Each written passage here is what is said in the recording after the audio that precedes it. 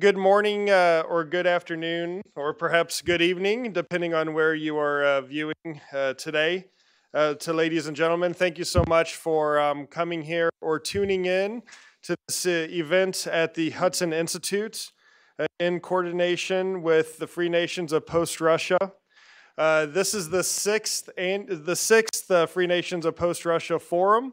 Uh, this time here in the United States, it's the first uh, event of its kind here in the United States. And we have quite a day lined up with a wide range of, of speakers. It's going to be uh, a marathon, uh, not a sprint, uh, as we uh, have different points of view, different opinions, different policy prescriptions, different ideas from a diverse set of individuals um, across the, uh, the Eurasian landmass. Uh, so it's a, it's a great honor to welcome the speakers and the participants of the sixth uh, Free Nations of Post Russia Forum. I understand that after a couple of days here in DC, uh, the forum will continue um, in Philadelphia and then in New York City. So that's a, a fantastic itinerary. Uh, I, I, of course, wish you the best of luck with that. But here we have serious business to, to deal with. Um, my name is Luke Coffey. I'm a fellow here at Hudson. Uh, I will be speaking later this afternoon. But I will first, um, before we kick off, I would, I'll first be turning over the microphone to my colleague Kennedy Lee, who is uh, our assistant here, and she will explain the, the rules, the ground for uh, today's event. Uh, Kennedy, over to you. Thanks. Thank you very much, Luke, and welcome everybody to the Hudson Institute. So, here are our few ground rules for this morning's event.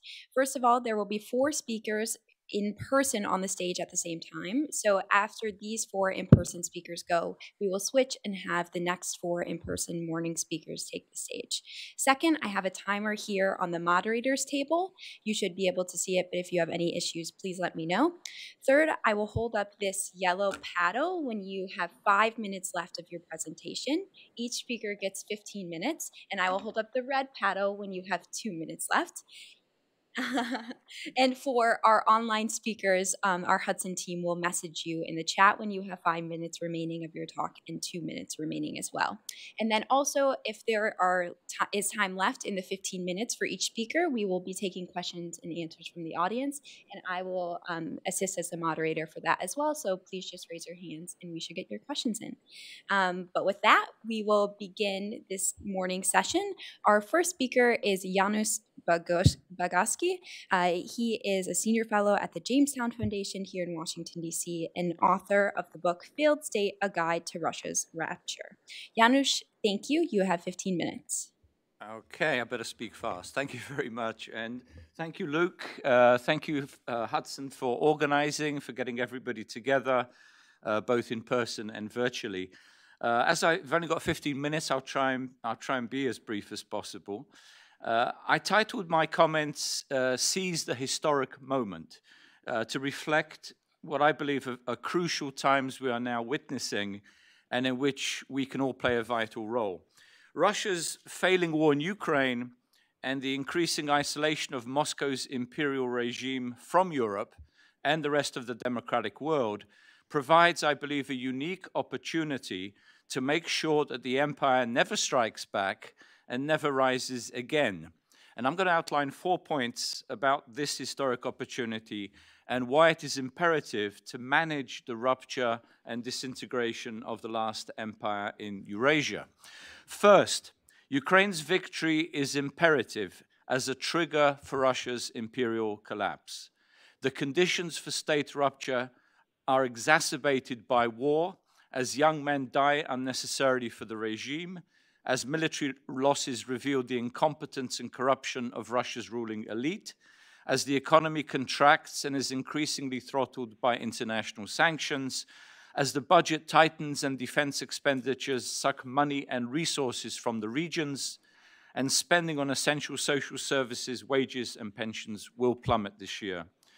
Public grievances will intensify over sharp, sharply rising poverty levels, stark socioeconomic inequalities, and deteriorating local infrastructure.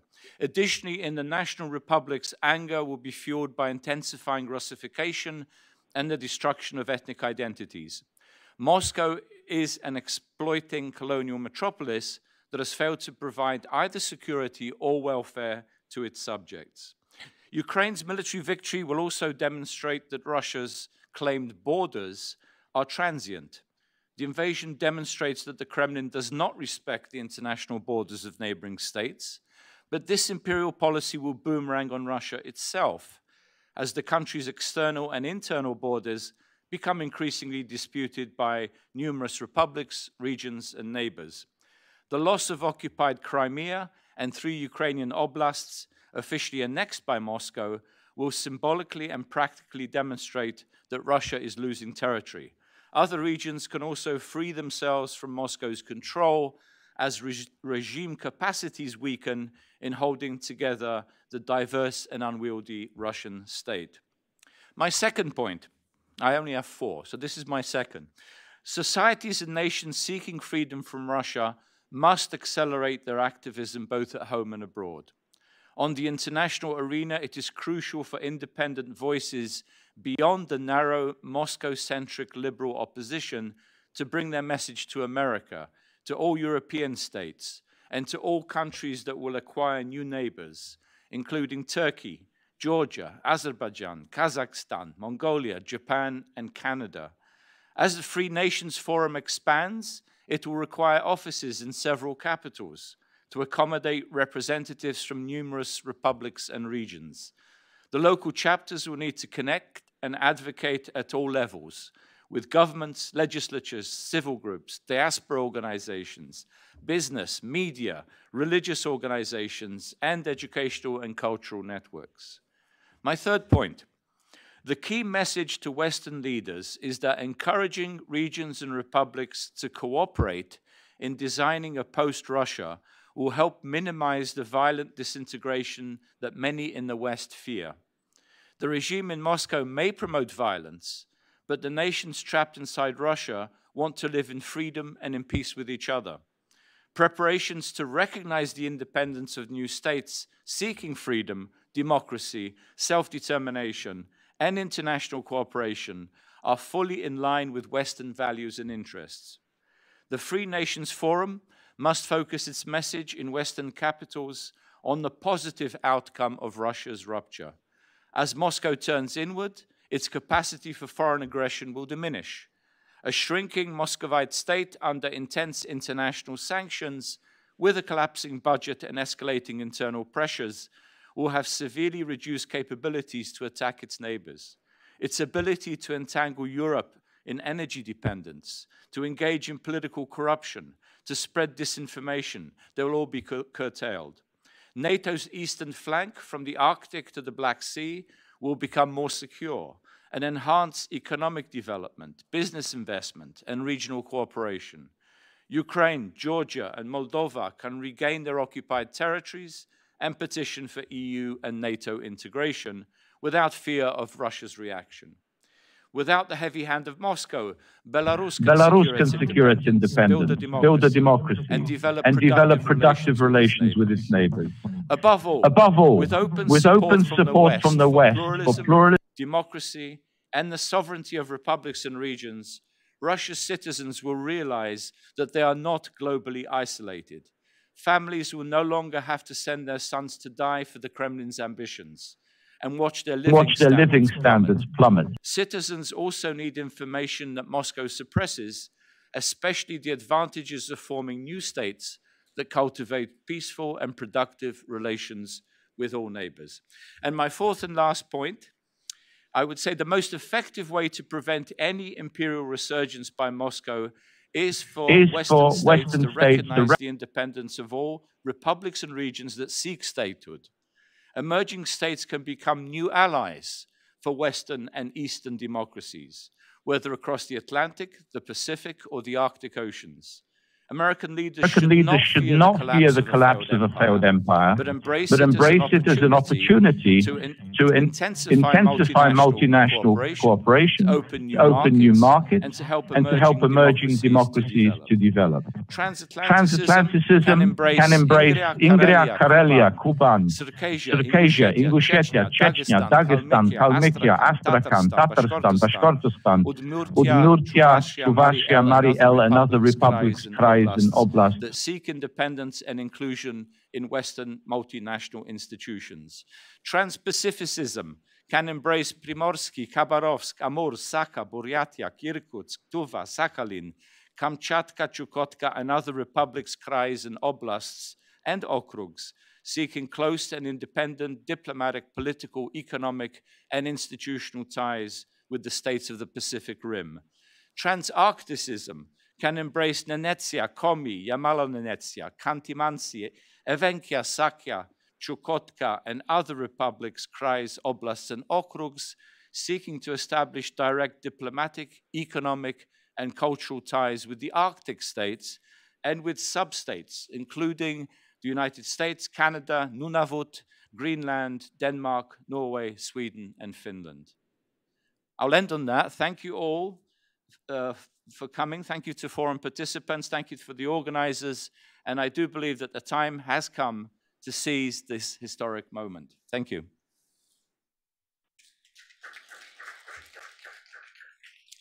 Thank you, Janusz. We have about seven minutes for questions. Any questions from the audience? Yes.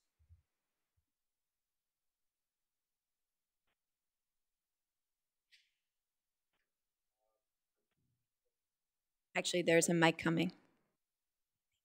Look, uh, I'm Ilya Ponomarev uh, from Congress of People's Deputies. So uh, my question is the following. Here in this town, there is a great fear of collapse of Russia.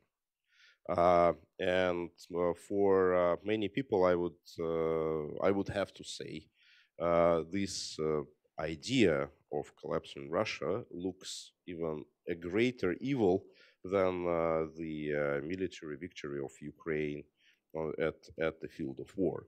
Uh, people are really scared of the chaos and instability and the nukes and, and the China and everything, you know. Um, to my mind, all those fears, they are way exaggerated. Uh, uh, but uh, nevertheless, they should be dealt with. you are one of the few of us, you know, who is inside one of the most influential think tanks. What do you think about those fears and how to approach them?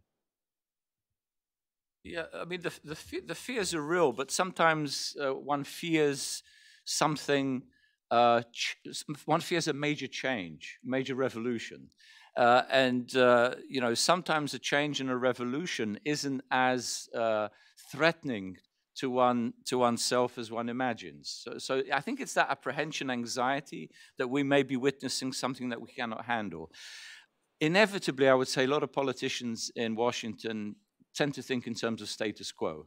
I remember the same situation when I first came to Washington in the 80s, just before the collapse of the Soviet bloc and then the collapse of the Soviet Union. There was the same apprehension that we should be very careful, uh, we shouldn't push too much, we shouldn't necessarily recognize any of the new countries because that would spark some sort of reaction from Moscow that would involve us. And the biggest fear, I think, is, is of course, as you mentioned, Ilya, is nuclear weapons. The idea that somehow, as a result of an internal uh, breakup of Russia, one, that Moscow would use nuclear weapons internally, presumably, which to me does not make a lot of sense. Uh, secondly, that they'd use it against the West, which also doesn't make a lot of sense. Why would they accelerate their own destruction? And thirdly, that somehow these nuclear weapons will fall into the hands of newly emerging states, which I think is also uh, very unlikely that they will be, have the capabilities, they'd have all the codes and, and, uh, uh, and, and, resources to be able to use them. And then what, who would they use them against? You know, to, to fire it within Russia would be self-destructive, would be suicidal. Uh, that these are countries that would want to be uh, recognized uh, diplomatically, uh, they'd want their, their, independence recognized. Why would they engage in some sort of nuclear blackmail?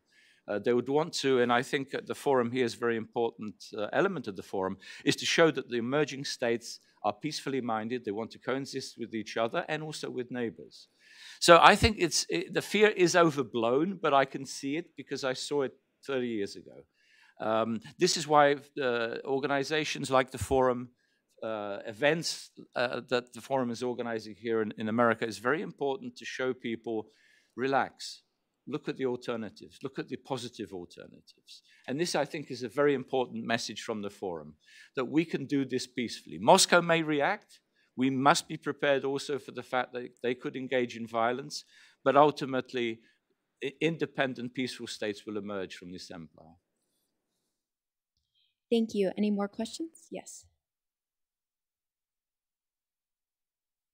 Movement for NATO enlargement of Austria and Ukraine and Kosovo and Bosnia. My question to you is about um, the NATO summit upcoming in uh, Vilnius. Do you see a movement in America to support NATO enlargement for Ukraine now as part of a peace settlement? Uh, there is a movement, but I don't think it's reached the highest levels of this administration. Um, also, remember, even when our administration is supportive of NATO membership, there are other countries in Europe that have to be convinced of this. There are some holdouts still.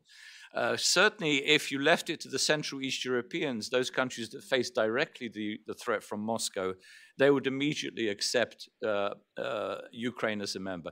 Let's face it, Ukraine has qualified.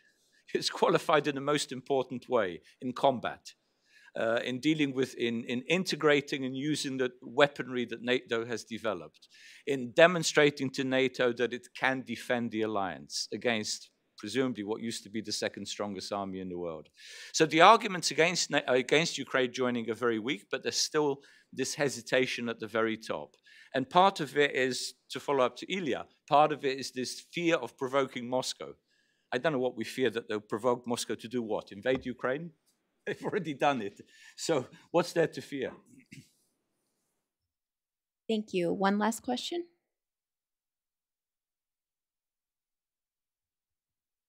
Yes, in the back. Hello, everyone. Uh, Mogamed Arif from Ingushetia. I have a question. Uh, you know what's the problem? Problem is, I think that it's not decision of United States, Europe Union, or Ukraine to collapse Russia. Um, it's a decision of Putin and he took this decision on 24 of February uh, 2022.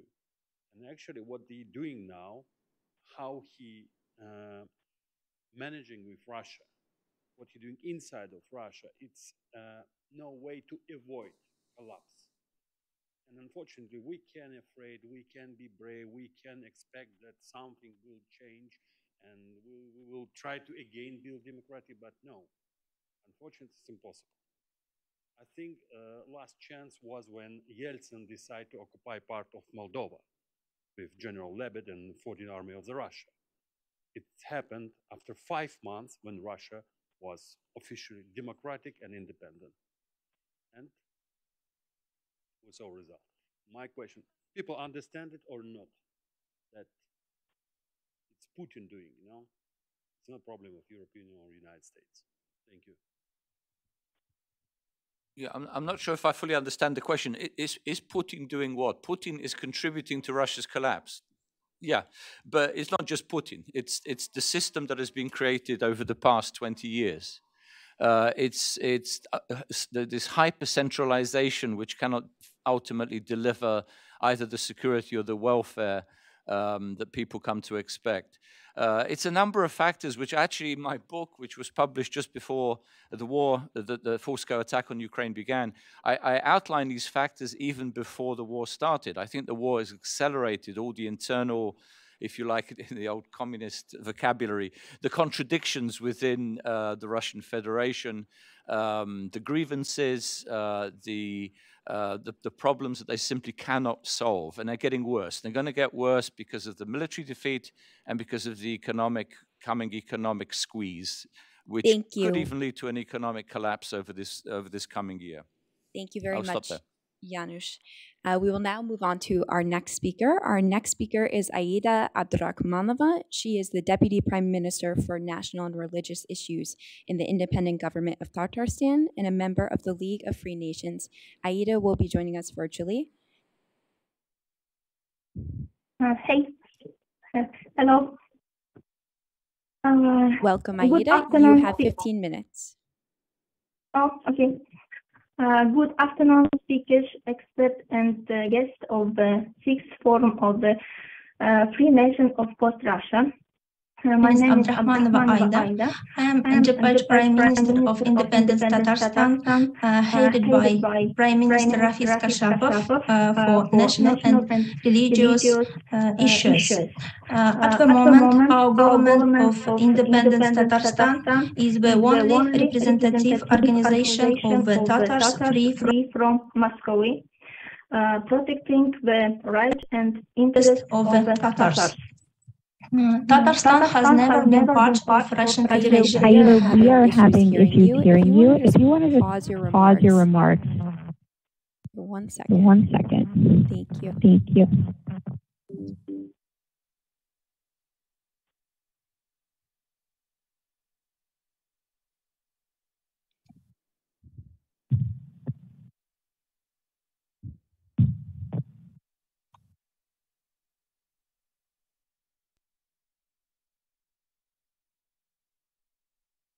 Very good.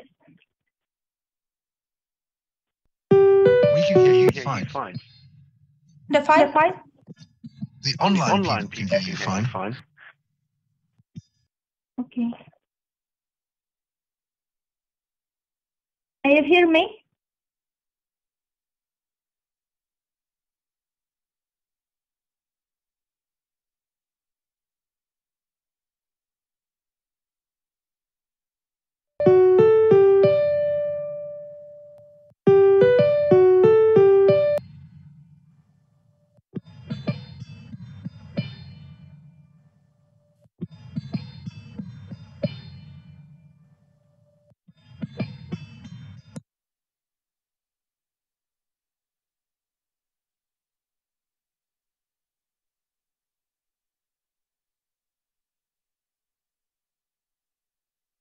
Uh, Tatarstan has never been part of the Russian Federation, and at the uh, legitimate referendum of 1991, which was attended by uh, free observers of America. More, More than, than 61% uh, of the population of Tatarstan voted for. I'm sorry, I'm sorry, Aida. While we, while we figure out your technical issues and hope to bring you back with sound, I think we will move on to Inal, um, who is here with us in person. So, Inal Sherip is the Minister of Foreign Affairs for the government of the Chechen Republic of Ichkeria in exile. Uh, thank you for being here with us, Inal, and you have 15 minutes.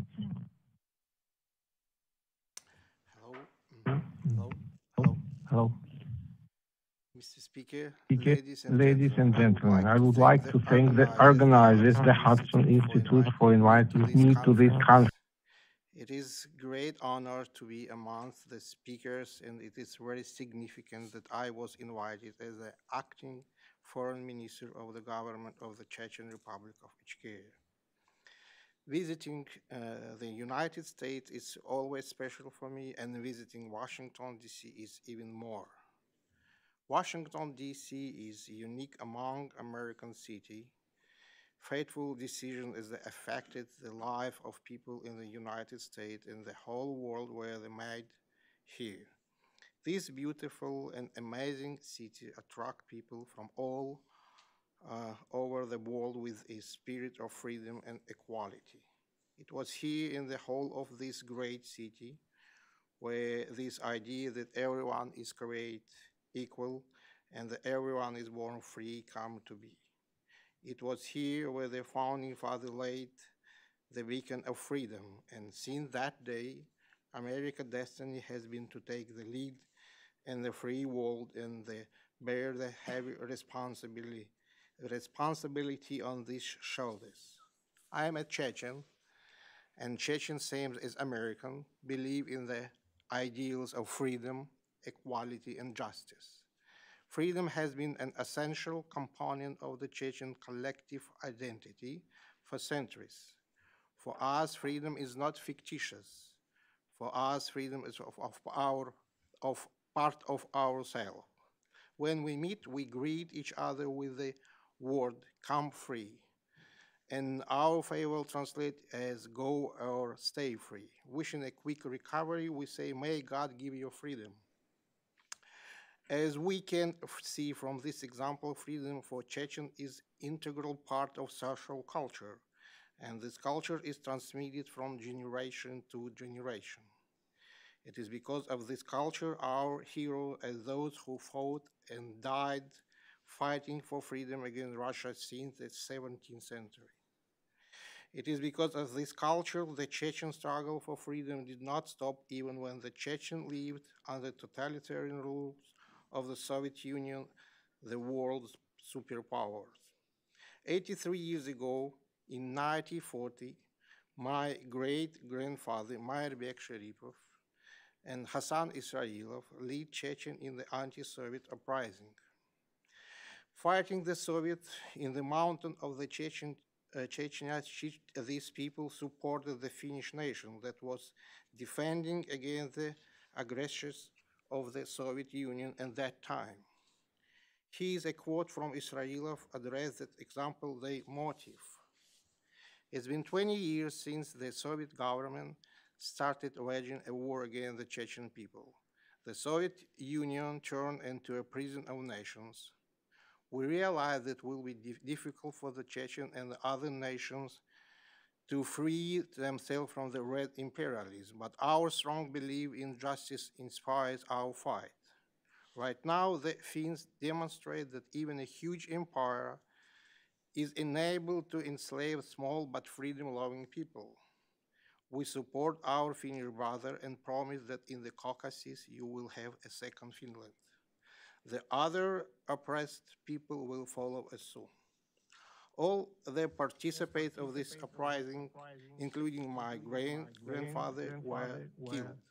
Only one member of this uprising, Hasuha Magomedov, survived and fought against the Soviet Empire alone for more than 35 years. According to the KGB, Hasuha Magomedov organized 194 attacks and killed more than 30 representatives of the, of the Soviet government. He was killed in 1976 when he was 70 years old and severely ill. Uh, he dies in a cemetery when he come to dig his own grave, and KGB informant noticed Hasuha in the cemetery, and soon the whole detachment of the special forces surrounded him. He did not surrender, he did not give up, he fought and died in the battle, inscribing his name in the list of the Chechen hero. Hasuha Magomedov was the last soldier of the anti-Soviet war. With, with Hasuha death, the Chechen struggle for independence was disrupted, but only for 14 years. In 1990, Chechnya declared its independence, and four years later, in 1994, a new, allegedly democratic Russia once again attacked the independent Chechen Republic in order to suppress freedom. Chechen victory in the First War did not bring peace, and the Second War followed shortly.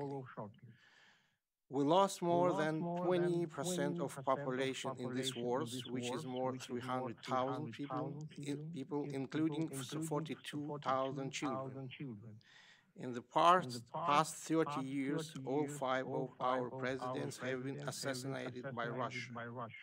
We do not just believe in the ideals of freedom, we pay for it with the life of our best sons. Therefore, it's a great honor and privilege for me to stand before you today in this great city which is connected to the ideals that Chechen cherish. I want you to understand that we will not stop fighting freedom until we win and justice prevails. Today, the detachment of the Chechen Republic of Ichkeria are participating in the war in Ukraine as a part of the Ukrainian armed forces. And this is proof of our determination to liberate our homeland from occupation. Some days ago, I asked myself, if my great grandfather, Mairbek Sheripov, could imagine um, that 83 years after he raised people against the Soviet Union, his great grandson, Minister of Foreign Affairs of Chechen Republic Ichkeria, will be here in the United States, in Washington, D.C., at the conference. Uh, uh, the conference, the, uh, decision of, um, uh, about the collapse of Russia. And uh, uh, could he imagine uh, that Russia will be recognized as a terrorist state by the world community will come. Could he imagine the Russian, uh, could he imagine the international um, um, criminal court would put the president of Russia uh, on international wanted list and issue a warrant for his arrest? Probably not, because years ago, I could not imagine this. We live in the moment of history when everything, when changed so fast, so fast, that we cannot that we realize. realize. And I tell and you, I tell um, um, why by quoting why by the President of the United States of America, of America uh, John F. Kennedy, John F. during his inaugural speech in 1961, he said, we shall pay any price, bear any burden, meet any hardship, support any friends, oppose any foe, to assure the survival and success of liberty. And this quote tells exactly what every free Chechen feels in his heart. Thank you very much for your attention.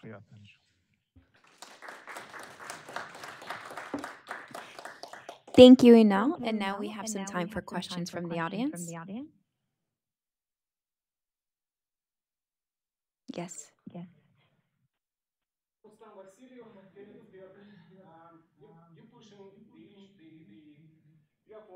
We have a microphone coming for you. One second. It's okay. It's okay. You are for independence of Chechnya, right? What's going to be your answer to so-called Moscow opposition, who's like imperialist, like, for example, Mr. Ilya Ponomarev? They've got like imperial view of Russia, you know. What's going to be your answer to that? Well, I, uh, I, for me, surprised that Ilya is imperialist. I hope. uh, okay.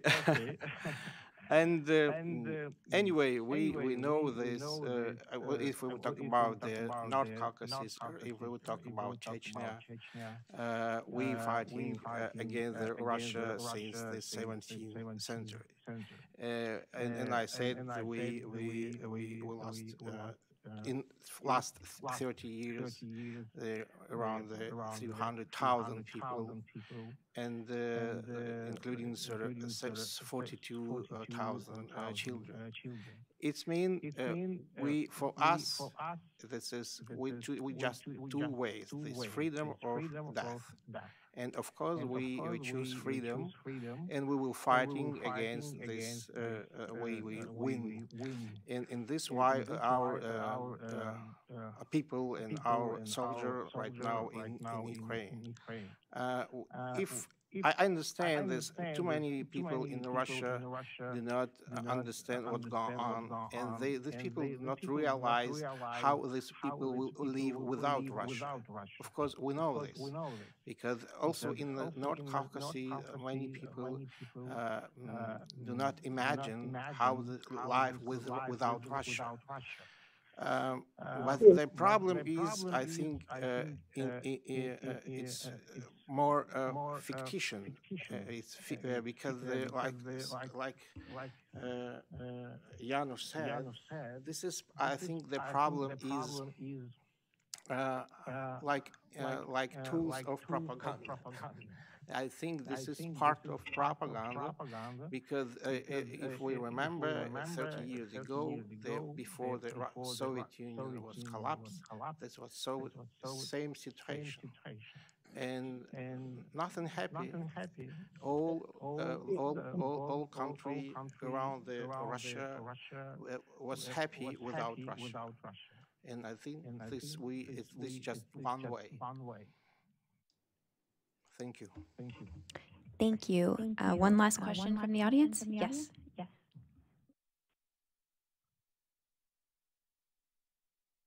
Minister, I'm Günther Fellinger from Austria. My question is about the human rights abuses of Russia against Chechen citizens in the European Union. We have uh, targeted contract killings in Germany and Austria. And my question is uh, how you see that, how you uh, see the reaction of the Austrian government concerning these contract killings by the FSB in Vienna. Thank you for Thank the, you this, for question. Uh, they, uh, uh, of course, the, the, these people live in, uh, in, in, in Europe, and uh, the, and also I'm Belgium citizenship. These people uh, probably was uh, the Austrian citizenship earlier in Germany, and I think the government take um, his responsibility for investing this this problem. And and we know that it's. Any any any opposition from who will will against the Russia will, will have problems. Same like like Ahmed Zakayev, our prime minister, same because they he uh, um, working against the Russia more than three, uh, 20 years, probably he outside of Russia. And uh, uh, we have this problem, uh, but uh, it's part of this big problem because what I said, where the last five our president was was was assassinated by Russia it's, it's, it's officially legal president. It's not not because the like example Aslan Maskhadov was legal uh, president of the Chechen Republic of Ichkeria, and even uh, Yeltsin was congratulation was uh, in support for Aslan Mas to, to Aslan Maskhadov in the beginning. Uh, he's he's he's he, he's working.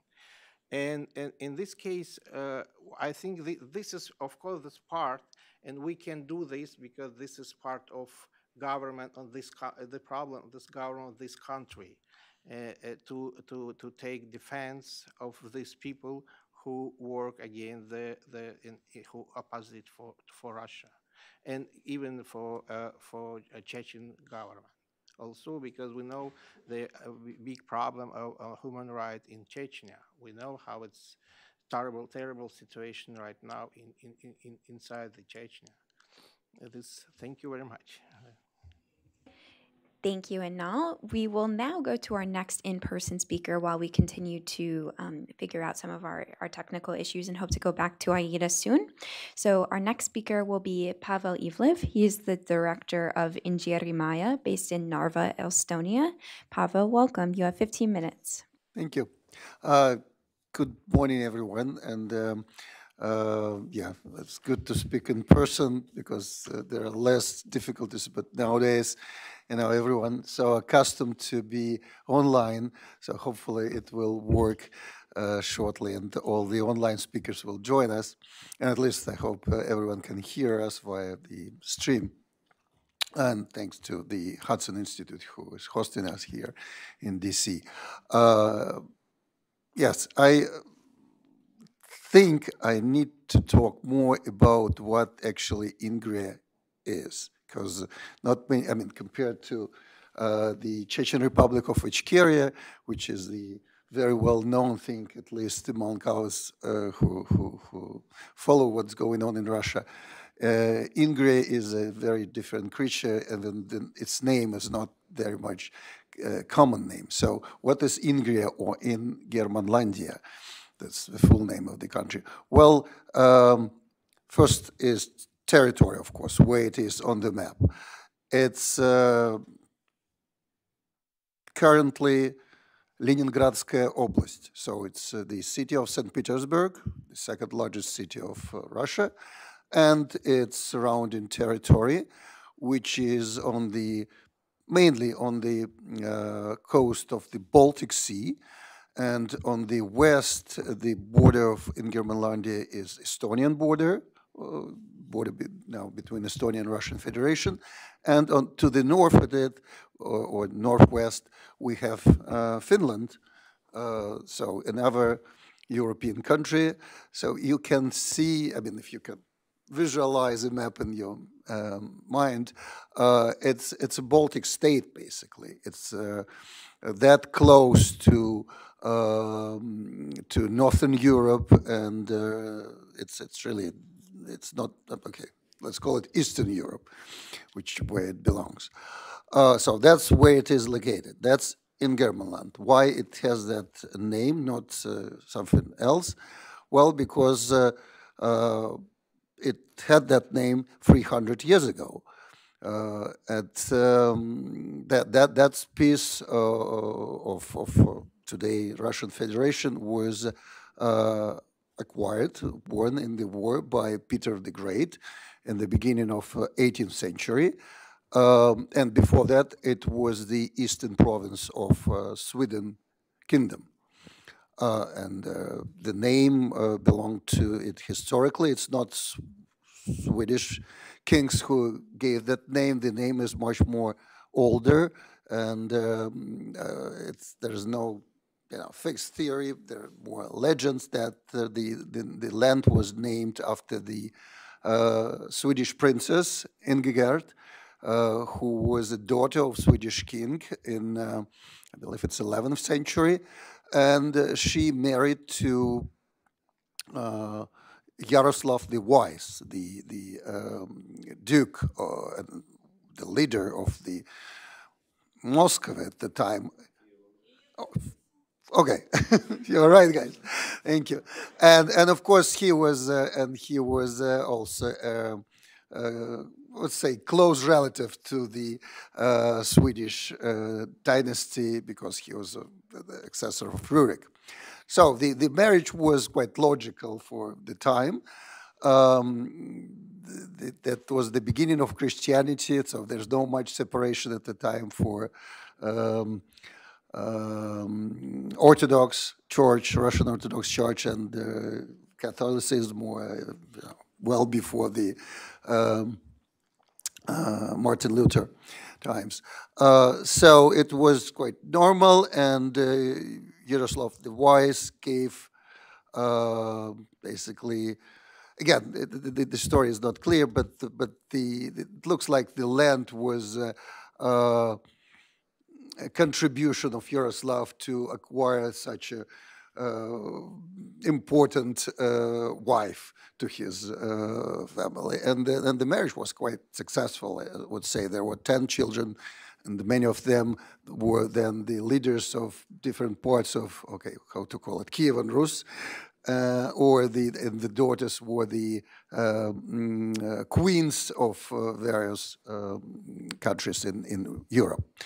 Uh, so that's a little history. So the name is quite historic, and I would say uh, at the you know at the turn and when, when Soviet Union collapsed, uh, people of Germanland, people of uh, St. Petersburg and, and, and, the Oblast, they uh, almost voted for the renaming of the Leningrad Oblast into Ingermanlandia but then the, the, the year 93 happened and uh, basically Yeltsin administration started to uh, limit the freedoms in the country. That was that all.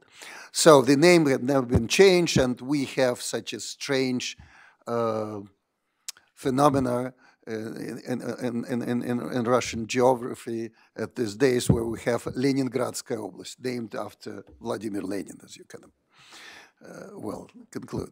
Um, so the name is is is is basically obsolete and, and not needed, and even you know the thin uh, the Russian Federation, if that would be normal development uh, in the 90s, it would be changed. It didn't. Um, so, talking about the people of Germanland, are they What's the ethnicity? Well, historically, there were local uh, people with their languages which were mainly close to you know, Finnish and Estonian. I would simplify that. Um, they almost all gone.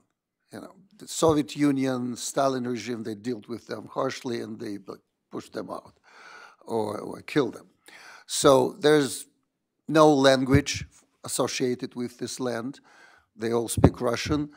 Uh, and uh, that uh, ethnical minority is really, really, you know, close to the mathematical error, I would say, that just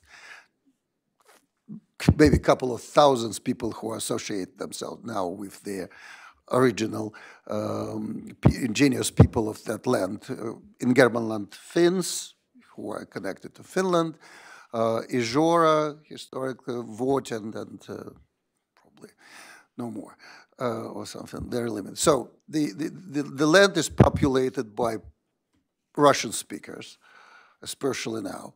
Uh, there is Lutheran Church, the Church of Ingermanland, which has some influence, but uh, it's, it's, it's not hard, it's not big, only in, in the smaller, uh,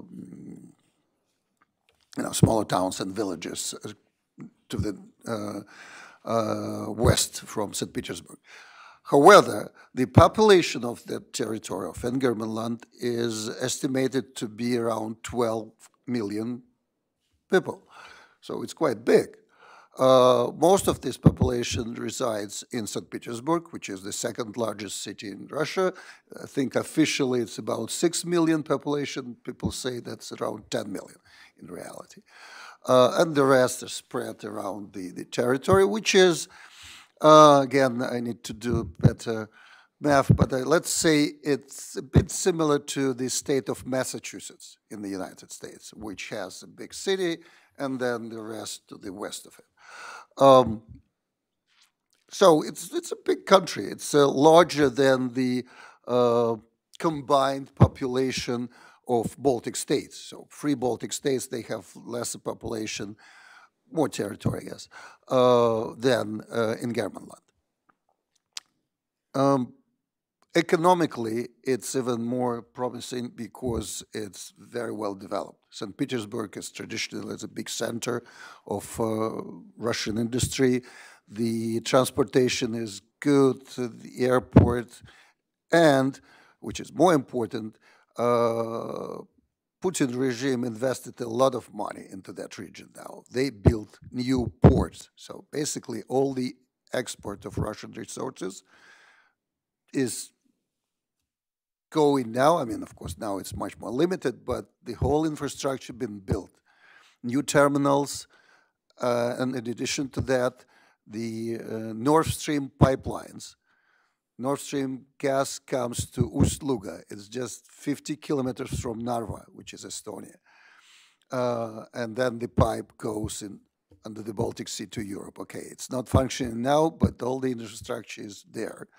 Uh, and um, because of you know the, the target put by Putin years ago to make this land a free port for Russian export, that being done infrastructurally, and it will never, you know, of course, it can collapse if nothing's, nothing's happening, but because of the population, because how the export is structured, uh, and how it flows uh, from Russia to, to the West, it's basically inevitable. Whatever happens with the whole country on this particular territory, whether Ingermanland be independent or not, but the economically, it's, you know, logic tells us that, that it should go on.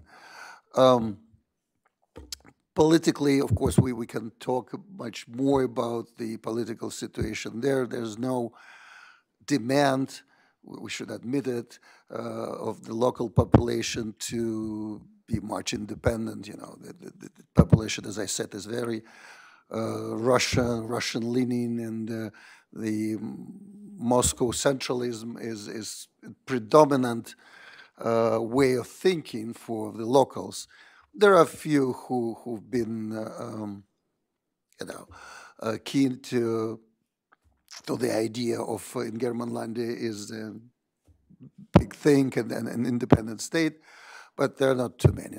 Predominantly in St. Petersburg, where more educated people live, and uh, again, if you Google Ingermanland, you will see symbols of it, the flag, the even the, the, the anthem. it's it's it, so the symbols are there too. it's just you know takes time for us and takes our efforts to bring to them the idea of uh, uh, the fact that that uh, Ingermanlandia can be free and independent. And um, ready for your questions if you have them, but uh, we can discuss these issues much more. Thank you. A quick question from the audience. Yes. I represent um, Ukrainian Crisis Media Center. And um, if you can, if you have this answer, like how do you, like, is there a plan to gain independence? Is it going to be like military means or you plan to do it like politically? And if you say there's no demand and no understanding that, like, how do you going to explain people? What are the benefits of being independent? Like, what is the, your vision of how you're to get there? Thank you. Thank you. Um, well, the, the, I, I believe I've talked a bit about the benefits and, and the historic uh, logic behind the independence for this land. Uh, it was independent. It was part of Europe, clearly. It's uh, uh because of its location and the, the level of uh, development, it's already can easily can be one of the Baltic republics on the stage with them. Um, the, how to you know, bring this this knowledge to the local people and make them agree that this is at least the doable option. Well, that that's I believe we are still very much in the beginning of that process. So we we need to educate them. We need to uh, not just by telling them here's the Ingerman, here's its history. Well, it's all known; they can do it. They normally don't want to, but we have a great help because of you know the the good uh, branding position of Ingermanlandia. Uh, it's already in, in, in you know in music. Oxymoron uh, sing his his rap about um, mm, Ingermanlandia and to be free, and the very popular cartoon about Masyanya, you know, all Russians like uh, to to to, to uh, and enjoy it for many years now. Well, there was a, a, a, an episode dedicated to Ingria with uh, you know colorful uh, figure, you know, telling her former friends that uh, they now live in free Ingermanland, which is independent. So that's the uh, future. Uh, that's where we are. Okay, let's take the, one more question, maybe. Okay, one last question. Let's go here, Ilya.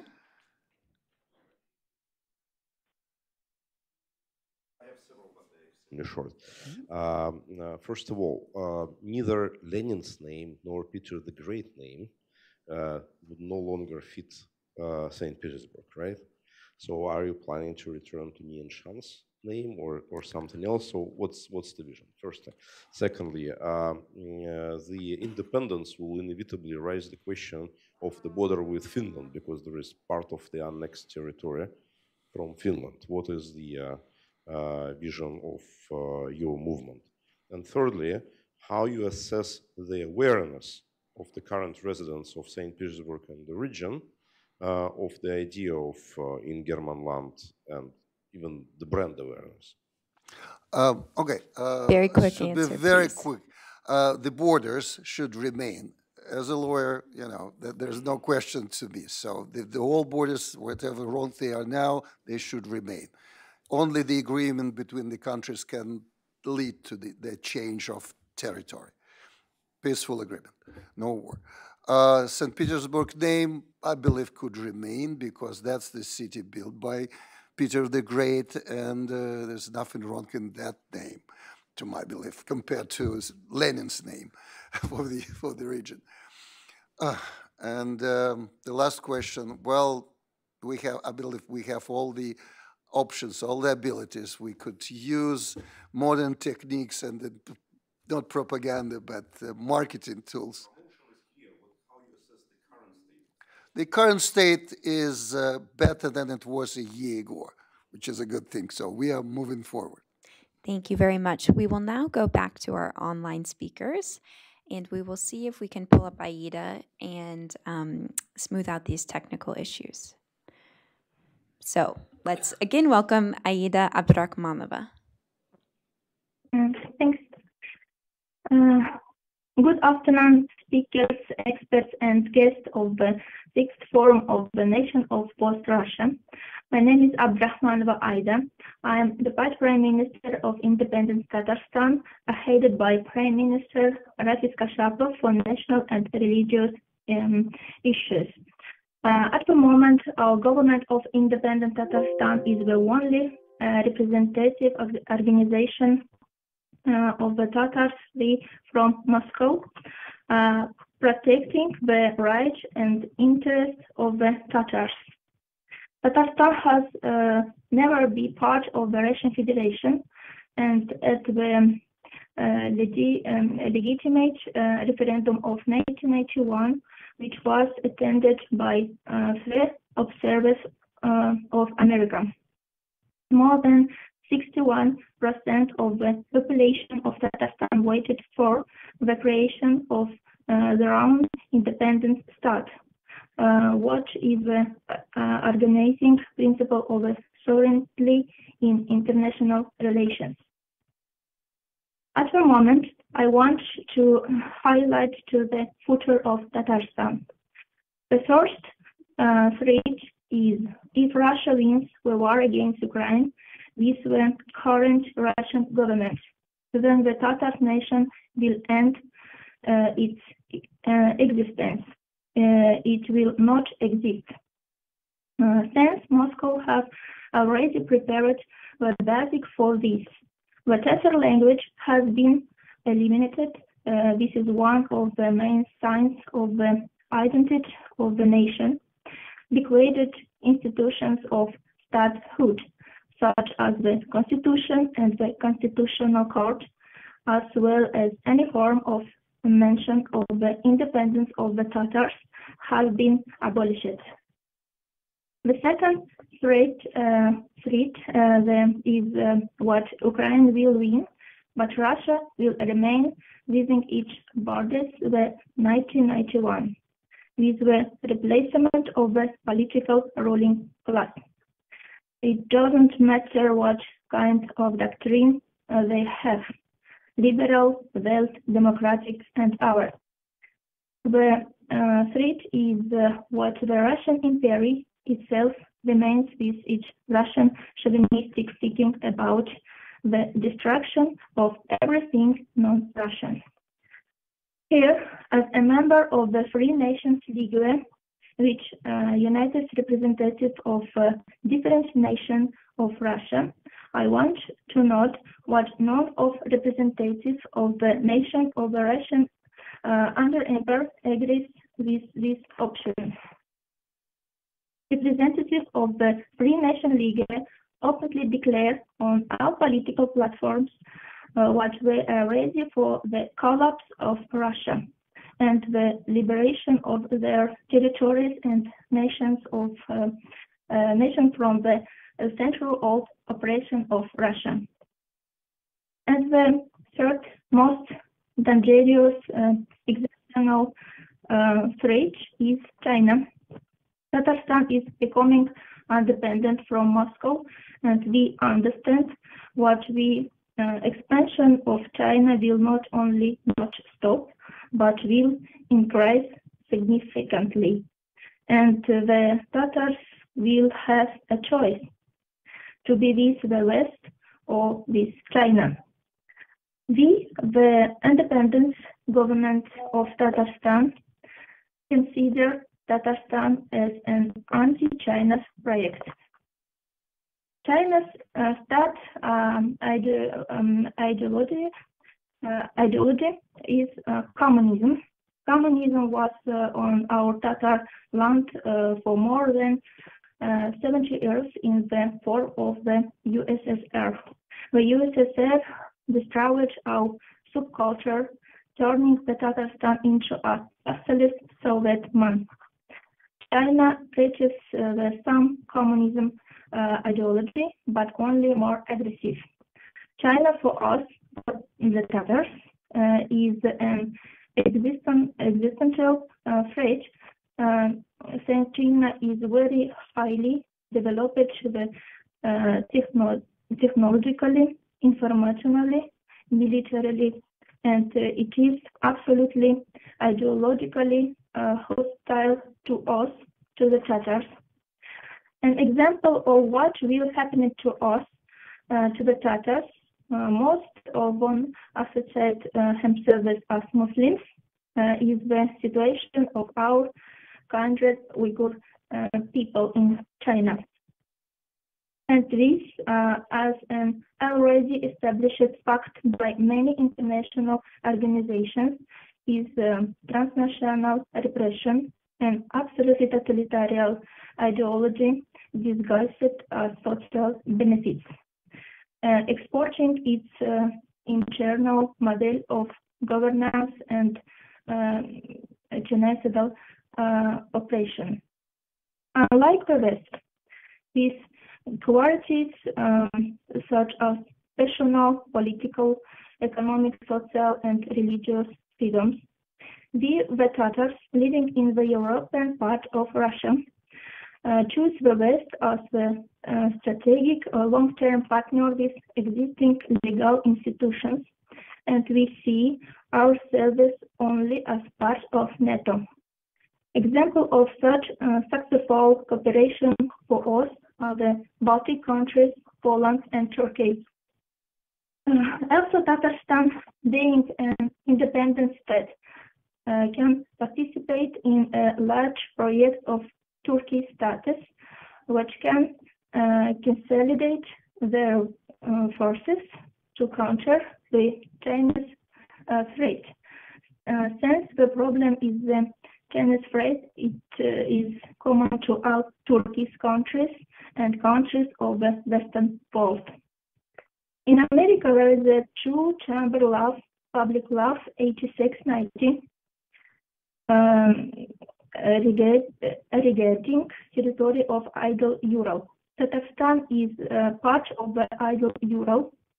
We have created a platform called Free Idel Ural, which unites representatives of the nations of Idel Ural in the struggle for independence. Many of the countries what um, specified is this law up to the territory of Idel Ural have already received freedom from communism imperialist regimes. And now it's our turn of the list. Uh, therefore, we believe that we will receive the support of America in the struggle for our independence. Thank you.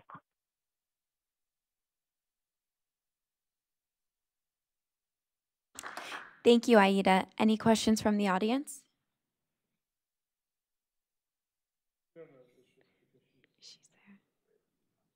May I? Yes. Oh, okay. How to address Aida? Um, uh, okay, I hope she she can hear me. Okay. Um, Aida, my name is Pavel Ivlev, and here I represent uh, Ingria, another hopefully an independent part of today's uh, Russian Federation. And um, the, the, the question is, you know, Tatarstan, of course, is uh, big enough and uh, uh industrially developed, uh, but still it's very deep into the, you know, um, to, to, the east from, from say, Europe. And um, it's, again, the, the, good thing, it's Tatars population is the majority, uh, but again, there are others who, who live, and, and the connection to the other sides and other regions of Russian Federation is uh, very deep, and the interconnection is deep. So the question is, uh, where do you see Tatarstan uh, is, is really the, the, the, the, like the country by as itself, very independent, or it will be a part of the wider um, say, mm, Volga River um, Federation or Confederation of, of your neighboring um, re today regions of Russia. Извините, пожалуйста, вы не могли бы на русском языке спросить, вопрос задать? Окей, хорошо, да. Я мог бы, я тогда задам его короче. Просто ваш вопрос все поняли присутствующие, теперь я должна понять ага, я. Да, я хотел спросить, вот с учетом того, как расположен Татарстан, да, и его, так сказать, степени связи с соседними регионами, Башкирии, там, Поволжскими республиками. Насколько вы видите Татарстан в будущем совсем независимой отдельной страной или частью какой-то, скажем так, Поволжской федерации или конфедерации? Но ну, прежде всего с Башкирией, как будут складываться отношения? В первую очередь мы считаем, что каждая республика, она должна стать независимой, она должна стать независимой страной. И э, только после этого каждая республика будет решать, вступать ли ей в конфедерацию или федерацию. Но, как я уже сказала, у нас есть на данный момент проект «Идель Урал». Мы э, очень тесно общаемся с представителями э, свободных народов э, и заключаем договора. И буквально неделю назад мы заключили декларацию э, с представителями э, Башкортостана, а, и э, там есть пункты, которые э, соответствуют взаимоуважению друг друга. Это было очень большое достижение, потому что до этого такие декларации еще не подписывались за последние 30 лет.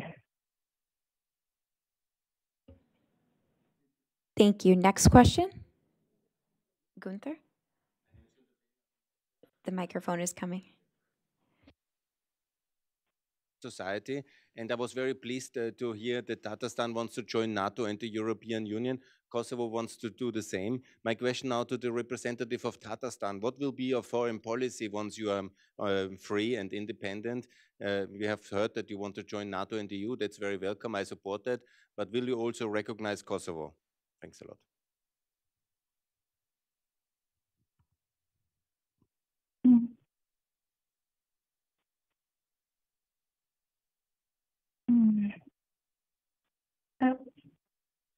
У вас нет возможности перевести, да? Я, окей, я переведу вопрос у Маида.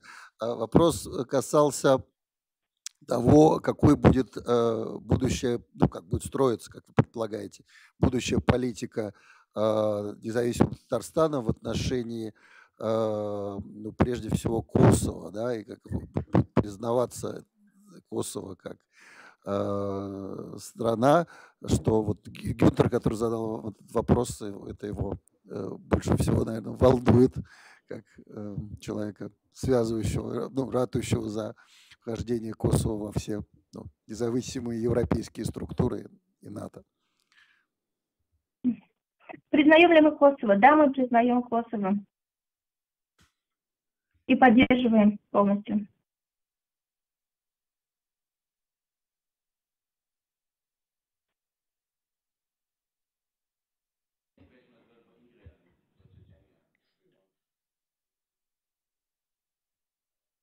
Yes, sir. Thank you. One last question. Yes, Varvara. The microphone. Um, Добрый день, я буду сразу говорить по-русски, чтобы вам было понятно. Um, вопрос такой, um, есть ли у вас план, как вы будете приходить к этой независимости? То есть не просто, что вот у вас есть такое желание, но какой-то план. Вы будете там военным путем, политическим, um, как, какой план, чтобы это действительно осуществилось? Какой временной ну, промежуток времени вы думаете, это может случиться? А есть ли у вас какие-то внутренние там, движения, протесты, медиакомпании? Ну вот что вообще происходит внутри на таком очень практическом уровне в плане движения к независимости а, вашей республики? Спасибо. Спасибо. А, у нас есть определенный план действий. Начнем с того, что мы организовались как продолжение правительства, нас организовалось в 2008 году но продолжаем мы деятельность буквально 3-4 месяца. Поэтому у нас все разрабатываются различные планы. У нас поддерживается тесная связь с татарами внутри Татарстана, но, к сожалению, процессы там невозможны. Это сразу все жестоко пресекается. У нас были протестные акции, но, конечно же, там идут сразу аресты и избивания, и посадка в тюрьму на большие сроки. До сих пор продолжаются судебные уголовные дела. Мы будем действовать различными методами. Конечно же, пропаганда должна быть открыть глаза им на всю ситуацию, потому что там э, пропаганда работает 25 часов из 24, э, и с ней бороться достаточно сложно. Но есть эффективные способы, и мы работаем с нашим народом. Спасибо. Thank you very much, Aida. We will now, now move to our next online speaker. Our next speaker is Anna Fotyga. She is the former Minister of Foreign Affairs of Poland, the former head of the Chancellery of the President of Poland, and a current member of European Parliament. Thank you, Anna. You have 15 minutes. Um, good morning, Hudson. Good morning, uh, dear representatives of Free Nations of Post-Russia Forum. Uh, do you hear me properly? Yes, we can hear you. Thank you. Uh, it is really a privilege to, to speak during this uh, sixth uh, edition of, of the, the forum uh, and listening to, to, to all speakers preceding uh, my intervention. Um, naturally, I share, uh, because of long-standing uh, relations already, I share many of, of uh, Janusz Bugajski's uh, views, but let me return to, to, to current strategic situation and, and start with obvious statements.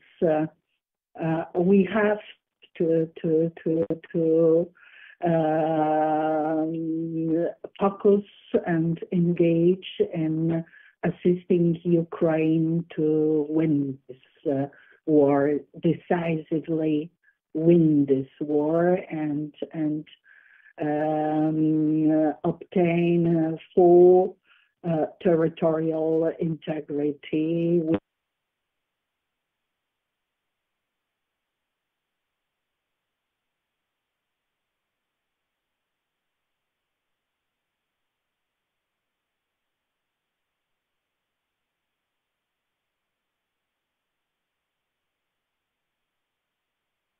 Anna, we just lost your audio. If you could pause for a moment, we'll let you know when it's back. Sorry about this.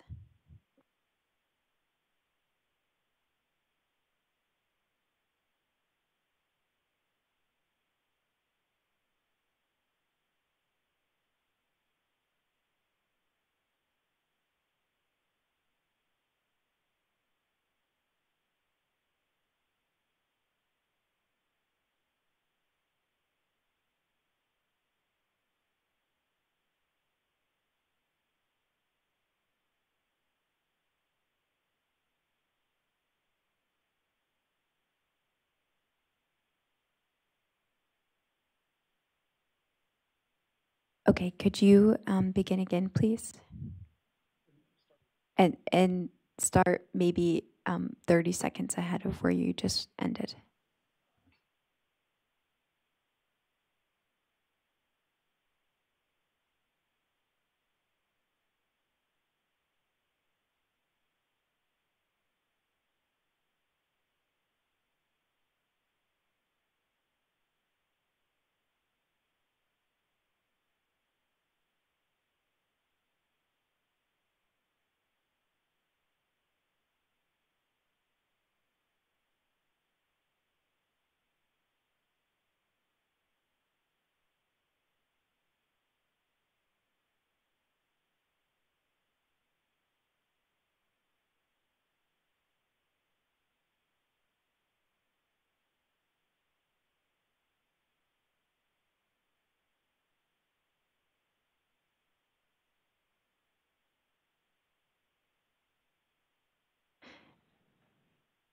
I'm sorry, we still can't hear you. Hopefully we'll get it back soon. Just one moment.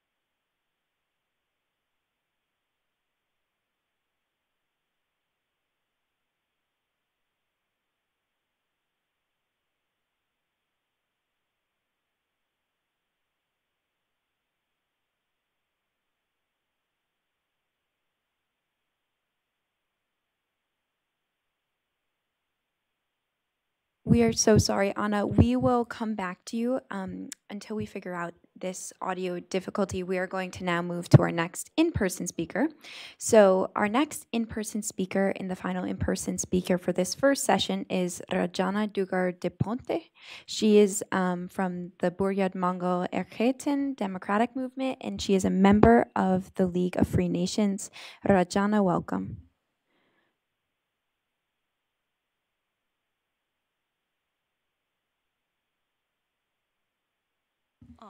Hello.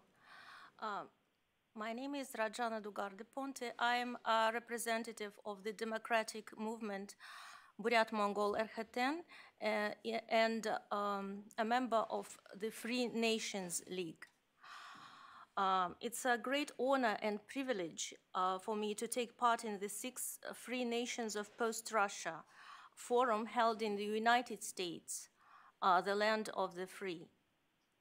The President of the United States, Woodrow Wilson, was regarded as a hero in Eastern Europe for endorsing the rights of small nations in a world of great powers. He proposed an independent Poland, Czechoslovakia, and other nation states that appeared on the political map of the world after the collapse of Austro-Hungarian, Russian, and Ottoman empires. The process of formation of sovereign states continued after World War II. As a result of the victory of national liberation movements in the former colonies of European powers. The year 2022 has shown that it is not yet time to abandon the ideas of fighting for the freedom and liberation of peoples from colonial dependence. Woodrow Wilson once said, the world must be made safe for democracy. Those words today sound more important than ever. Putin, a mad emperor of the last empire in Europe, has brought the world to the brink of a nuclear catastrophe. Moscow has launched a full-scale barbaric war against sovereign Ukraine, forcing colonized non-Russians to fight for the preservation of the dominance of the Russian organized crime group that has usurped power. Buryat Mongolia was invaded and subjugated by Russia at the end of the 17th century after a brutal war that lasted for over 100 years. Territory of ethnic Buryatia is one of the most important strategic regions for Russia. Uh, throughout history, the Russian state has pursued a deliberate policy of reducing the number of non-Russian indigenous peoples in the occupied lands. In the late 19th and throughout the 20th century, the Buryat population was affected by the Stolypin reform, First and Second World Wars, the Civil War, collectivization, industrialization, and Stalin's repressions. Putin's Russia persistently follows the same colonial track. Today, Moscow uses captive nations and indigenous peoples as cannon fodder in the war against Ukraine. for a Buryat, the probability of being mobilized and dying in the Ukraine war is 275 times higher than for residents of Moscow. From the beginning of the war, the Buryat people have suffered the highest number of deaths in the army, six times higher than among those in the central regions of Russia.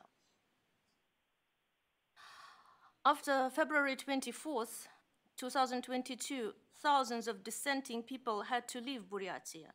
The exodus has intensified after mobilization was announced.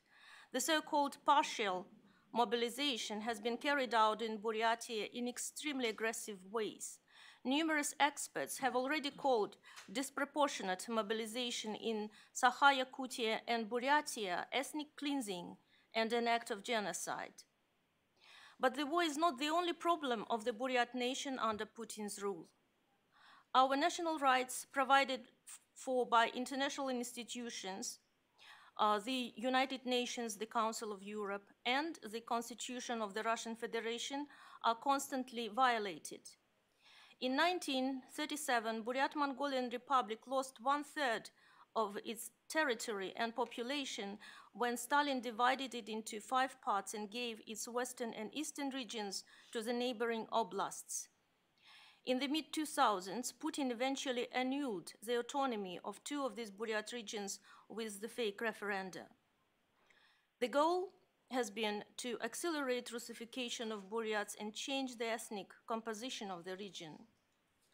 In 2020, changes were made to the Russian constitution, making Russian the only state language. According to a UNESCO report, Buryat is an endangered language and can disappear completely by the year 2050.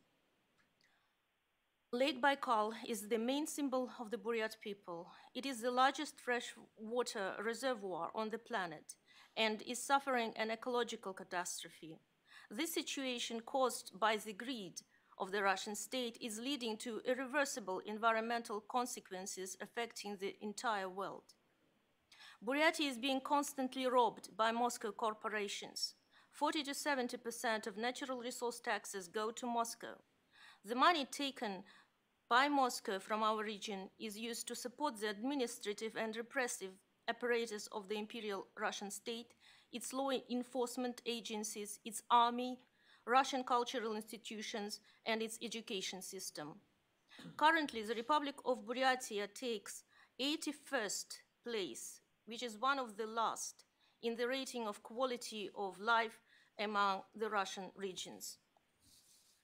Russia has always had a severe problem of political representation of native peoples of Russia, but since Putin came to power, the situation went from bad to worse. The non-governmental sector has been destroyed. Many local NGOs for the development of civil society were declared foreign agents and had been banned. Buryat society is deprived of the most important tool of democracy, free media. A few oppositional channels that are based outside of Russia do not give voice uh, to the representatives of the ethnic republics. Despite these difficult cir circumstances, there are various groups and initiatives to maintain our culture, our language, and our identity.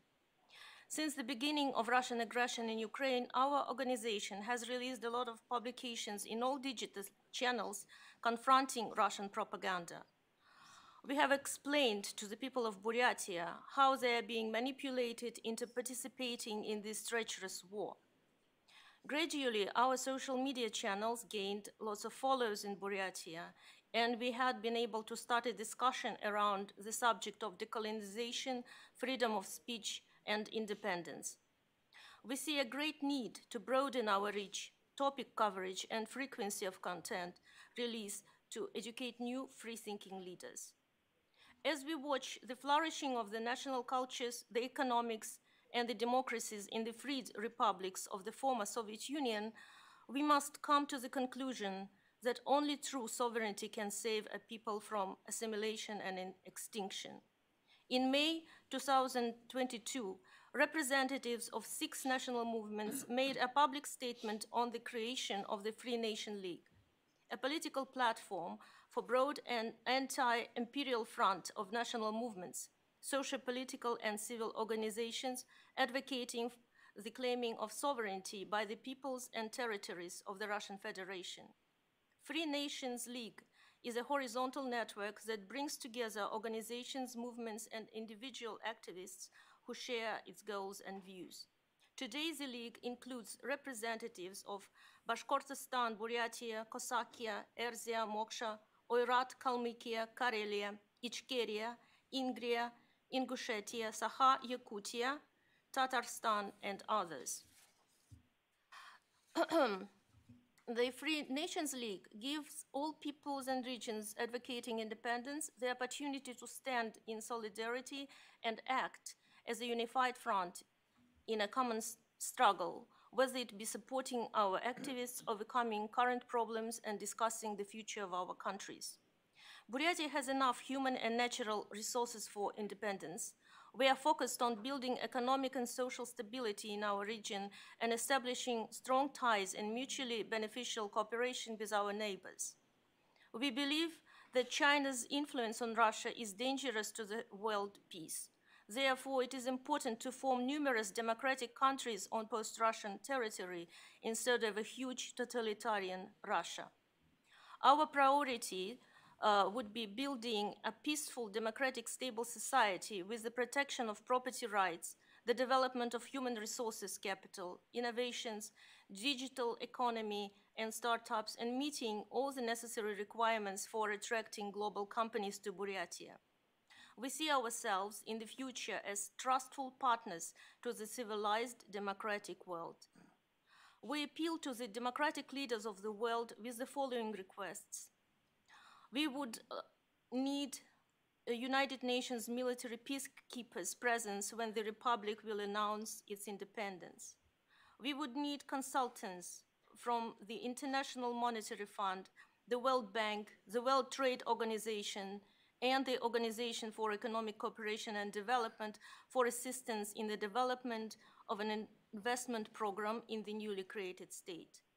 It is finally the time to bring an end to the last empire in Europe and give new democratic states a chance. And for that, we would need all of the support that the civilized world can give us. Thank you.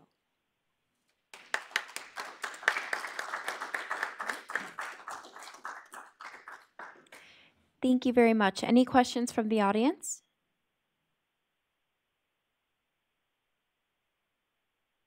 Can I? Yes. Uh, thank you, Rajana, for presentation. Is it okay if I ask questions in English? Okay. Um, okay, you just said free Europe and uh, but but uh, Buryatia, forgive me, is not part of Europe, right? It's uh, far more east. Uh, so, and then the, the, name of your organization, Buryat Mongolia, which clearly associates Buryats with uh, Mongolia, which is, uh, as far as I know, a larger country.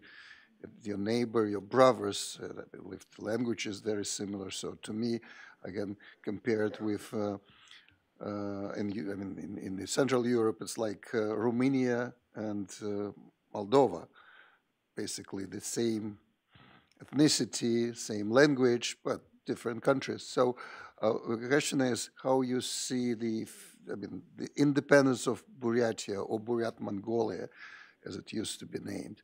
Uh, is it sort of association with uh, the today's independent and democratic Mongolia? Or, I mean, how close you want to be to Mongolia and Mongolians?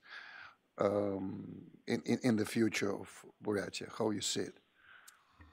Uh, I, am afraid I didn't quite understand the first part of your question when uh, you asked me why I mentioned Europe or free Europe. I, I don't quite remember when I did that. Uh, perhaps uh, in the uh, list of uh, the organizations that might help us, right? Just disregard it. Okay, okay. As for the uh, ties with uh, Mongolia, um, we uh, are sure uh, going to develop very close ties uh, with uh, Mongolia being our closest um, uh, relative, I would say. And um, uh, our organization um, has already have close ties to the Democratic Party, Mongolian Democratic Party, and we are planning to um, deepen and broaden this cooperation. And uh, of course, um, when um, I mentioned about uh, possible involvement of uh, United Nations peacekeepers, I know that Mongolia um, actually uh, is one of the countries that participates in it. And I guess uh, in if needed, if uh, you know situation uh, gets somehow dangerous, uh, I believe we can appeal to Mongolia uh, for um, helping us in this difficult situation. Thank you. One last question from the audience. Okay. Um, the microphone will be coming right over here.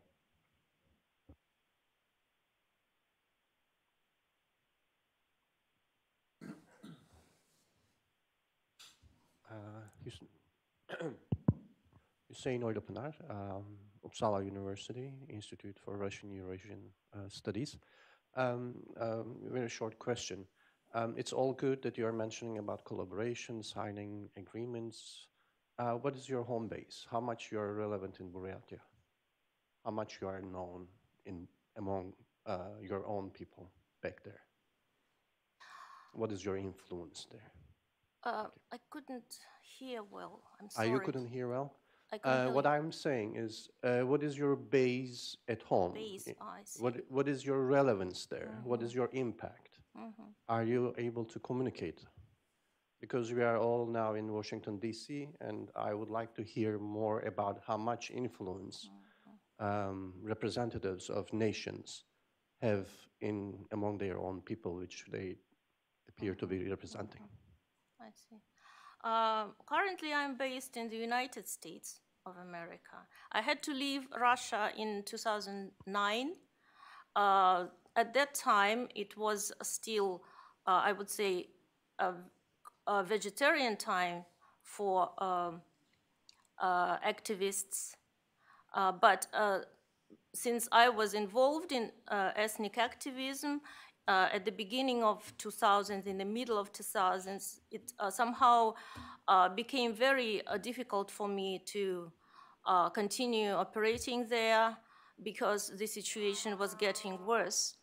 And um, so eventually I left the country. First, I lived in Europe, uh, but then um, I got married actually, and I moved to the United States. As for the involvement in the um, um, um, in, in, in, in, uh, in the, uh, I would say, life, you know, local life, um, we are in contact with the activists who still are in Buryatia. And uh, of course, um, they are acting, um, I would say, uh, uh, clandestine, right? They, they, they cannot uh, reveal themselves right now because it is extremely dangerous uh, for people to um, uh, openly, uh, op openly um, act and openly uh, protest against uh, the Russian state, against the war. But still, we have these ties with our members, members of our organization um, in Buryatia. And in also not only in Burya Republic of Buryatia, but also in the uh, Buryat districts that were cut off by Stalin and um, now they are parts of these neighboring oblasts, as I mentioned before. Okay, thank you very much, Rajana. So now we're actually going to go to a 20 minute coffee break so that we can work out all of these technical issues and hopefully come back um, and have smooth sailing from then on. So we will break and come back at 11.55. And thank you to our first panelists.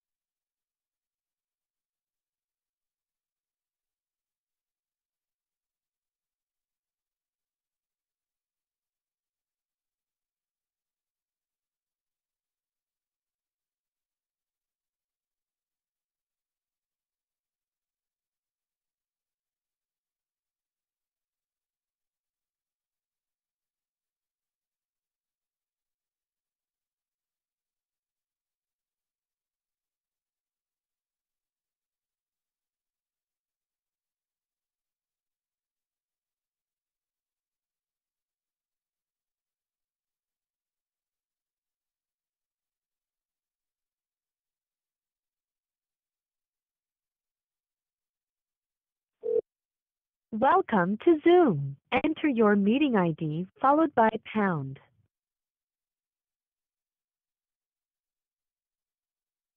You have not entered any numbers. Please re-enter your meeting ID followed by pound.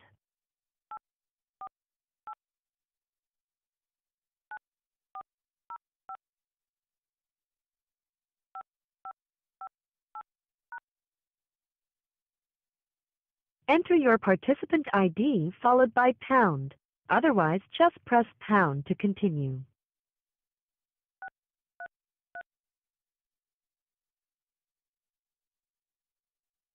Please enter the meeting password followed by pound.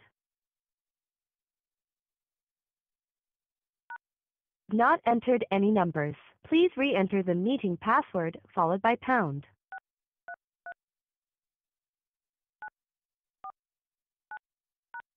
You are in the meeting now. There are eight participants in the meeting. Sits there all day.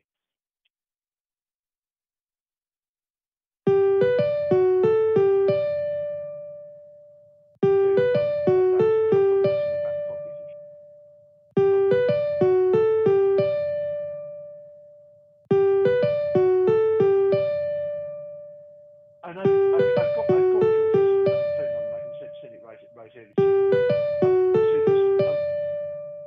I think that we are in a terrible position the country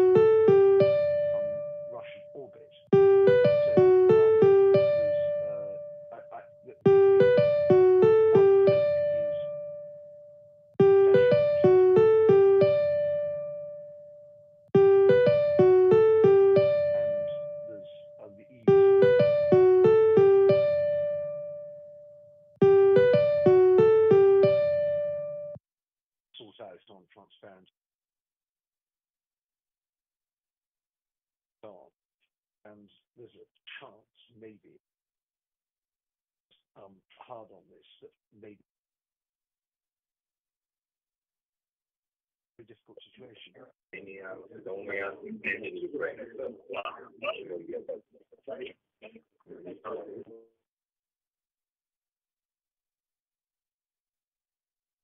Yeah, and if they're prepared to let the opposition leader basically die in prison, um, they're not going to give up power lightly, I'm afraid.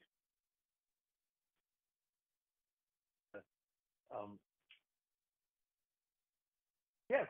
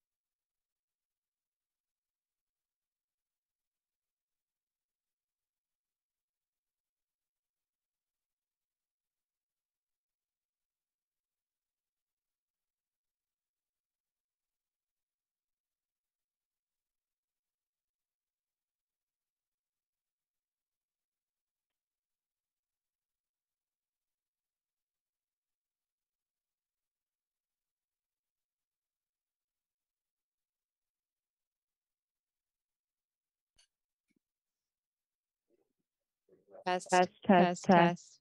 One, One, two, two, three. three. Test, test, test. Very Test, fine, test, very test. fine. Very fine. Very fine. Yes.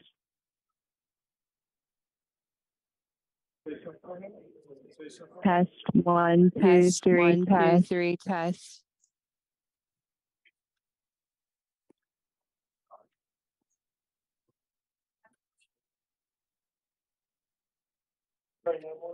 Test, one, Test, two, one, two, three. three. I can't I can't tell.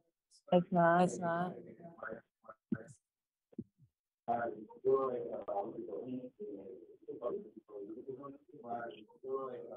Test, one, two, three.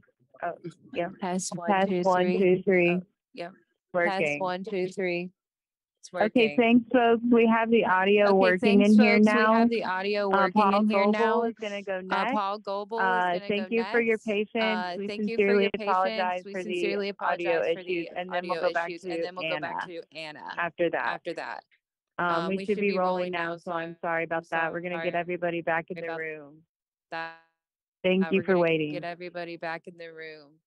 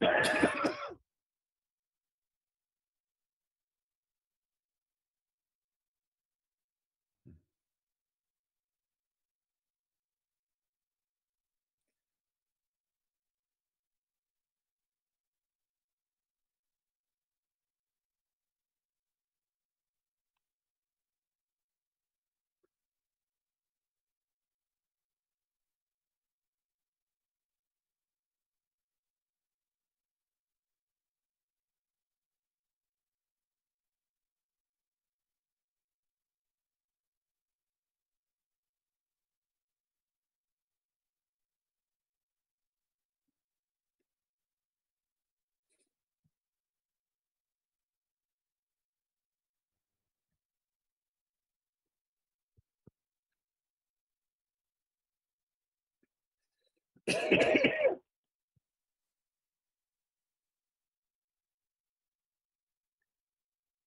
Hello, one side either way.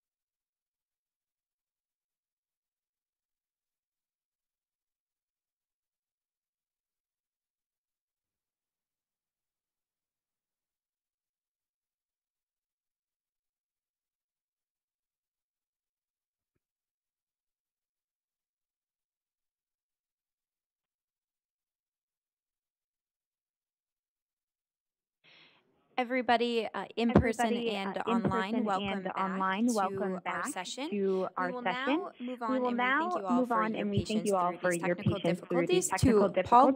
Goble, To he's Paul an Goble, analyst, he's writer, an and columnist writer, with and expertise on columnist with Russia, expertise and on he is also a specialist on ethnic and religious questions throughout Eurasia. So, welcome, Paul. You have 15 minutes. Thank you, Morgan. I very much appreciate uh, your understanding in allowing me to speak out of order. I'm currently under treatment for cancer with radiation, and so I'm under more time constraints than usual. I also very much appreciate being asked to have a chance to speak to this group, group uh, not only because there's so uh, much I can learn, because but there's so also much I can because learn, as someone but also who because went through as- the demise of the USSR uh, So- 30 some years ago, there are certain parallels that I think I can call attention to that may be Mm-hmm. useful for others. Clearly, as this meeting demonstrates, ever more people around the world recognize that the Russian Federation is on its way to the dustbin of history. my But um, most yours, of these people, I can unfortunately, and somewhat Really? naively assume that the coming disintegration of that country will resemble what happened in 1991. While of course there are some elements likely to be in common with the events of 30 years ago, the future disintegration of the Russian Federation almost certainly will not be like the remarkably quick and easy divorce of 1991, but instead resemble the vastly more complicated, difficult, and in part reversed results of the events of 1918, when Russia first fell apart along ethnic and regional lines, only to have much of its territory reunited under Moscow's yoke because of divisions among its opponents and the facility with which the Bolsheviks exploited them.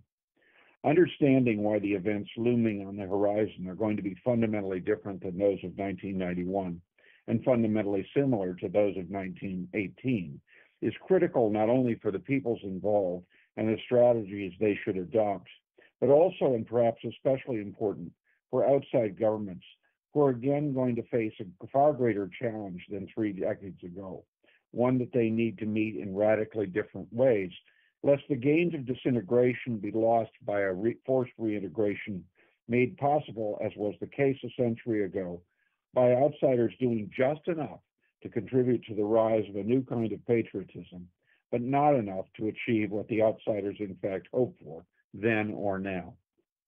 Obviously, these differences, the differences between now and 1991, the similarities between the present situation and that of 1918, and the consequences for both those immediately involved and those who want to help them are numerous and ramified, far too large to cover in a single comment as this.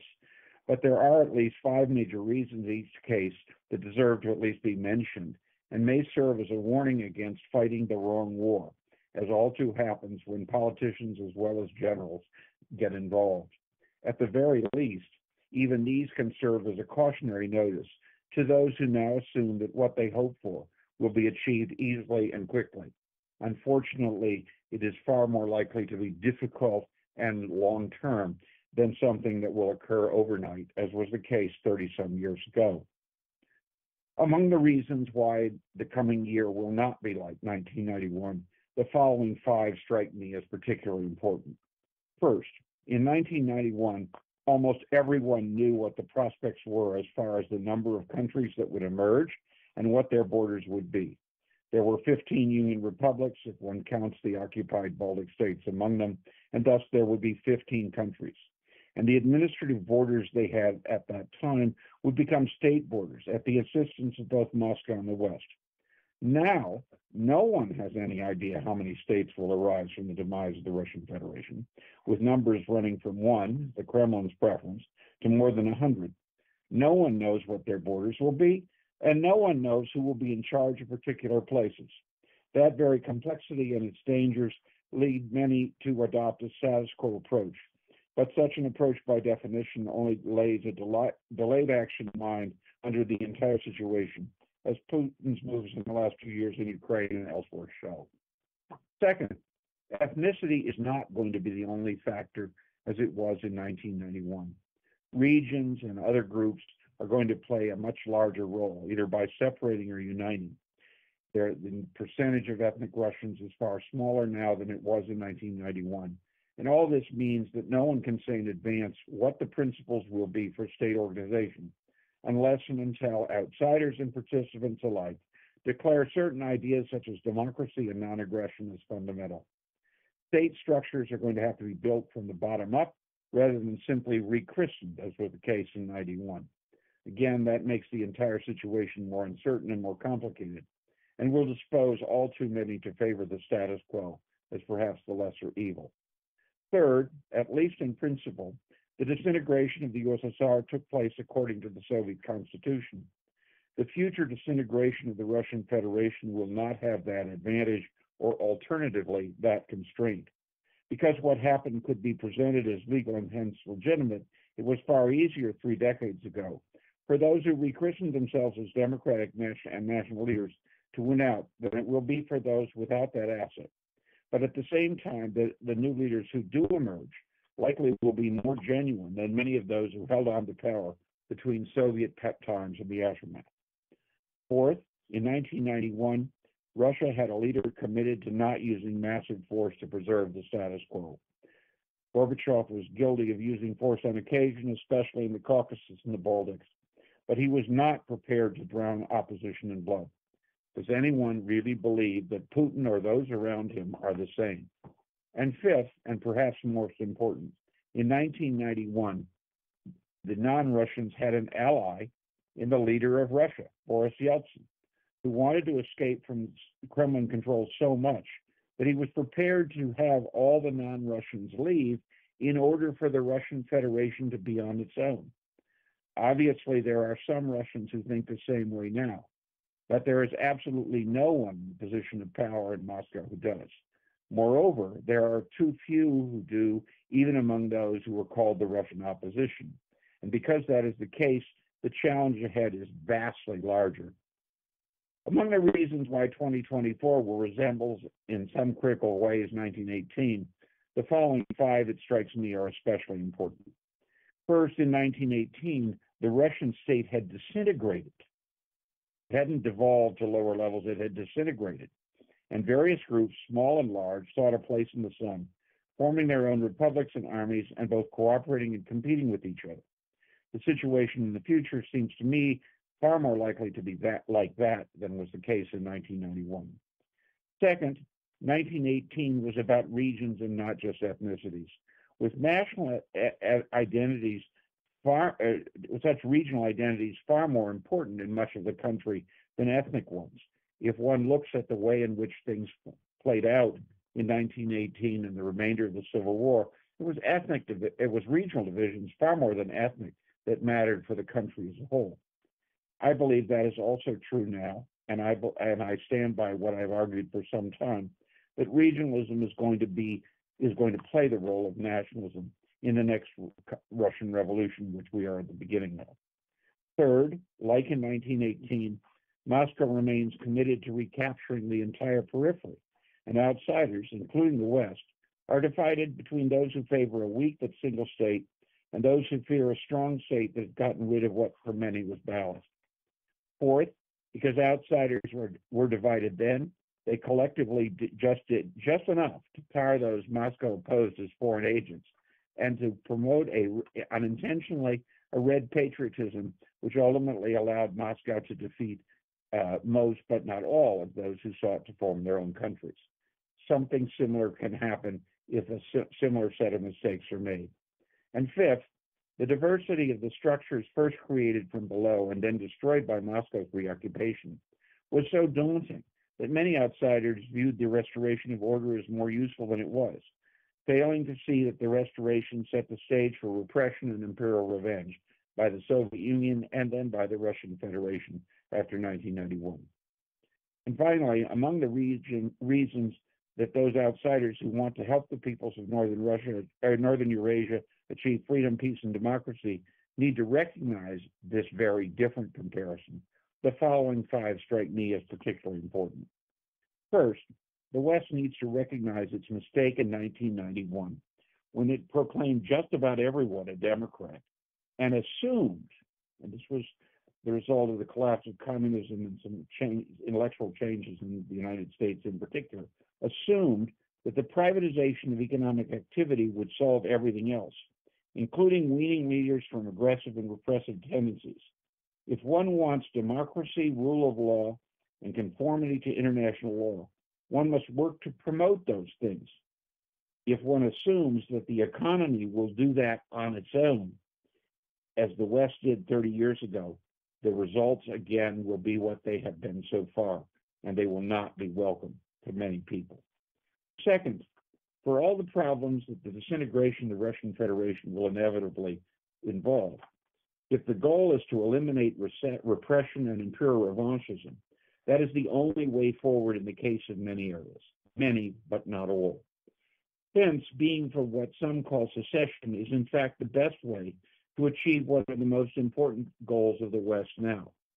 Short of that, the West must also work to promote general, genuine federalism for those parts of Northern Eurasia which are not able to or do not want to go their own way. That will require a far a greater interventionist approach, but in, in my view, there is no other way.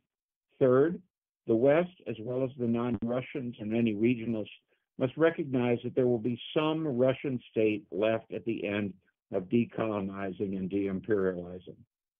That state must be a democracy, otherwise it will be a threat. And that is going to be something that the West is going to have to decide upon and decide how much, how interventionist it's going to be to make that possible. Fourth, the West must recognize that its role will have to be far larger than it ever was in the past and far more invasive as many in Russia will view it. Managing that without producing a backlash will not be easy, but failing to adapt, to adopt that strategy will only postpone problems rather than prevent their reemergence. Had the West insisted on general or genuine federalism in the Russian Federation in the 1990s, there would have been no Putin and no war in Ukraine. It didn't, and both happened. And finally, fifth, the, the West must promote cooperation among Russians, among non Russians, and between Russians and non Russians, rather than assuming that this is impossible, or, and it must take the lead in having them talk to each other. If that doesn't happen, then there is a very real danger that 2024 will end not as in 1991, but as in 1918. And that would be a tragedy for everyone. If we're going to move forward, we need to understand just how complicated and difficult it's going to be, rather than assuming that history is somehow on our side, and that means we can ride we can ride this wave. The fact of the matter is that our failures of 30 years ago, and they were real failures despite all the hoopla that has been devoted to what the West did, uh, are we're now living with. We're living with repression in Russia.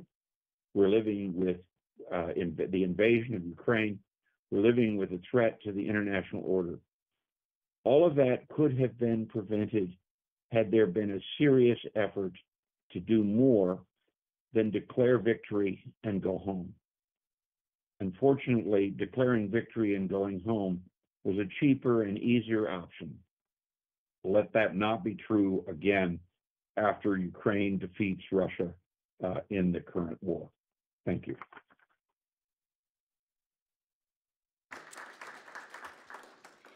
Thank you, Paul. And now we'll take questions from the audience.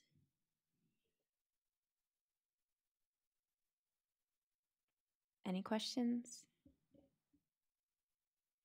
Okay, thank you, Paul, very much. We will now move Thank you. to our next online speaker. And our next online speaker will be Stanislav Suslov. He is a representative of the movement of the independence of Siberia in the United States of Siber- Siberia. Stanislav, welcome. You have 15 minutes.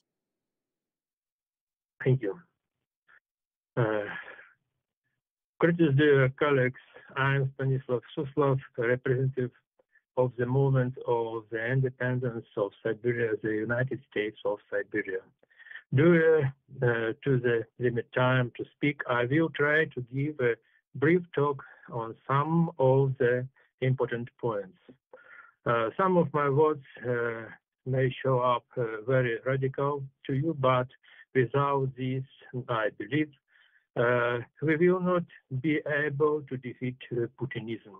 Putinism today is a mix of is a mix of Stalinism and fascism in the 21st century. We have talked a lot about how unfairly Moscow is, is behaving towards uh, the uh, colonial provinces.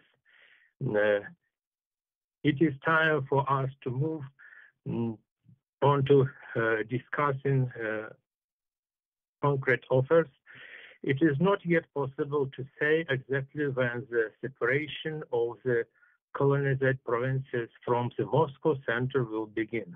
But uh, this process is inevitable because the so-called Russian Federation is now irrational. And believe me, Russian is more like a, a dead dinosaur that has already begun to decompose. Russia's uh, physical uh, decay is dangerous for the well world. Only uh, the transform, transformation of the so-called Russian Federation into new independent countries will provide the world with security. Uh, the collapse of Russia's uh, banking system could be an important moment to speed up Ukraine's victory in the war that Russia has started against it. Uh, Moscow uses uh, fast payment and payment system that operate in Russia to pay records in the Russian army and more. Their systems need to be blocked as much as possible. A financial collapse would turn the army's weapons against Moscow and the Kremlin. Also, any equipment for the banking sector should be blocked from the ship to Russia. The United States, European Union, Euro, European Union, now the United Nations need to make a solution and offer to speak to administration in the regions, Russia now, to prepare for independence. Uh, we would think that administration, one, one would think that administration are not prepared uh, to act on their own because uh, appointed from Moscow. And some of them were personally appointed by Putin. But I want to remind you that this has already happened in history when the USSR was destroyed. At that point, almost all communist administration magically became democratic. You will be hard pressed to find those administrators over the age of 50 who have not been a number of Communist Party or administrator in the Komsomol before. Uh, this means that these people have not, do not know, and will not in the future how, uh, have any mm, fundamental convictions and don't care mm, who they serve. It's Putin or some someone else. If the administration will know that they will get the what, what support, uh, I think it will be easy for them to prepare. But they need to know that uh, they will be helped and supported to break away from Moscow. Uh, if several regions uh, take independence at once, Moscow will not be able to do anything and they will have to act in several uh, directions and it has less and less power. Uh, Bashkortostan, Tatarstan, the Ural Republic and the United States of Siberia and others uh, will be able to provide strong protection to uh, liberated the remaining regions of Siberia and the Far East. They need to start uh, preparing teams for external monitoring and consulting now. I think that already now it is necessary to prepare groups for talks with the administration of the regions of Russia and on behalf uh, of the international community to give them guarantees for the security of their money and freedom. Uh, they will be given for exchange uh, for securing public order in the region and protect nuclear objects and weapons. For the guarantees of the West will be give them, will give them, uh, they will be bound uh, to do what I have just said.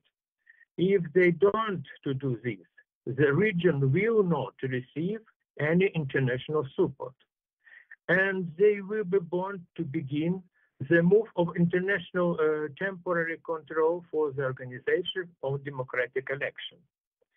I would like to say a few words about the fact that um, in the new free countries, of course, in Siberia, laws will be passed that uh, recognize the uh, communist ideology and political party, as well as Putin's dictatorship and the United Rush Party as a criminal organization.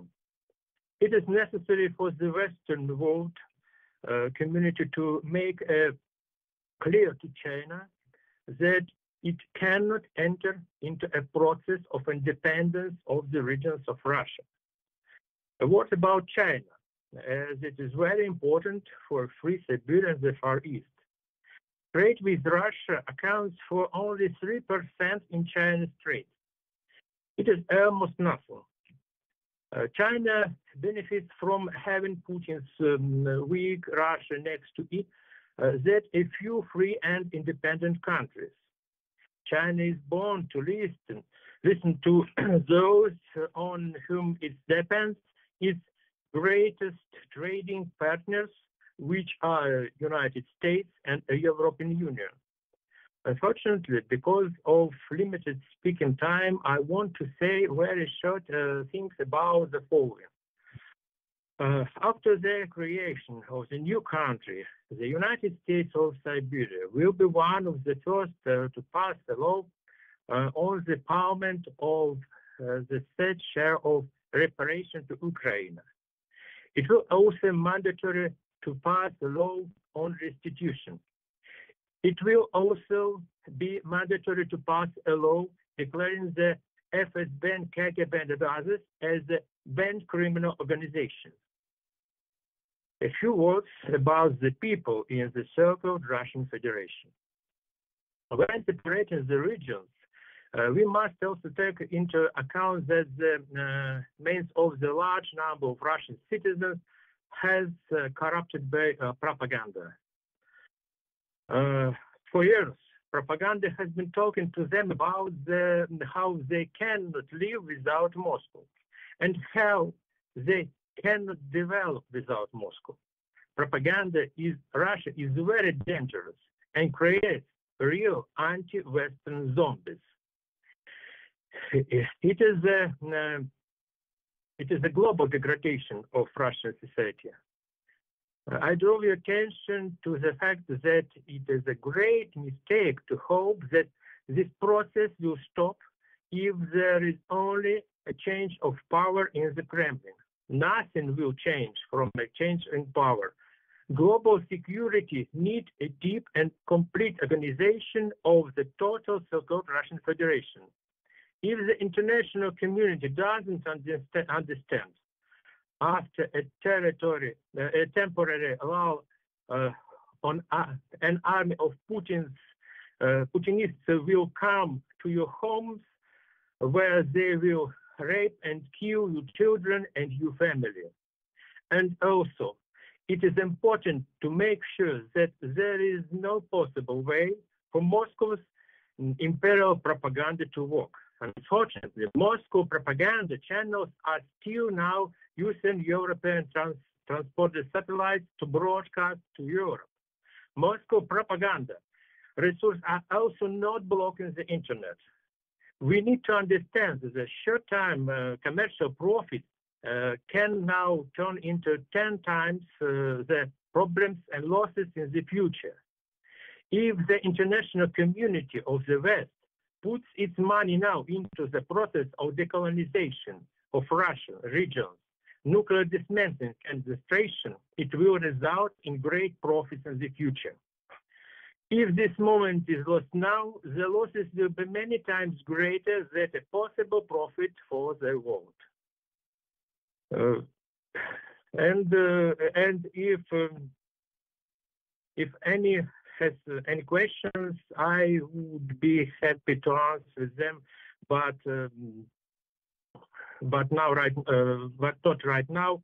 Please send me an mail or some other way. The organization you uh, have my contact. Thank you very much. Thank you for your attention. That's all. Uh, Thank you very much, Stanislav. So now we will move to our next online participant. We will go to Davor Dorjev. He is a member of the Congress of the Oirat Kalmyk people and a specialist in foreign affairs. Davor, welcome. Uh, dear all, I am thrilled to pronounce a speech at this conference. On behalf of the Oirat Kalmyk People's Congress, I am greeting all the participants, both off and online. The subject matter of my report is preventing the calamity in independent Kalmykia and lower Volga region. The structure of my speech will be the following. Firstly, I'll explain what I mean by the term calamity. I'll delve into the origins of this issue and, and the scale of uh, thereof. You are, you are invited to take into consideration the context in which Kalmykia and other parts of the lower Volga region will exist. Then I'll continue with a brief excursion into history. Uh, American Relief Administration activities in Povolzhia region will be touched upon. After that, we'll swiftly move towards those opportunities which international governmental organizations and NGOs uh, may provide in the event of the worst case scenario. Obviously, Kalmykia may not be a simple object, but a subject under international law ruled by a democratic power independent from, from the Kremlin. Various transport routes may be used to provide humanitarian aid to Kalmykia. This report will be concluded with an analysis of reasons why the world would find it advantageous to support the lower Volga region once its parts regain their independence. The title might be a bit provocative to some extent, though the issue is reasonable and should be examined thoroughly. When I say calamity, I mean a high risk uh, of a humanitarian crisis caused by existing problems in Kalmykia, including lack of potable water, electrical ener energy deficit, etc. According to the 2021 Federal Agency for Mineral Resources Research, as of 2021, uh, Republic of Kalmykia uh, was dependent on the electricity flows produced by neighboring regions of uh, Rostov Oblast and Astrakhan respectively. Although Kalmykia has a vast potential of developing alternative energy sources, including solar power, as of 2023, the Republic is still incapable of electrical energy self-sufficiency. As to potable water, uh, only 7.8% of Kalmykian population receives potable water from a centralized water supply. The foundation for the development of territories data. More than 90% of Kalmykia residents consume water uh, which contains minerals uh, with an excess of corresponding minimal allowable concentration standards, according to the officials of Kalmykia, obviously. These are realities in which Oirat Kalmyks in Kalmykia live now, and it goes without saying that the situation is likely to worsen once we become independent. I claim that only overwhelming international support from NGOs and international bodies aimed at humanitarian aid may prevent the worst case scenario for the future of Kalmykia and lower Volga region on the whole. The risk-oriented approach hints that existing supplies from Russian regions are likely to be halted in order to block uh, the oil economics movement towards sovereignty and bring us back uh, to what Russians call uh, uh, Rodnaya Gavan. It's, a, it's an infamous Putin's expression, home port. One may ask me if uh, the so-called Russian liberals would act as re reliable partners in this issue. I highly likely, uh, I highly doubt that, because uh, I take into account their current um, uh, rhetoric.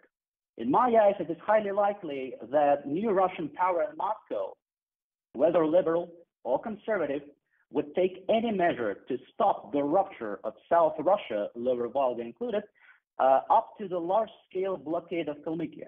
It might be something comparable to the ongoing blockade of Nagorno-Karabakh, condemned by the international community. Let us delve into a historic example of international cooperation in the context of the to total failure of statehood in Lower Volga. In 1921-1922, the Great Famine, mostly orchestrated by the Bolsheviks, commenced in Kalmykia, Astrakhan, Stavropol, and other adjacent territories. The US administration launched a comprehensive humanitarian aid initiative, the American Relief Administration, a state-backed NGO, which was entitled to provide starving people with food. At its peak, the ARA fed 10.5 million people daily this initiative was funded by the American people, to whom I personally am immensely grateful. The model of the ARA functioning might be a great help to address the aforesaid issue adequately.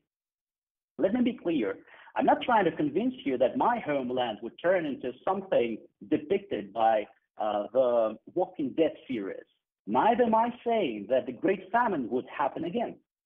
No, I'm talking about risks. As you may know, foreseeing and preventing crises uh, is something experts must do. The current architecture of the international community dictates a certain direction for all such like humanitarian activities. Uh, the UN family of organizations includes uh, those bodies competent to coordinate the humanitarian aid supply to Kalmykia and Lower Volga region. I refer to Food and Agri Agriculture Organization, World Health Organization. If Moscow would commit a provocation against Kalmykia to hinder our liberation movement, the International Red Cross Committee is competent to provide diversified aid to individuals in danger, including healthcare, water supply, and humanitarian diplomacy. I am sure that US and EU institutions wouldn't turn a blind eye to the situation we're talking about. Then US and EU backed ad hoc initiatives would be deeply involved with humanitarian efforts taken by the aforesaid structures. A careful listener might confront me with the following. Any humanitarian aid initiative bears a certain risk of misconduct or mere corruption. It's widely known that authorities might urge for help, but wouldn't refrain from conduct akin to theft or swindle. To prevent that, Kalmykia and other newly constituted neighboring states must be ruled by a democratic power independent from Moscow. A vote of trust which would reflect the people of Kalmykia's will to, um, to become a free state, along with foreign supervision over humanitarian aid distribution, is likely to prevent any inappropriate behavior of any official. Good governance is a pillar for any government, obviously, especially in a state of calamity. To fully immerse into the context of Kalmykia, my dear listeners, I'd like you to understand that Russian colonial power is reluctant to develop, to develop the economy of Kalmykia. There are plenty of opportunities within our region, um, which might entail economic growth. For instance, in Lagan, a town located in the south of Kalmykia, near the Caspian Sea, federal and regional authorities plan to build an international maritime seaport. It should become an integral part of the intergovernmental project of uh, the Eurasia Channel, which would connect the Black Sea and the Caspian Sea respectively. The effect on the Kalmykian economy um, could be enormous, as it would result in the creation of new jobs, higher tax revenues, and uh, impetus to the development of local small and medium-sized sized businesses. As of 2023, this project seems to be abandoned.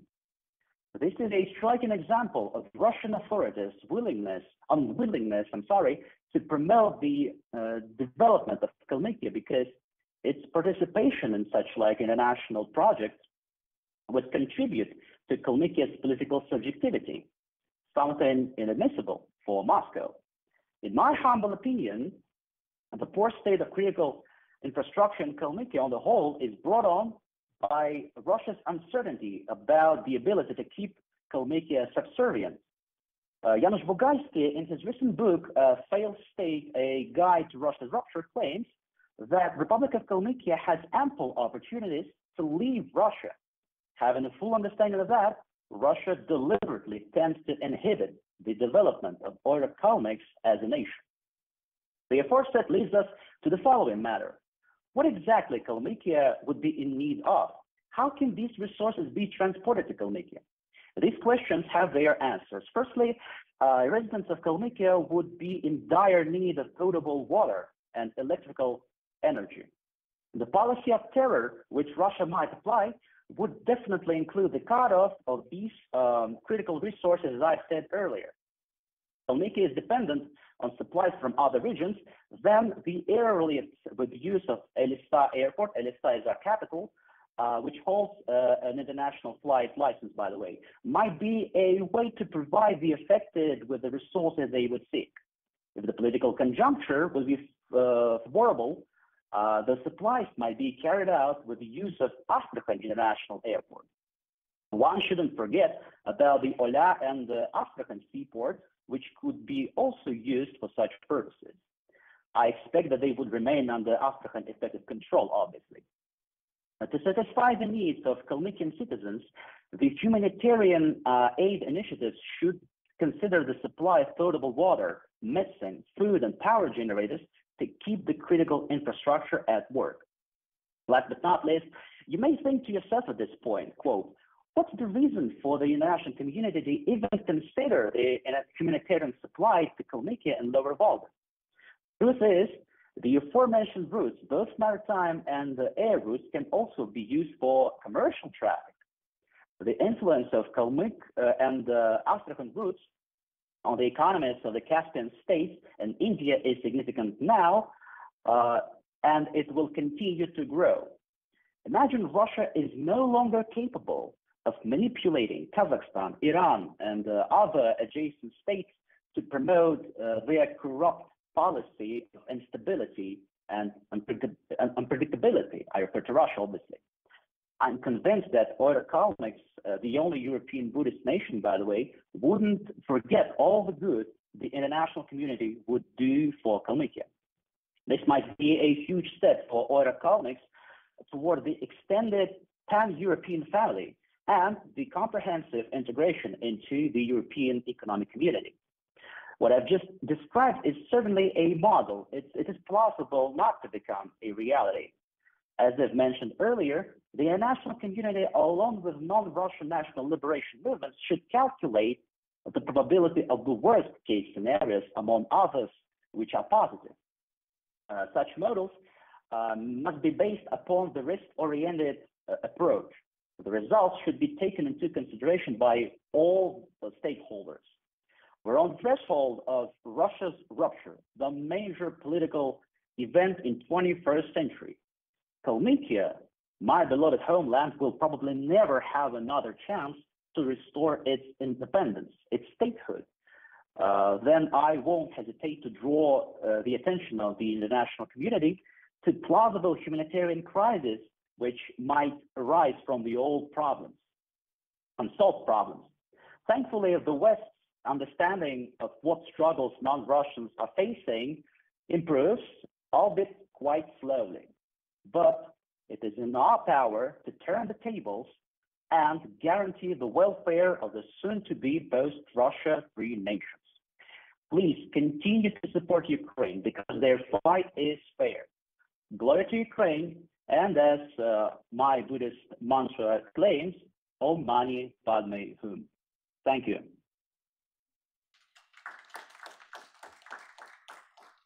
Thank you, Davor. We have time for one question from the audience. Yes, right here.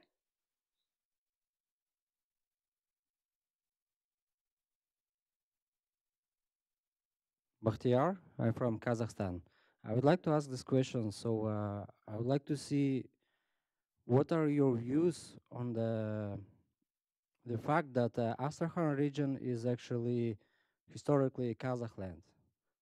How are you looking at the future border with Kazakhstan? So uh, discussion to uh, previous speaker. Thank you.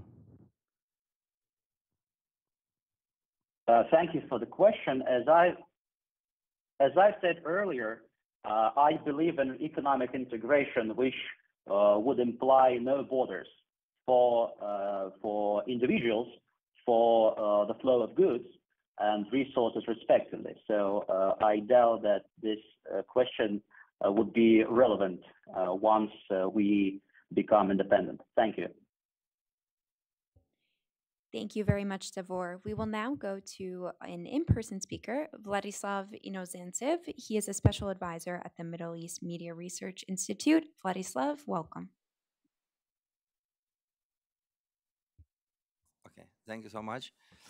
Uh, I'm glad to be here, and uh, I will try to uh, come a little bit back uh, to the topic of this session, which was largely associated with guarantees of international peace uh, and security architecture in uh, in Eurasia uh, if something happens to the Russian Federation this in its current form.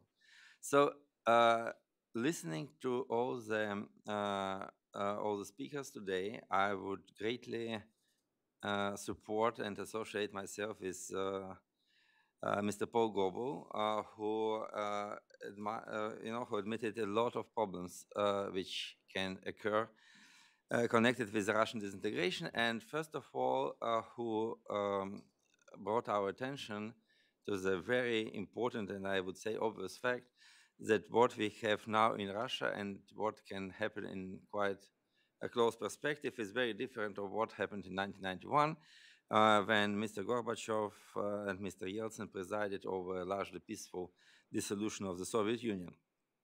Uh, I would say that uh, the problems uh, Russia now faces are very much different from the problems uh, the Soviet Union faced 30 or even 40, 30 years ago. First of all, and the major problem is that just after 1989, when the last Soviet census was undertaken, uh, it was obvious that uh, the Russian population, the share of the Russians uh, in the Soviet Union fell below 50% for the first time in Russian imperial history. Uh, today, the share of the Russians in the Russian Federation is staying above 80%.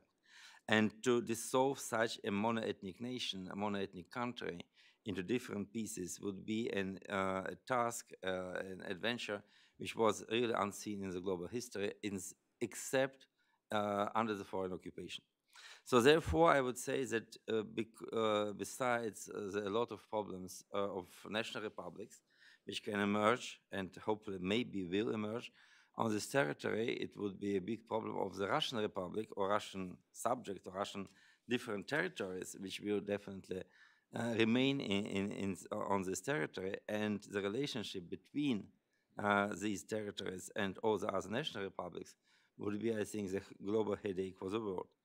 The second point is that, look, uh, I would say, uh, speaking here in Washington, yeah, or addressing the Western audience, what is very crucial to the whole issue is to outline uh, the role and the importance of the outside community, of international community, in uh, what may happen to, to today's Russia and what may uh, arise after uh, some kind of Russian transformation or disintegration. Because from my point of view, the international community is definitely unprepared uh, to anything like this. Uh, and we already heard from different speakers today that after the independence is proclaimed, uh, one territory needs United Nations peacekeepers, another nation said that we will need economic assistance, uh, assistance and whatever. So my, po my, my, point is that I cannot imagine uh, that the international community will readily accept this kind of development and will pour resources uh, in, in the remaining territories and we'll send uh, peacekeepers there. Uh, moreover, uh, of course, it was also mentioned by Mr. Goble that Mr. Putin uh, doesn't resemble Mr. Gorbachev in any possible way. So therefore, uh, you know, if Russia will uh, fall apart, fall apart, it definitely will be, you know, a huge bloodshed during this this process. So anyway, my point, my major point, is not about whether Russia can fall apart or cannot. My personal opinion is that it's very unlikely. But nevertheless, uh, I'm a uh, complete propo you know, proponent of de-imperialization uh, and uh, of complete transformation of this realm. Because the last empire should be somehow transformed uh, it should be the best way it should transform. It would be like uh, being transformed into a confederation uh, without uh, huge powers residing in Moscow. Uh, and most, most important, to be transformed under the, uh, the control of the global community. in this case, what reminds me of a successful story is the story of the post-war Germany. Because uh, of course, now everyone uh, would like to speak uh, on Russia, on, about Russia as a new fascist state. I already myself wrote about this, even being in Russia in 2015, and many times thereafter. Uh, but and uh, there are a lot of parallels between you know, Hitler's Germany, Nazi Germany, and Putin's Russia, and many of them are actually very much uh, grounded. But the problem is that the European and the Western community uh, the difference of its approach uh, to Germany after 2000, uh, 1918 and 1945 was that they became uh, wise enough to understand that Germany can be transformed only if it is invited and, you know, included into the Western community, and the rules are imposed on Germany, and not saying that Germany is another normal country, as it was said the, uh, the Weimar Republic in 1918. So, uh, from my point of view, uh, the most uh, reasonable and the most realistic way to change Russia forever would be not to, you know, alienate it from the West, but after the uh, Ukrainian victory, after all this political transformation in, which can occur in Russia, because Russian history is going in a pendulum mode, it's sometimes it's very anti-Western, then it is, you know, another perestroika whatsoever. And so the point, uh, my point is that after Ukraine wins this war, after Russia will be humiliated on, on the uh, on, on, the fronts, uh, after it will encounter some kind of economic problems, I absolutely, I'm absolutely sure that it will not be, you know, uh, an economic disaster like it was uh, in the end of the First World War, by no means. But nevertheless, it would be a, a time of hardships and a time of rethinking of what has happened during Putin's years, and maybe even during Yeltsin years, because I do not make a huge difference between Yeltsin and Putin. Nevertheless, so the Western nations, the global community should have a plan and should have a proposal for Russia to become more democratic, more law-abiding nation in, in a huge framework of Western institutions. And if you have this very problematic empire in, like you had Germany in, 19, uh, in late 1940s, you can then promote a federalization or a confederation mode. Because uh, in this case, it would be better for both the world and Russia, and post-Russia, if you want like to say, to manage this process. Because if, for example, Russia is a part, I, I, would not say European Union, but a part of the Western community, and it should abide um, the laws and principles of this community, you should impose a uh, policy which is really very similar to the policy of Europe of the regions, where, you know, the Catalonia or Scotland or any other region can have a huge autonomy. Maybe they want to leave, no problem. I, am not, uh, you know, a Russian imperialist who say the Chechen uh, Republic cannot be independent. It can, maybe it should, because they uh, they brought a huge, huge sacrifice on the altar of, the, of their independence. It, it, it, it's, uh, it, it might be a good and uh, not only good, but a very just thing to have them independent. But I'm absolutely sure that it will not change into a Russia of 89 or 93 regions because they're very different. Many of them want to be independent, many of them don't want. Moreover, a lady from Buryatia said very honestly, and it was a very good um, uh, you know, speech, when she said that uh, Buryat Republic was the borders were redrawn several times during the Soviet times. Of course, they were, and this everywhere. So what are the new borders? Because in the same Buryatia, maybe 30% of the population is Russian. Will they be expelled or not? How it will work? I can't, I can't understand. So from my point of view, the biggest problem today, one of the biggest problems, is that the West, some people in the West, they hail the disintegration of Russia as a new uh, security uh, you know, guarantee. Some others say it would be a nightmare, but no one actually tries to uh, present some kind of viable strategy of how to deal with this, with this, with this country after the Ukrainian victory. And I think this is an essential element of the global security problem for the 21st century. Because if Russia goes apart, falls apart, it might be, might be uh, peaceful, might be not. But nevertheless, you will have, you know, China at the Urals uh, just in in a couple of years. You want this? If you want, okay, go ahead. If you don't want this, because you know here in the United States, uh, the national security doctrine says that China is uh, the most uh, important advisor and the most important threat for the United States for the 21st century. You want to strengthen it? Okay, welcome. So therefore, it's necessary to have a deep and elaborated agenda of how the Western countries can help not a breakaway Buryatia or breakaway Chechnya, but how they can transform all this territory into something more viable and more civilized for the 21st century. Thank you.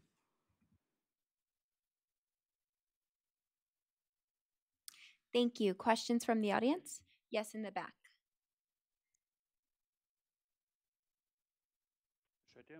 Okay, point by point. First, you said that uh, world have to uh, try to integrate Russia more in the Western society, right?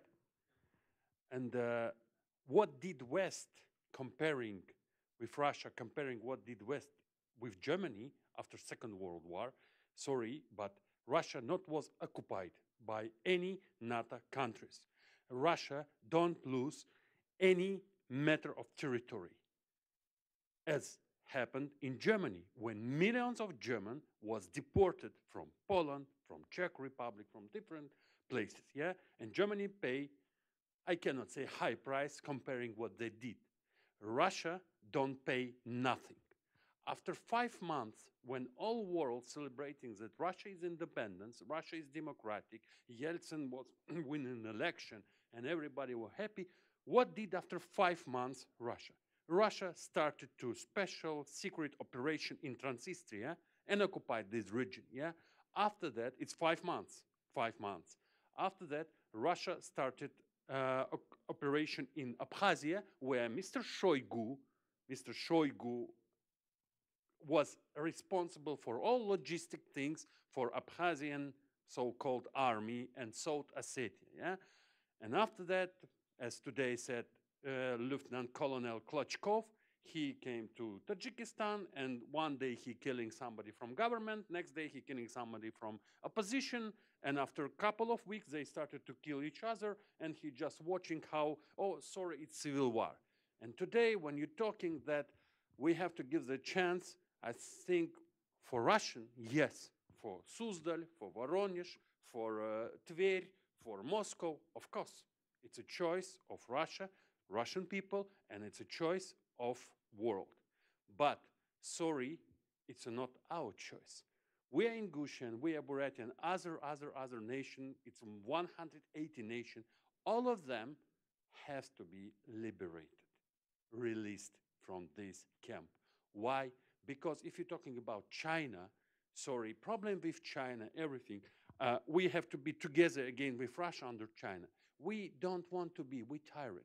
We're really tired to fight always. We're really tired to make, you know, uh, how to say, right. Sorry, I'm a little bit emotional because for me, when you're talking that world have a choice, uh, sorry, world have a choice. We don't have a choice. We small nation don't have a choice. And we don't want to die today in Ukraine. Now, now, situation became on the level when one nation, for example, my nation, Chechenian nation fighting on the both side of the front line.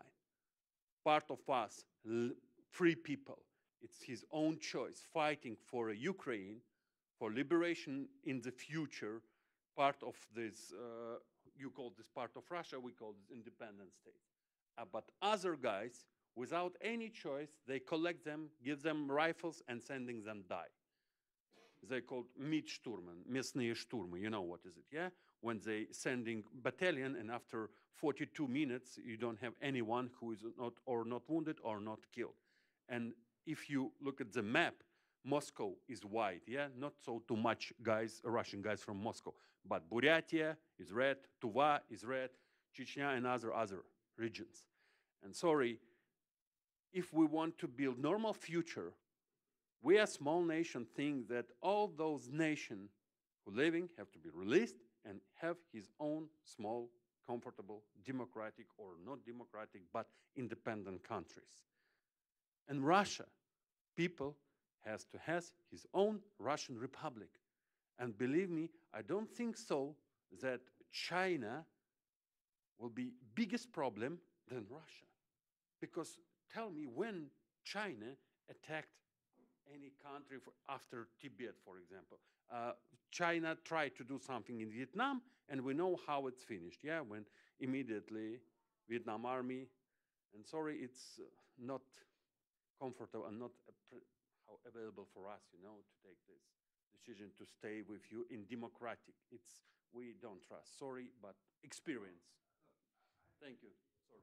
Many cases, in many points, I completely agree. First of all, when you talk about uh, Transnistria and uh, Abkhazia, I agree 100%. And I wrote several articles, both in Russia and here, saying that the Yeltsin regime and the Putin regime is a very con real continuation of Russian imperial revival. Uh, and uh, I was actually hated by many of Russian, you know, opposition Democrats uh, saying this because they were uh, quite important figure during the Yeltsin time. Uh, the only issue, I also agree with, with you that you are saying that, you know, the small nations want not to, to, to, to split uh, and to become independent is a very natural feeling. It's a very, very natural idea. But look, the problem is that one point, uh, one element is what we wish, and another element is what we can. So I want to put your attention on the very important fact that when Russians uh, waged their war in Chechnya, the Western world was okay, it was sympathetic to the Chechens, but it was nothing like, you know, the support for Ukraine.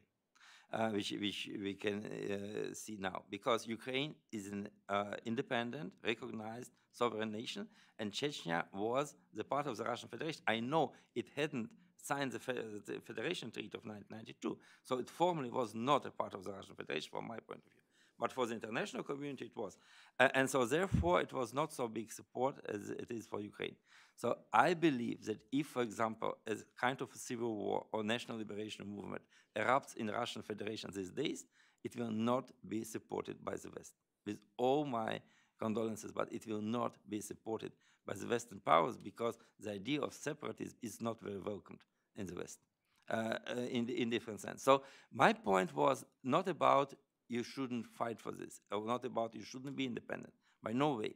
My point was to say that the Western community should elaborate his own attitude and his own program and his own framework of what to do with Russia. For example, there is no consensus what to do, for example, if the national liberation movement erupts in Russia.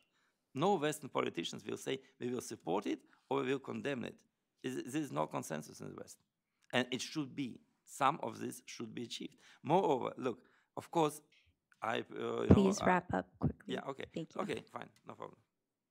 Thank you very much. And I'm sorry to cut you off. But moving to our next um, in person speaker, we have Dr. Anders Åslund. He is an economist and former senior fellow at the Atlantic Council. Thank you.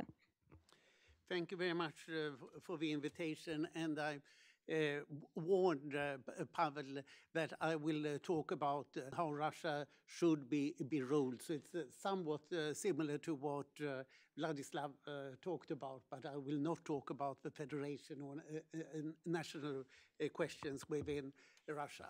But I will start in a similar position as he did. First, we should have a Ukrainian victory. That is the most essential thing. What is likely to happen after that? Well, uh, after the Crimean War, uh, uh, or in 1855, uh, after the Russia-Japanese War, and after the failure in the World War I, we saw fundamental systemic change in Russia. Losing war you normally lose power in Russia. So we would expect Putin to go. Mm -hmm. I'm not uh, suggesting how, but of course the natural thing would be that uh, somebody close to him kills him. And uh, that would be a pretty ideal uh, solution. The earlier, the better. So what would happen next? I see two alternative uh, uh, scenarios. Uh, the bad one, which is probably close to Günther's uh, thinking, that is uh, uh, Serbia after Milosevic. That you have a sense of victimhood. And this worries me today in Russia. Uh, in what way are we guilty? Why are the West doing all of this to us who haven't done anything? Uh, I, there's a worrisome tendency that the Russians don't think that they are guilty, which is exactly what the Serbs think. Milosevic was so uh, uh fine a man, and they supported him all the way when he started these uh, various uh, mad hat wars against other nations in Yugoslavia. So this is my fear. My hope that is August 91 when the whole thing just collapses. And that's my main scenario that uh, Putin has a personal authoritarian system. There are no institutions that are uh, protecting it. That when it collapses, it will collapse fully, and power will, as in 91, be lying in the streets. That's what I'm hoping for, and that's my uh, main uh, scenario. I was working as an economic advisor to the Russian government, uh, the reform government, from November 91 until January 94. And of course, one thinks of what uh, uh, succeeded, I will not discuss that, and what uh, did not succeed. My task was on the economic side, but of course, one has to look up on the, the politics also. And I would uh, uh, suggest to you six different things. The first is obvious.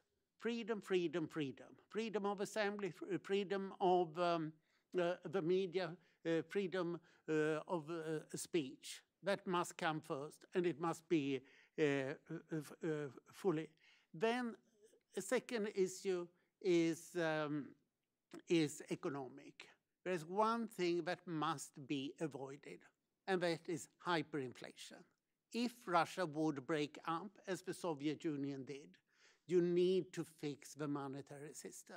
Otherwise, you get hyperinflation. The world has recorded so far 58 hyperinflations. Not a large number, but half of them happened with the collapse of communism. 28 hyperinflations. All the post-Soviet countries ended up with hyperinflation. And uh, not surprisingly, none of them has had democracy surviving. Hyperinflation is a terrible shock. It turns around all morals. The, nothing uh, is fair any longer. So therefore it must be avoided. How do you do it? Uh, you need to have a strong central bank, either in each new state, or you have one uh, for all, uh, all of them.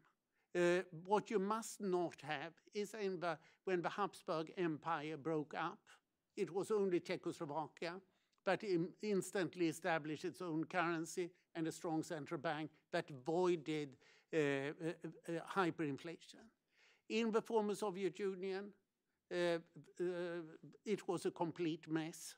Uh, because uh, independent currencies were not established uh, early enough. The reformers in Russia, Yegor Gaidar, for example, wanted to establish it as fast as possible, but he could not get that through the, um, the process. So this is the, first thing, which or second thing, which is economic. Then the third thing is prohibit the KGB, the FSB as it's now called, and uh, the FSO. The way of solving it, we can see in the three Baltic states.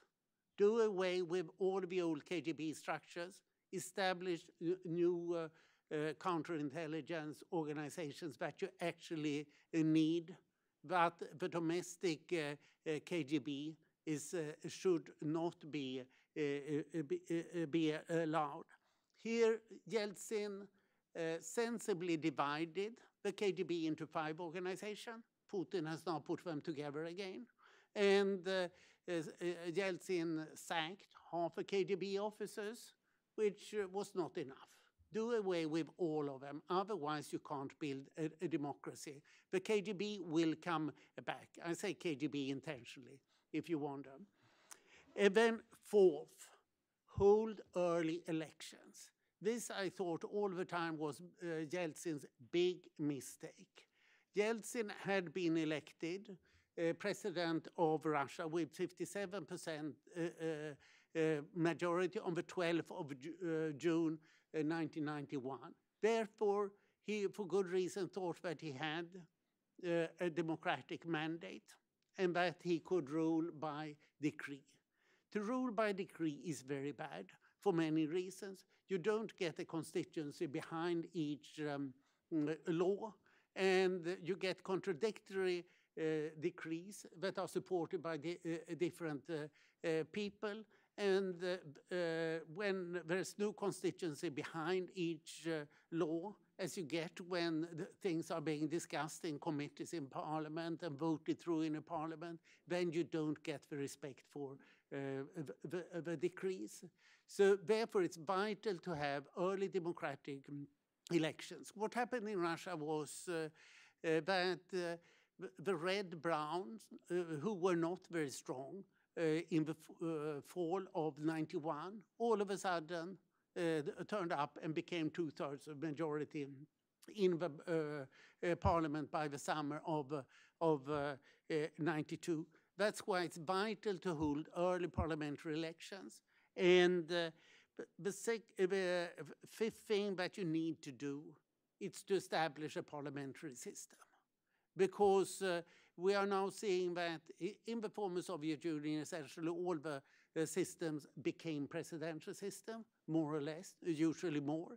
And when you have a presidential system, this is Juan Linz's uh, uh, classical uh, seminal article about presidential systems, they tend to become authoritarian. And it's very difficult to get a presidential system that, that functions. So we can see on the post-communist world, the democratic countries have a parliamentary system, the uh, dictatorial countries have presidential systems, and the countries in between, like uh, Ukraine, uh, Georgia, Moldova, they have uh, pre presidential parliamentary systems. I should add um, Armenia also. So move straight away to a parliament stated sharply against divisive nationalism. the US and most countries want to have as much as uh, status quo for as long as possible. Uh, and uh, if you look upon Africa, it took an enormous time for Eritrea Uh, to be, uh, be, accepted as uh, leaving Ethiopia. South Sudan took, was it 20 years of civil war uh, before South Sudan uh, was uh, accepted by the US then. But by and large, countries want all nations to stay, or territories to stay within the, the country in question for as long as it was. It's not specifically about the US, it's about pretty much every country. Okay, thank you. Thank you. Thank you. Right here in the front. Thank you. Uh, Anders, I have a the China question, and uh, pretty, I mean, it was raised by Slava, but uh, interested in your opinion. Do you do you think that it's uh, really a danger that China would sort of occupy the eastern part of today's Russian Federation? What do you think about? It? I mean, because that, I mean, Russians are raising this issue all the time. Yes, I think so. I think that it's a, a direct uh, uh, concern. Uh, you can say that the world today has more countries than can be defended. The basic idea of a country is that it can defend itself and that or that it can be in alliances so that it uh, can stay independent. And uh, there are extremely few people uh, in uh, east of, um, of the Urals.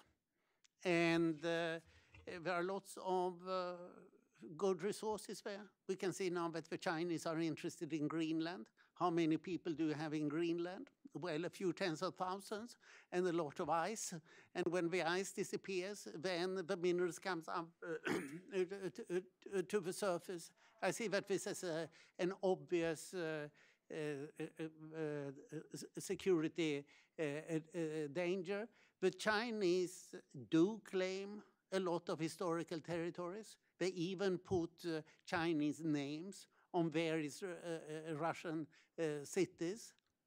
and they show maps where a large part of Siberia belongs uh, to China. Uh, listen to them and believe uh, them when they say so. The other thing is that, like Putin, but even so more so, the Chinese move deliberately. They don't do it uh, immediately. We hear all the time that they want to take uh, Taiwan, but we don't know when. But we don't uh, hesitate that they want to do it. They say uh, similar things about uh, large parts of uh, Siberia. Believe them when they say so. Thank you.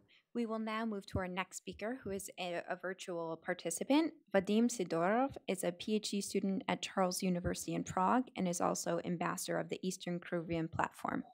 Welcome, Vadim. You have 15 minutes. Uh, thank you very much, uh, ladies and gentlemen. Thank you for the possibility to share my vision with you. Uh, since uh, the topic of our meeting is the new architecture of whole Northern Eurasia, uh, my uh, topic is uh, new architecture of uh, Baltic part of it.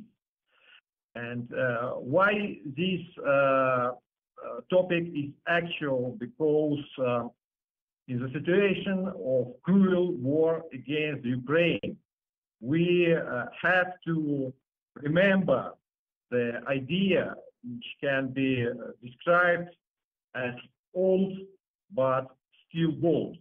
This is idea of the Baltic Black Sea Union, which was uh, which was uh, promoted by Belarusian National Democrats in the early 19th and which was supported by their colleagues in Ukraine, in Baltic countries, and in Poland. And uh, we can uh, clearly uh, state that if this idea was realized, we would uh, already have uh, dramatically uh, another architecture of Northern Eurasia or of the Europe itself. And uh, here my colleague uh, Magomed spoke about, you know, imperial steps of Yeltsin regime in the early 19th. Uh, and I can say that uh, not refusing it, uh, that, that was 1994, which was a turning point of uh, dramatical reimperialization of Russia. And there were two steps in that direction. First step is uh, obvious. It was a cruel, massive war against the independent Chechen Republic. But there were steps uh, before it, and uh, there were uh, elections in Belarus or in the Republic Belarus, which uh, helped Moscow satellite Lukashenko to take control under this very, very important country. Because if in that elections uh, would uh, win the Belarus national national democratic leader Zenon Pozniak, and Belarus, instead of turning into the Russian colony and satellite, could become the part of Baltic and Black Sea Union. The architecture of Eurasia also could be now dramatically another peaceful and uh, more secure. So how all this is uh, connected with the topic of post-Russia? It is because uh, we need to understand to understand this idea of the new architect architecture of uh, Baltic region. We uh, need to uh, fix the problems. The problem today is that Belarus is under the control of Moscow, and uh, Lithuanian Republic, which is a part of uh, NATO and European Union, but uh, actually it is surrounded from one side by Belarus, Belarus, which is a part of Russian Empire and not an, an independent state uh, de facto, of course, I, I spoke about it and from the other side by so-called Kaliningrad region, which is uh, really uh, military exclave of uh, Russia in the European Union. And to understand and to fix our problem, you know, we need to do it because next time when we will have opportunity like we had it in the early 19th. Uh, we uh, need not to repeat our mistakes which uh, were done there.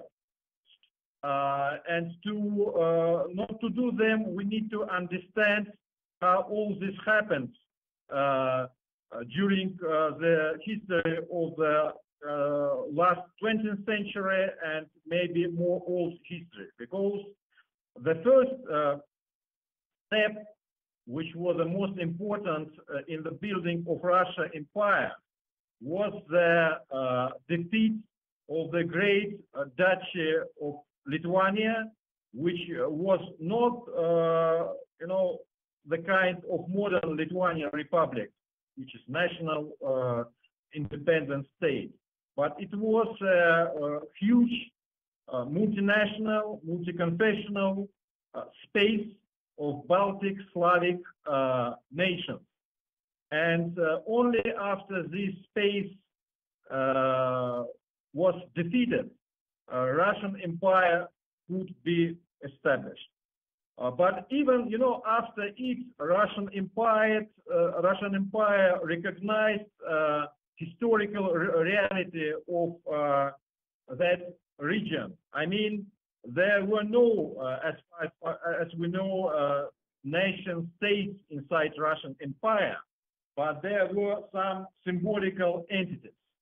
And uh, one of them was the so-called Western or Northern Western region, uh, which uh, began in the Kaunas and, and uh, ended in the modern Smolensk region and uh, of, of, Russian Federation, current Russian Federation, and uh, historically it included in it some uh, some pieces of current western part of Russian Federation, uh, which were uh, organically connected with this space.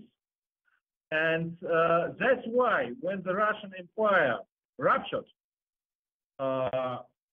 the founders of Belarusian independent states, following that pattern, they tried to include in the Belarusian, the Belarusian National Republic uh, not only the current territory of the Belarus, Belarusia, but uh, also the parts of Smolensk region, the parts of Tver region, the parts of Pskov region, which were organically connected with this space, and uh, Vilnius, which was a common place for Lithuanians and uh, Belarusians.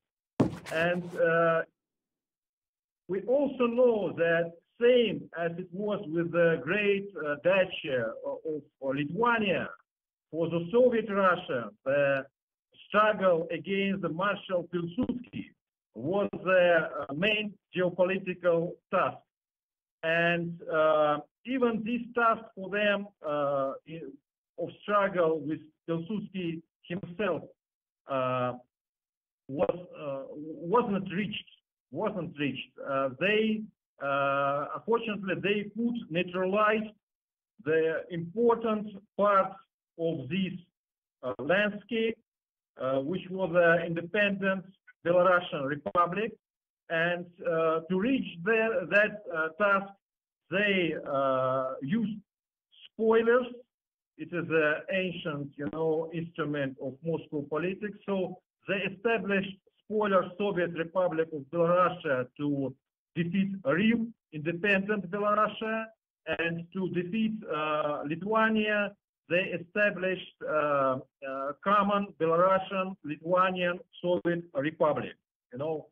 But even in doing it, they uh, had they had to recognize those uh, historical and geographical patterns because the first Soviet Belarusian Republic, uh, which was established by by communists, it was established in Smolensk and the Smolensk was capital of the Soviet Belarusian Republic. Uh, of course, after the reaching that point, uh, after the uh, defeating of real independent Belarusia, they took uh, from Belarusia Smolensk region, But even after that, they included Smolensk region uh, together with parts of uh, another western regions of Russia, not in the so-called uh, central Russia. They included them in the western region. So uh, that's how they recognize, you know, this historical pattern of the great uh, Lithuanian duchy. Uh, and uh, that was the Stalin who dramatically changed the landscape and the patterns of uh, this region. So how he did? Uh, after and before Second World War, uh, we know this pact of Molotov and Ribbentrop.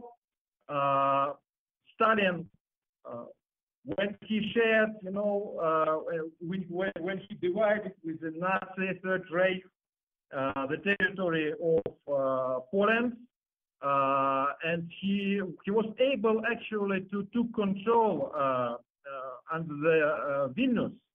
Uh, he also uh, followed this uh, tactic to use um, uh, to use uh, like uh, spoilers and uh, uh, manipulation to neutralize uh, his geopolitical enemy. So he left the Vilnius region to Lithuania in the aim to take all Lithuania, which he actually did.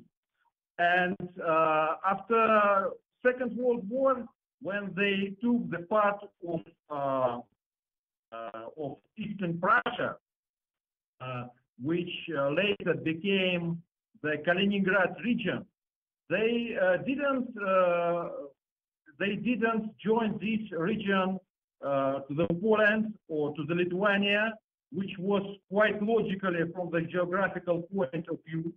They even didn't uh, join it to the Belarusian Soviet Republic, which could be done using uh, Suwalki uh, space, but they uh, transformed, they uh, established uh, the Kaliningrad Oblast of Russian Federation Re- Republic, which was absolutely unlogical you know, from the geographical point of view, because Russia itself has no uh, borders with Kaliningrad region.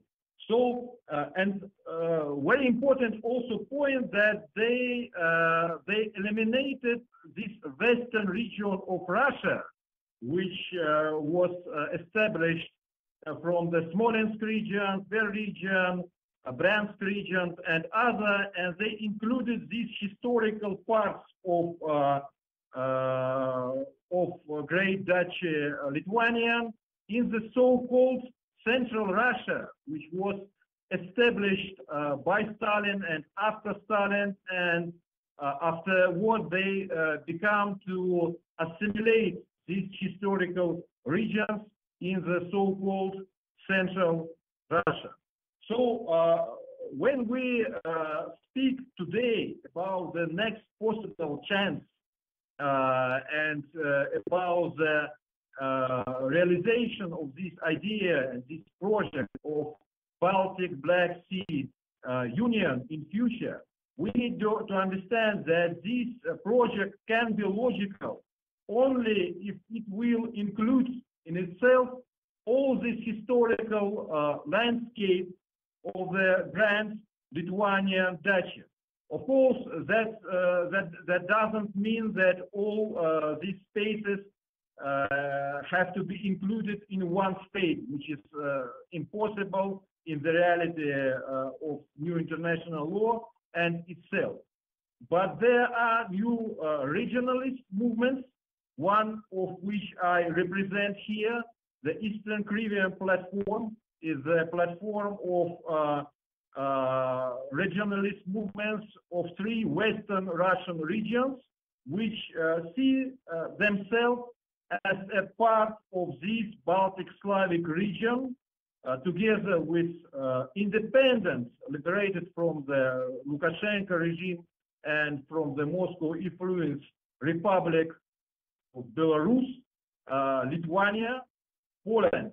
And of course, we need to understand that the Kaliningrad uh, problem has to be solved as well because still Kaliningrad region will uh, will be kept as a, a military forepost of Russia.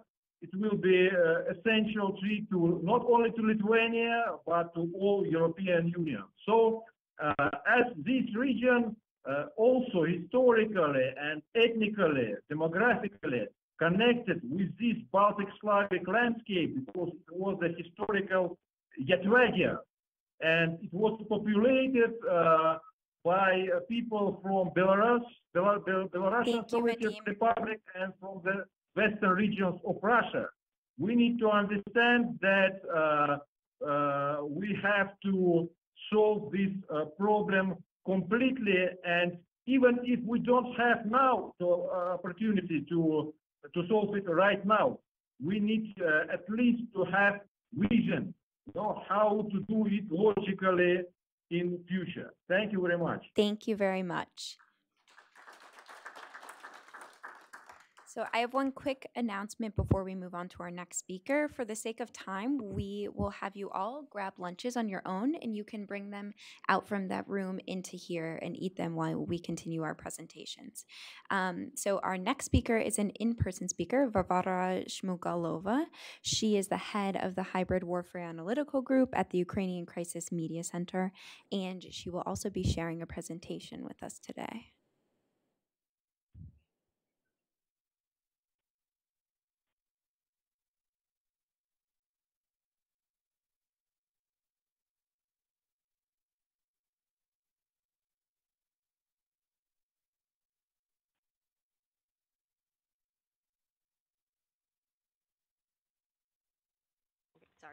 Um, my name is Varvara Shmygalova, and I'm the head of the Hybrid Warfare Analytical Group at Ukraine Crisis Media Center in Kiev. Um, ever since the uh, annexation of Crimea and start of the Russian-Ukrainian war, uh, we've been working on uh, um, counteracting, counteracting Russian malign information operations in Ukraine and also letting our allies know about the um, malign activities happening in their space and um, influences that Russia is making to the public opinion in their countries.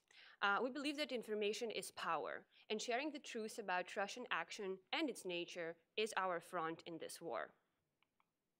Um, can you guess what this is? My first thought that it actually looked like another planet or the scene from like you know a Hollywood sci-fi movie, uh, but no, uh, it's Mariinka, 29 kilometers from Donetsk, and this is the result of the Ruski Mir coming to my homeland. For the reference, this is Mariinka before Russian occupants raised it. And what does Russia offer to its loyal subjects? So the first thing that comes to mind, especially to you know Westerners, is great Russian culture. Um, you know, um, St. Petersburg, Moscow City, Hermitage. Uh, when in reality, um, life in Russia uh, and Russian empire is still closer to this. And this, uh, just for uh, the reference, the wooden barracks built in Arkhangelsk in 1930s, uh, they were not um, really rebuilt or fixed after that. The last uh, kind of renovation that happened were 50 years ago. Um, and um, this is how regular Russians live. So the only scenario that Russia offers and can deliver is destruction, poverty, inequality, and hardship. So unless you want your home to resemble this, uh, don't call on the Russian world. And um, I will uh, now present the main topic of my presentation, which is five reasons why Russia should dismantle. And the first reason uh, for that is that the only group of people who benefit from the status quo are actually Putin's regime and his oligarchs. The rest of uh, Russian subjects suffer from poverty, as we already mentioned, and we heard from other speakers today that living in uh, not metropolitan Russian area is actually quite awful. And that happened because um, Russia accumulates all the goods and resources in the metropole, Moscow and St. Petersburg, draining them from the rest of the occupied territories. And this leads to extreme corruption, social injustice, stratification, and poverty. Uh, So right now you see on the slide just a few um, stats that I collected. I'm not gonna name all of them, but uh, just one of the ones that really uh, probably sound bad for Westerners that uh, only every 10th Russian um, doesn't have a toilet at home at all, and then every fourth Russian doesn't have a sewerage system, right? Um, also, uh, Russia is the one of the largest suppliers in natural gas in the world. Uh, however, um, in the rural areas, only 20% of the households are gasified. Um, and just to not, uh, mention that Russia actually would rather burn the gas as it does now because of the sanctions rather than to give it to its own people.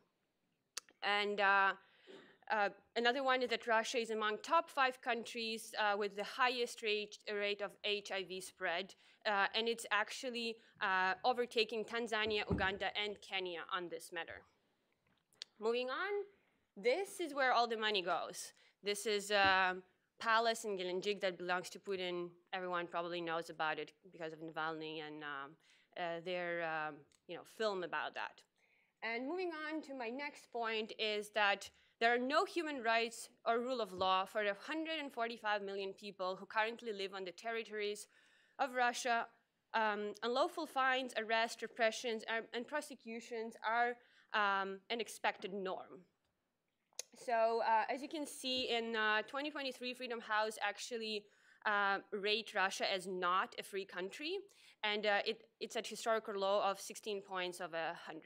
That means that Russia has neither political rights nor civil liberties. It does not have the electoral process, functional government, freedom of expression and belief, or rule of law.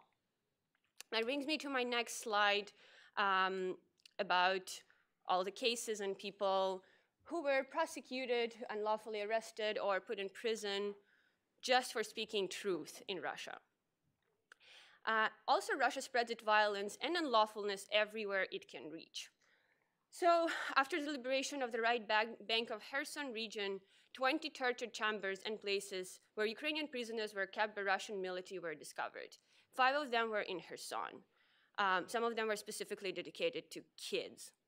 Um, also, the Commissioner of Verkhovna for Human Rights reported that there may be about 150,000 uh, children who were illegally stolen um, out of Ukraine by Russia. Russia actually uh, reports that that number is about 700,000, but we believe that it's a bit inflated.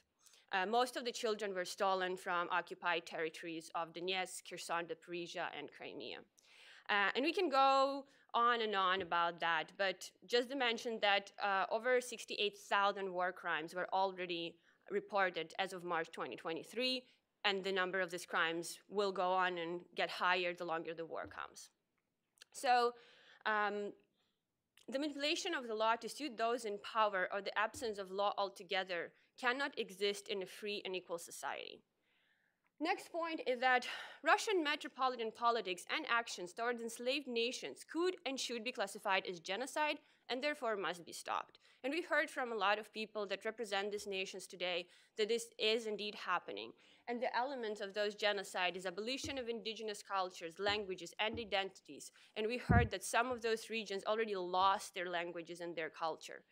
Uh, it's a forceful assimilation and economic exploitation.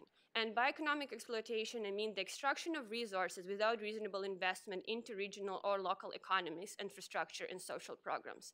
And coming to the last point in this is actually ethnic cleansing. Use of Russian-Ukrainian war as an instrument of that cleansing.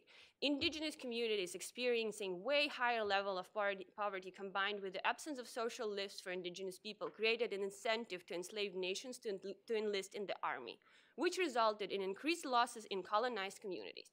Establishment of a new propaganda narrative that all the war atrocities in Ukraine are, are committed by uncivilized indigenous people not white European Russian soldiers is also really circulating a lot uh, within you know Russian community and uh, in Ukraine that even more underline the issue that Russia as an empire sends the you know enslaved nations to die in Ukraine and then use it as a reason why actual Russians are not that bad. Um, that brings me to the uh, next point that indigenous nations cannot survive, preserve their language, culture, and identity under the Russian Empire. And uh, this is just a few narratives that Russia often use, like imperial narratives, to push its agenda. You can read them. I'm not going to voice all of them now. I'm actually going to stop particularly on the one that is, is, oppression of minority rights. So this narrative were used by Russians a lot uh, in Ukraine, but also in other countries. But uh, this propaganda narrative um, want like were used to destabilize the situa situation. So uh, specifically, they claim that so-called oppression of the rights of Russian-speaking people uh, is oppressive. They try to similarly frame the narrative about the Hungarian minority in Ukraine, when in fact, in Russia itself, the right of minorities are mostly ignored or frowned upon. Russia used the same colonial tools against Ukraine, both during their imperial and Soviet periods. The efforts to destroy Ukrainian identity and statehood failed. Um, therefore, we can view the current war as an act of revisionism that will also fail in the result of metropole destruction. Enslaved nations of northern Eurasia should use the Ukrainian experience of successful resilience to liberate themselves and establish sovereign nation states. Decolonizing the post-Russia space and creating sovereign nation states and regional econ economic alliances is the only way to ensure the future of these indigenous people. That brings me to my last point, actually, that Russia is always has been the main destabilization factor in the region. And uh, as you can see in this infographic that I again wouldn't like explain in all details, but we're talking after the collapse of the Soviet Union, when Russia presumably were already kind of democratic federation. The only year that Russia was in peace and didn't fight anyone and didn't uh, participate in any military conflicts is actually 1998, as you can see. And that's enough to prove the point that Russia is always the bad guy. They are the reason that all this happens in, in the region and in the world, and therefore only the full elimination of such actor from the international arena can ensure the peaceful and progressive development of the region. And just to summarize my points, and I'm welcoming your uh, questions if you have any, this is a citation of the prominent Russian fighter for the freedom, Valeria Novodvorskaya, that she said in 2014, already after the annexation of the Crimea, temporary annexation, Russia is an empire. There is no empires of good. There is only evil empires. Let us all ensure that the last empire of Eurasia will finally fall. Thank you so much.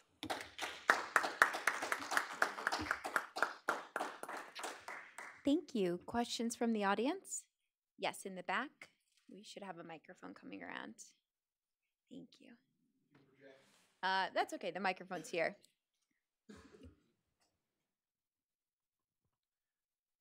Hello. Um, I'm wondering if you could explain to what extent this view on the need for the dismantlement of Russia is a consensus within these Ukrainian civil society organizations? Is this basically the unshakable consensus as far as you can tell? And um, to what extent do you perceive U.S. policy as aligned with the achievement of this goal? And what, if anything, ought to be done additionally in pursuit of the goal that you're advocating?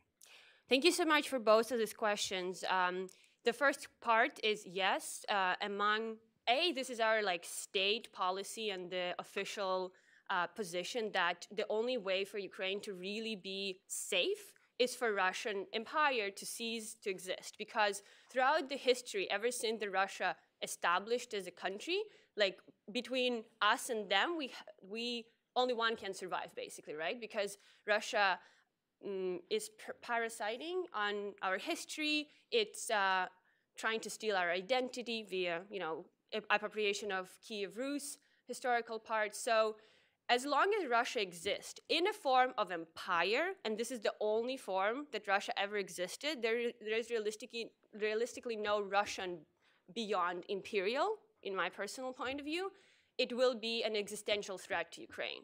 So among civil society, you know, media, organizations in Kiev and in Ukraine in general, we do have a consensus that Russia and Russians are our enemy. They always been. They are oppressors, and we are fighting against them. And our um, ultimate goal is that Russian empire should not exist. Now coming to your second question about how U.S. policies align with this and how U.S. can help for this process to happen or to be less um, bloody, so to say. Um, I don't think US policy is really aligned with it, and we can see that because uh, they're not supplying enough weapons and enough speed for us to fast fin finalize this war. And in my personal opinion, it's because they still didn't decide what's going to happen next and what part do they want uh, to support, because it's uh, kind of um, obvious that if Crimea will become Ukrainian again, let's say tomorrow, that will provoke Russia, like regime in Russia to disassemble or something going to happen and we don't know what's going to be next and us didn't make their mind. If they want to support this or they don't. And in my personal opinion they need to make their mind like yesterday and then start working it because uh, they need to prepare to what's going to happen with nuclear powers right? Like how do we denuclearize former russian empire right like what will be the procedure how is it going to happen um, you need to have different media campaigns to direct it at those possible new free states, like establish communications with them, find leaders, understand like how society work in there. So in my personal opinion, U.S. government doesn't do literally anything to facilitate or aid this process as of now, and it will be great if we can have some discussions in between Ukraine, European Union, um, and the plans of how this should move on. Thank you. Thank you very much. And now we will be moving on to our next speaker, who is a virtual participant. Chedomir Stojkovic is the leader of the Democratic Alliance of Free Serbia. Are you with us?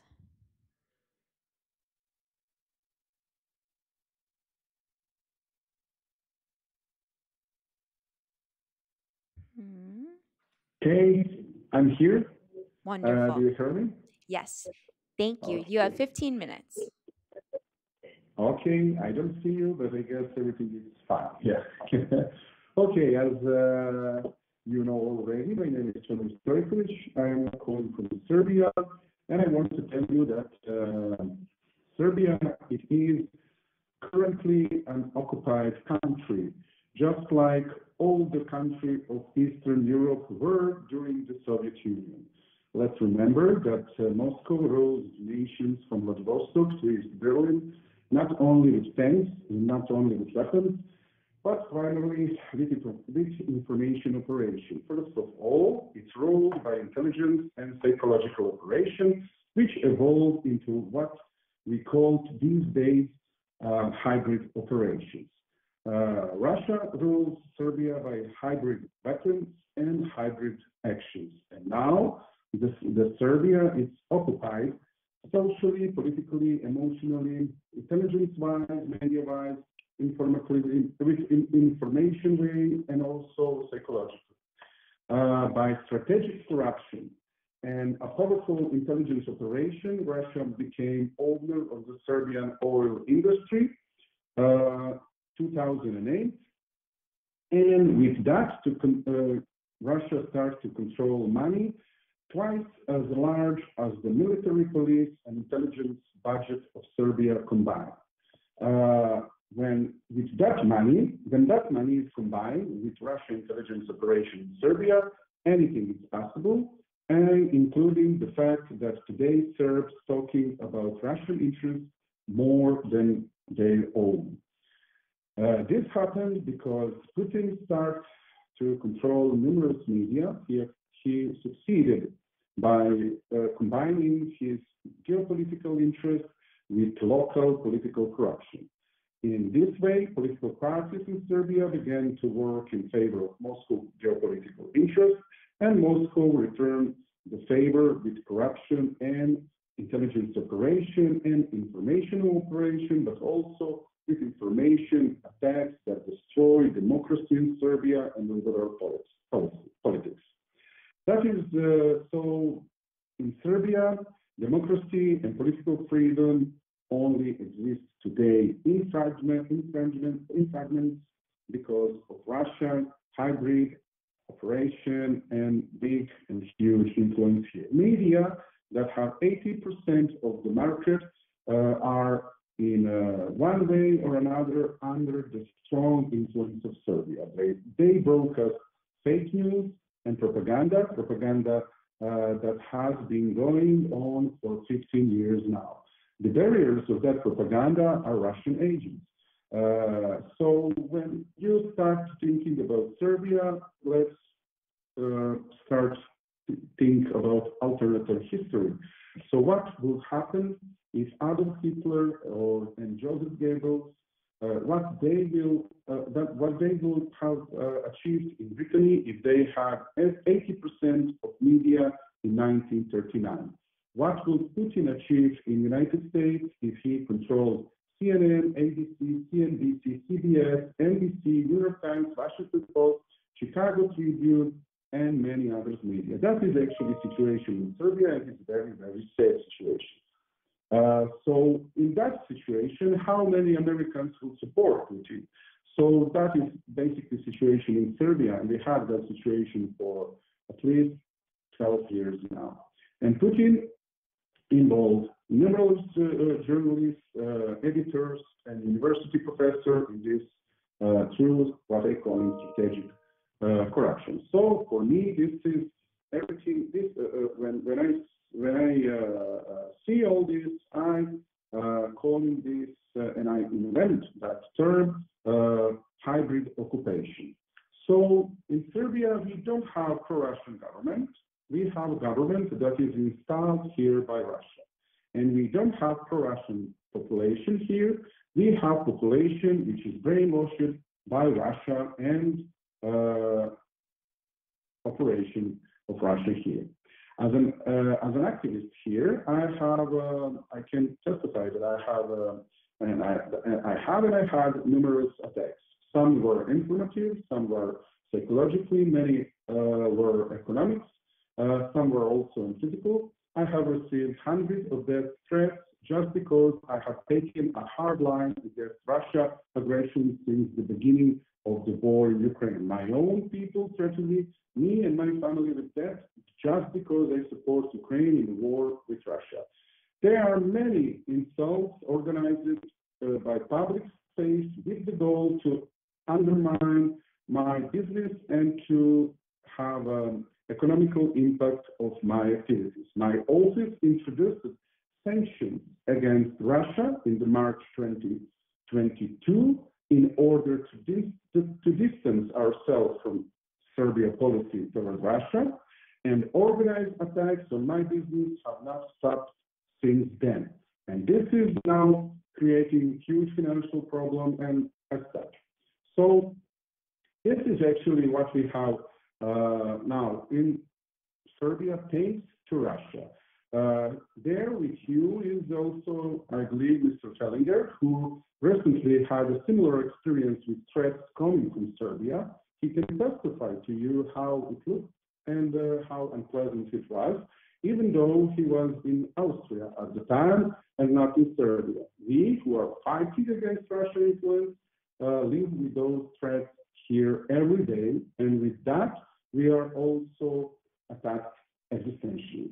My October group, which deals with counteractions against Russia hybrid influence, and which named uh, and publicly, publicly uh, announced the names of the agents of Vladimir Putin regime in Serbia, will have to stop its, uh, its activities because all of that, because the support in Serbia to fighting Russian influence and Russian hybrid attacks and occupation is very low. Um, so this is how we will probably stop our activities. Many have stopped in the previous decades because Russia, through its influence, has always made, made a constant attack on anyone in Serbia who, who, uh, who will advocate for a policy that should bring Serbia into EU and especially in NATO. So due to influence of the surrounding on, on the surrounding countries, the importance of Serbia uh, is uh, big for security in Europe, but also uh, for the USA and NATO and the entire West. Our democracy here is very young, it's fragile, and if Putin is in Balkans, it is like being a drug dealer among children. There is no peace while Putin is in Balkans or where or uh, if uh, Russian influence exists in the Balkans. There is no heal uh, while the drug dealer is among children, and there will be no progress until we have until we don't change until we change those situations. So many things can be done, and I think they must be done in order to have security in Europe when Ukraine defeats Russia. So the West uh, must interfere in internal policy in Serbia and Balkans because Russia uh, got involved a long time ago. Hesitation creates war in Ukraine. Hesitation will create another kind of problem in Serbia and the Balkans. So stop, so stop hesitate. Uh, anti-hybrid center must be created in the Balkans.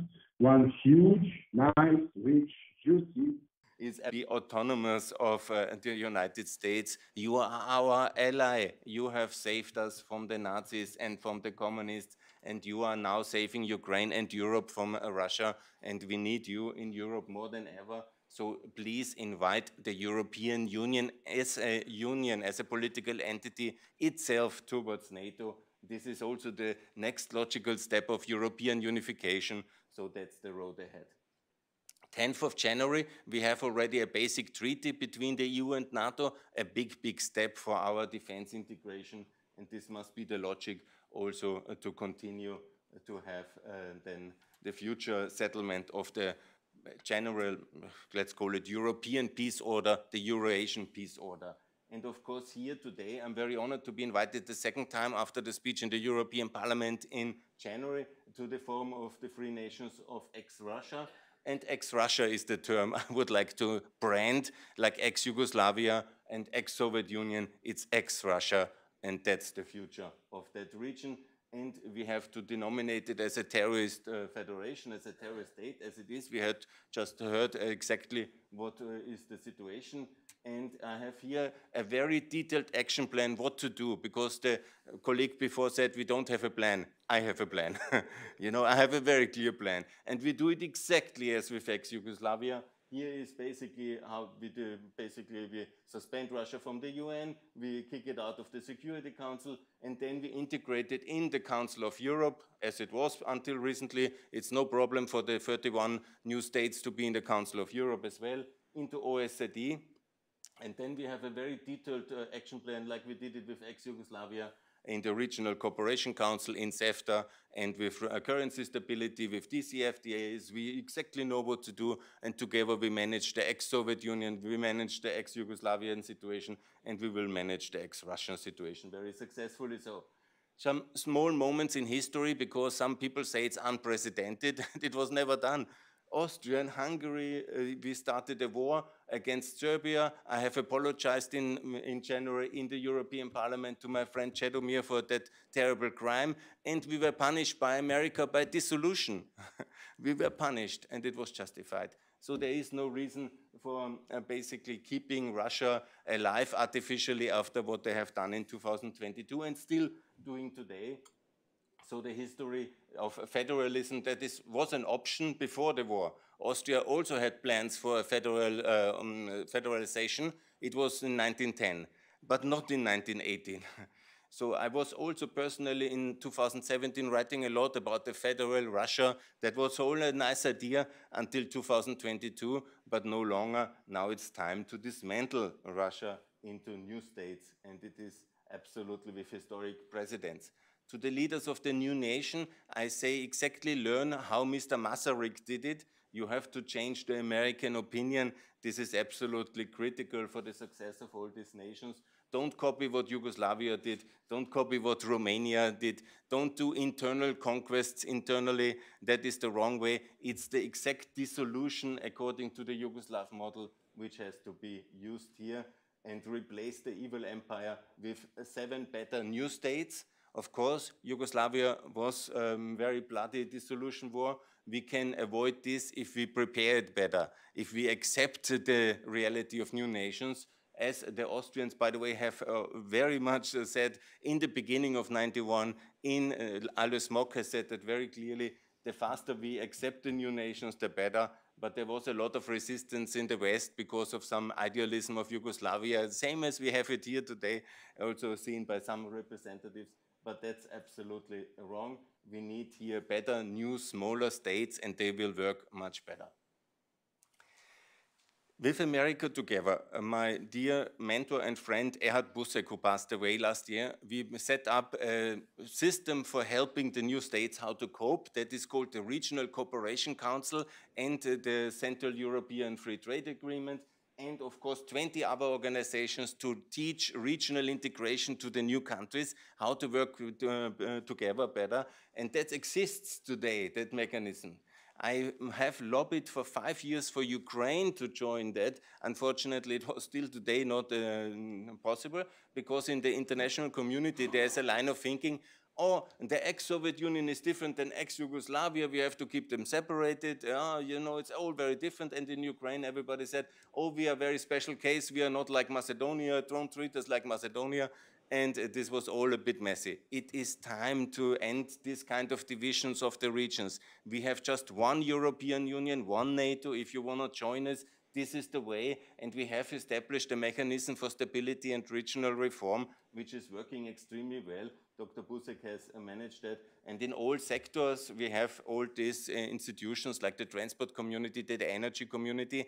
This will be extremely helpful for the new countries to learn from the beginning how to work together. And it's working, this mechanism, so I'm calling to use that.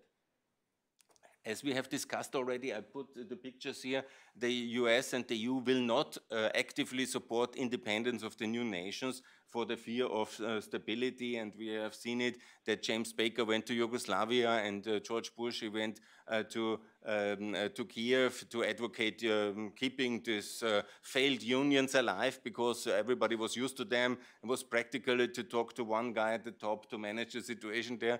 But this is all the wrong policy. But don't expect active encouragement from the West because that is not going to happen you have to create uh, facts on the ground. You have to declare independence. You must be ready and show that you can do responsible statehood. And then, by the way, America was the greatest supporter of Croatian independence once it was under threat and once there was a war by Serbia against uh, Croatia. America will help you once you have created the facts, once you're in threat, as America is now helping Ukraine in this uh, war. So, lessons for ex-Yugoslavia and for ex-Russia, prepare the world opinion. This is what this conference is about. This is very important. And exact structure on which institutions you will be part already from the beginning. Here is again OECD, the Council of Europe, uh, EU free trade agreement. So you will have a regulatory economic framework, which Professor Åslund has mentioned is so important. Yeah? Aspire to be global partnership of NATO aspire to join the Central European Free Trade Agreement, the Regional Cooperation Council, OECD membership, and of course the EU Customs Union and uh, the Eastern Partnership can be easily extended for all the new countries and currency back to the euro. So that's the economic reconstruction plan for any of the countries which is emerging. And it's very clear because exactly this we did for Macedonia, exactly that we did for Bosnia, and it exactly works very well and please recognize Kosovo, by the way, immediately.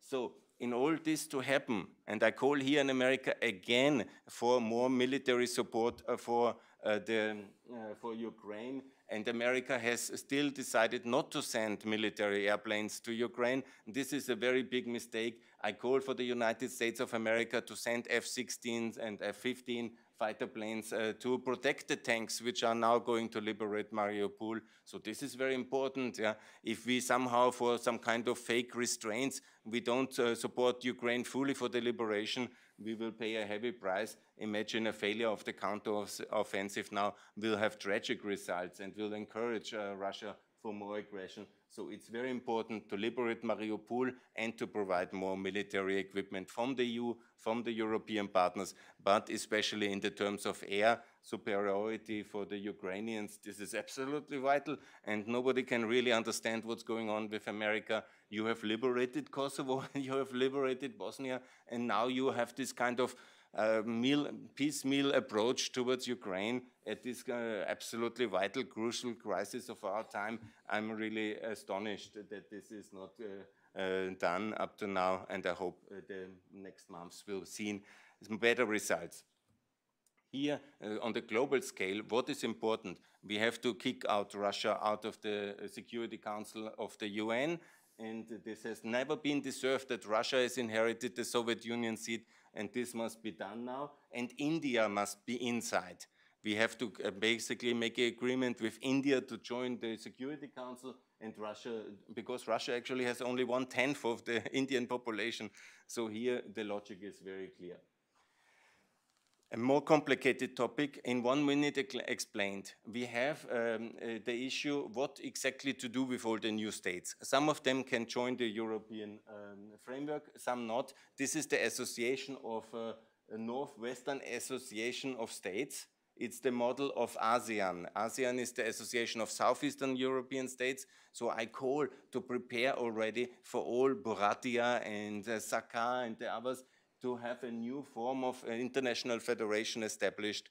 This is very important. And here, many of the Asian uh, states of the, in Russian Asia will join exactly that federation. And the fall of Russia is imminent, of Putin's regime, exactly as it was in Yugoslavia.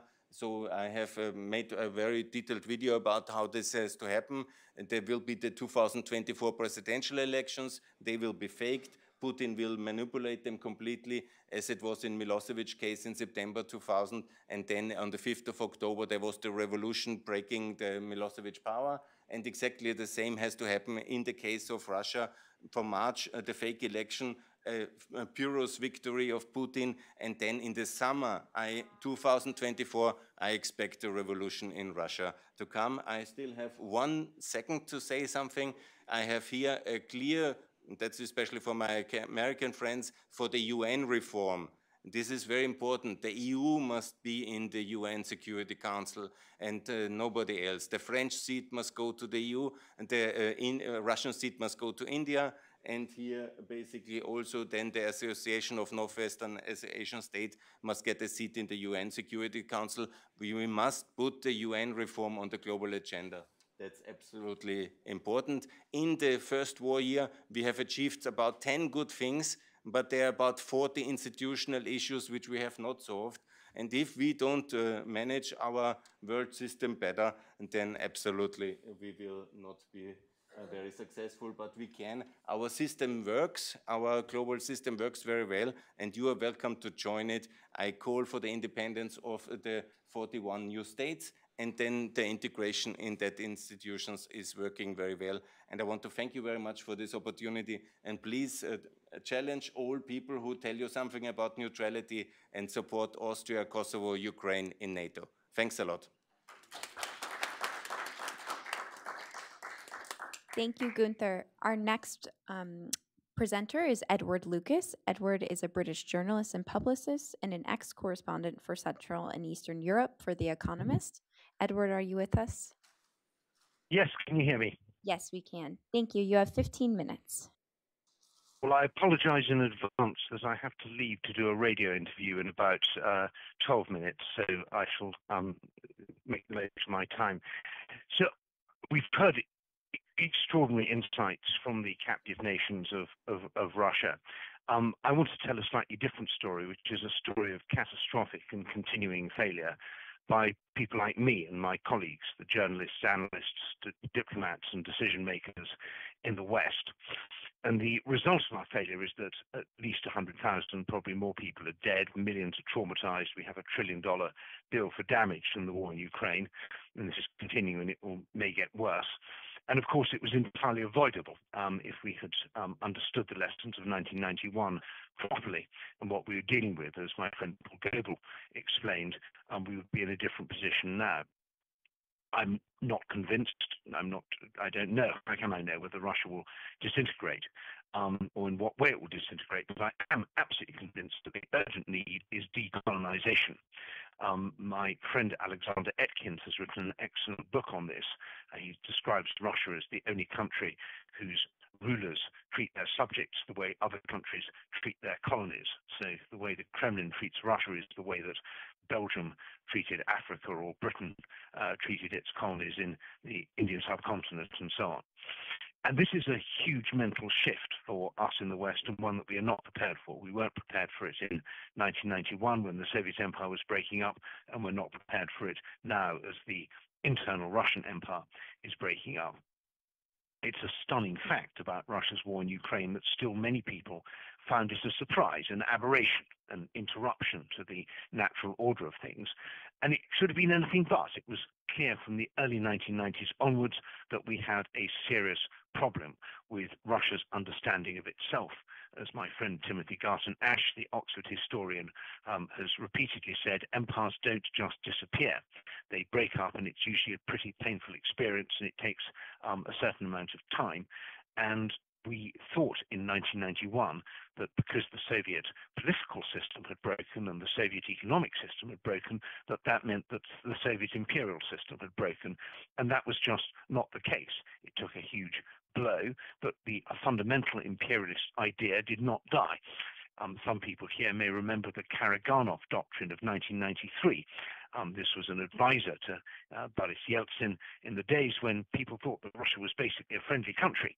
And Karaganov said that the Kremlin had the right and the duty to intervene in other countries on behalf of Russian speakers. And of course, the term Russian speaker has no basis in international law. I'm a Russian speaker. Mm, I guess most people on this call at this conference are, but it's not a political category um, it's as slippery and dangerous as Adolf Hitler's use of Volksdeutsche in the 1920s and 30s. It's the basis of an ethno-nationalist approach to international and indeed domestic politics that spells disaster. And it's behind Russia's seizure of Crimea and its backing for the um, insurrection in the Donbass. Now we've come to understand belatedly nearly 30 years later, that this idea of Russian speakers as a political category is wrong in the context of the Baltic states, of Ukraine, of Central Asia, and elsewhere. What we've yet to understand is it's also wrong inside Russia. It's just another pernicious excuse for the Kremlin's domestic imperialism. And why is this? And so many answers, but we are aware, I think, now of the epistemic privilege of Western decision makers, and that the agenda setters in the West um, over the last 30 years were more powerful than the voices of the Cassandras in the East. We didn't listen when people like Lennart Meri, Václav Havel, Vytautas Landsbergis, Mart Laar, and others warned the West of what was afoot in Russia in the Yeltsin era and in the Putin era. Uh, we've also seen the enormous power of the smooth-talking Russian propagandists and particularly their Western accomplices, backed by very powerful lobbies and well-financed public relations firms. And we've sort of understood this now in the Western political context. What we have yet to get to grip with is the epistemic privilege inside Russia, the unquestioned dominance of Moscow centered cultural and historical narratives. So we don't just need to decolonize Russia in a political sense, we need to decolonize it in a cultural and historical sense. And we all um, in the West need to decolonize our understanding of those processes within Russia. Now, to help the process along, I think I've identified seven, um, what we might call the seven deadly sins of the Western attitude to Russia. Um, the first and biggest is ignorance. Now, it's one of the effects of the Iron Curtain that elites, particularly in Western Europe and North America, had only the haziest ideas of the languages, history, and culture of the captive nations. Really know that was Czechoslovakia, what was Poland, um, that Estonia, Latvia, and Lithuania were occupied countries who still maintained their de jure um, statehood um, we did know one thing, and that was that Russia was really important. Um, we knew that Russia was a cultural superpower. We knew about War and Peace and Tchaikovsky and Kandinsky. And that really filled all the available mind space in the West for any understanding of, um, of what was happening on the other side of the Iron Curtain and we thought the countries of Eastern Europe were backward and muddy and cold or even comical. Their languages were incomprehensible and unpronounceable, and perhaps the epitome of this sort of Western Orientalist view of the so-called East European region would be the Borat films and the um, ridiculous mockery they make of Kazakhstan. Well, if you think that's bad enough, just imagine what it's like when you're dealing with the nations, the countries, the languages, the cultures inside Russia because that's where things, the, the depth of ignorance get even deeper and even murkier. We have more or less now in Western Europe understood that Estonia and Latvia and Lithuania are different countries with different languages, that the Czech Republic is different from Slovakia. We understand that the countries of the Western Balkans are, are different, that this doesn't make sense just to talk about ex-Yugoslavia or Eastern Europe or even the ex-Soviet bloc. We have still to make that cultural leap when it comes to understanding about the countries, nations, languages and regions inside Russia. Do we know where the Kuban is, what the, what the um, cultural and historical peculiarities of Siberia are, the fact that Siberia didn't have serfdom, this really matters. Do we understand the way in which the Russian Empire expanded Caucasus? Today is Circassian Flag Day. I wonder how many people um, remember the, um, in any sense, the historical, notice the historical echoes of that enormous genocide of the Circassians 170 years ago. I'm very glad that we have a Circassian speaker later on. My friend Oliver Bullough wrote a great book about this called Let Our Fame Be Great, about the Circassian massacre, which tra tragically happened just before the onset of mass communication. So there were no moving pictures, no photographs, no nothing about it. So it um, has a, a story that has to be recreated only from the archives. So we need to make that huge mental leap and understand, yes, these languages, these people, these histories, they really matter. There really is a place called Tatarstan, and guess what? They speak pretty much the same lang language that the Bashkirs, and the reason why that's different is because of Soviet nationalities policy. We need to be able to look at the map of the Caucasus, map of, of, this, of the Russian, so-called Russian Far East, and see that behind this kind of Soviet legacy of cartography um, is another landscape and one that we don't fully understand. So the ignorance is enormous, and of course, ignorance begets arrogance. Um, we believe that we know best. In fact, we don't. We believe we can fix things. We can't. We believe that what we know doesn't know, we, we don't know, doesn't matter, and of course it does. The arrogance begets naivete, and I fear this very much in the post-war uh, environment, which I hope we will face soon, that whoever is in charge in Moscow will take advantage of Western um, arrogance, ignorance, and naivete and say, watch out, Russia's going to break up. Um, that will be terrible for you. You'll get loose nukes, refugees, disrupted supply chains, and all the rest of it.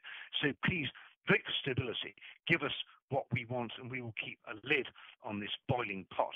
This is a kind of echo of the tactics we saw with Andrei Kozyrev in the early 1990s, Yeltsin's foreign minister, who was so used, um, so practiced at saying, give us what we want, otherwise the bad guys uh, who are just around the corner will take in. So I fear that naivete and ignorance and arrogance about the real structure, the real history, the real geography, the real culture of Russia will allow whoever's in the Kremlin to try and uh, play this reset card, say, give us a chance, we'll keep things together.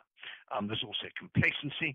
Um, we don't think it's going to happen because um, we don't want it to happen, and therefore we think it, it, won't happen.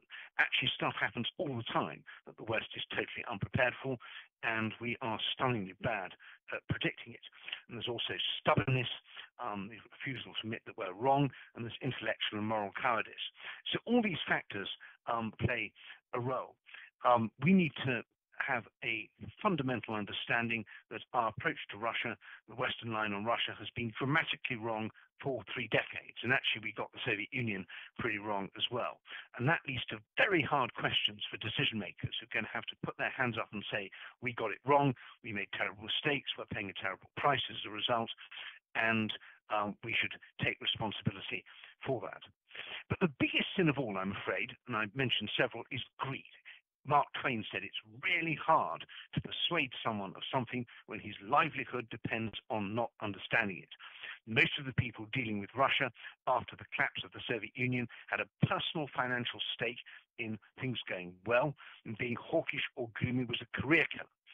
And that affected the coverage of Russia. It affected our understanding of Russia. It affected our policymaking towards Russia because being critical about Yeltsin and being critical about Putin for many years was bad for business and business didn't like it. They didn't like it the way they deployed their advertisements. And I remember as the economist bureau chief in Moscow in the late Yeltsin, early Putin years, being told if you write all this stuff about Russian imperialism, it puts off our investors. It disheartens our decision makers back in London, why are you doing all this stuff? It's so bad for business. And there were threats. There were threats of withdrawing of advertising, of complain, complaining to the editor in chief. And of course, The Economist was great. They stood up for me. There was another tactic of using SLAPPs, strategic lawsuits against public participation, the threat of extensive lawsuits. Now, the good thing is that we don't face that anymore because most Westerners are no longer thinking they're going to make a lot of money in Russia. They're not making money now, and I think even the Germans have realized it's going to be a long time, if ever, before business gets back as usual. So this gives me hope. At least that giant distorting factor of greed is no longer um, influencing our approach to Russia and to post-Russia. Unfortunately, the other things, the arrogance, the ignorance, the cowardice, the stubbornness, and so on, are still there. So we have a huge amount to do. You have a huge amount to do as the representatives of the captive nations and the regions and the endangered cultures of Russia.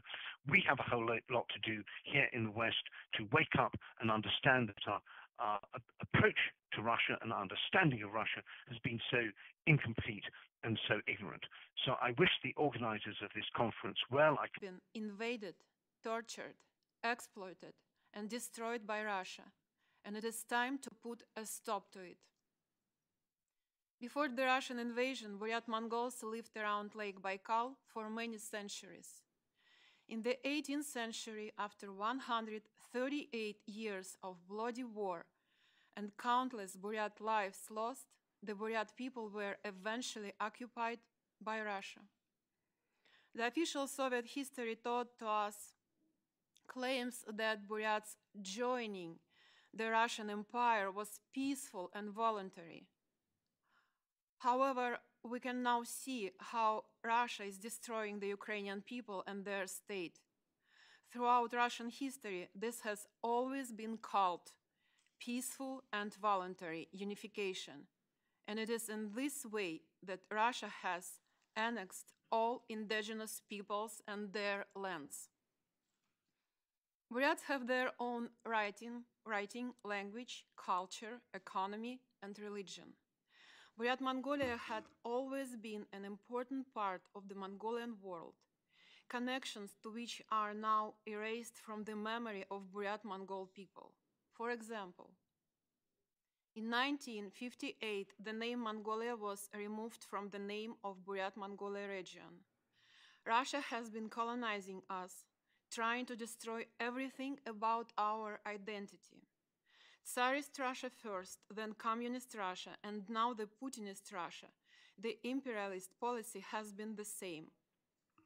During the repression, repressions of 1930s, those who knew how to write in Mongolian were punished by execution.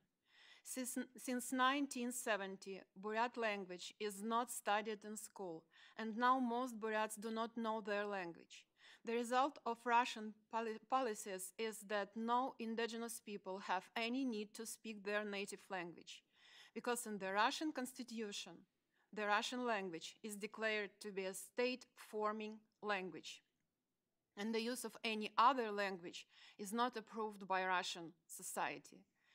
In 2005, UNESCO officially included the Buryat language in the Red Book of Endangered Languages and pre predicted its complete disappearance by 2050. There were attempts to resist colonization, but they were harshly punished, from slaughtering entire villages in Tsarist Russia times to passing recent laws by which my speech here can be punishable by life in prison. While being a Russian colony, Buryatia has consistently ranked among the poorest regions in Russia in various quality of life metrics. Although Buryatia is rich in natural resources, most of the profits go to Moscow. And large mining com companies are registered in Moscow. Buryat lands contain half of Russian zinc reserves, one third of lead, molybdenum, and tungsten, over 40% of cadmium, around 40,000 tons of uranium, 400,000 tons of lithium, more than 100 gold mines, and over 30 other ores. Additionally, Buryatia has Lake Baikal, our treasure, the deepest lake in the world, which is included in the UNESCO World Heritage List and contains about 20% of the planet's freshwater reserves. In 2020, the Russian state adopted amendments to the law on the protection of Lake Baikal, which allow Russian railways to carry out large-scale logging for the expansion of the Baikal-Amur and Trans-Siberian railways. The adopted amendments allow for clear cutting to increase the capacity of the railways until December 2024.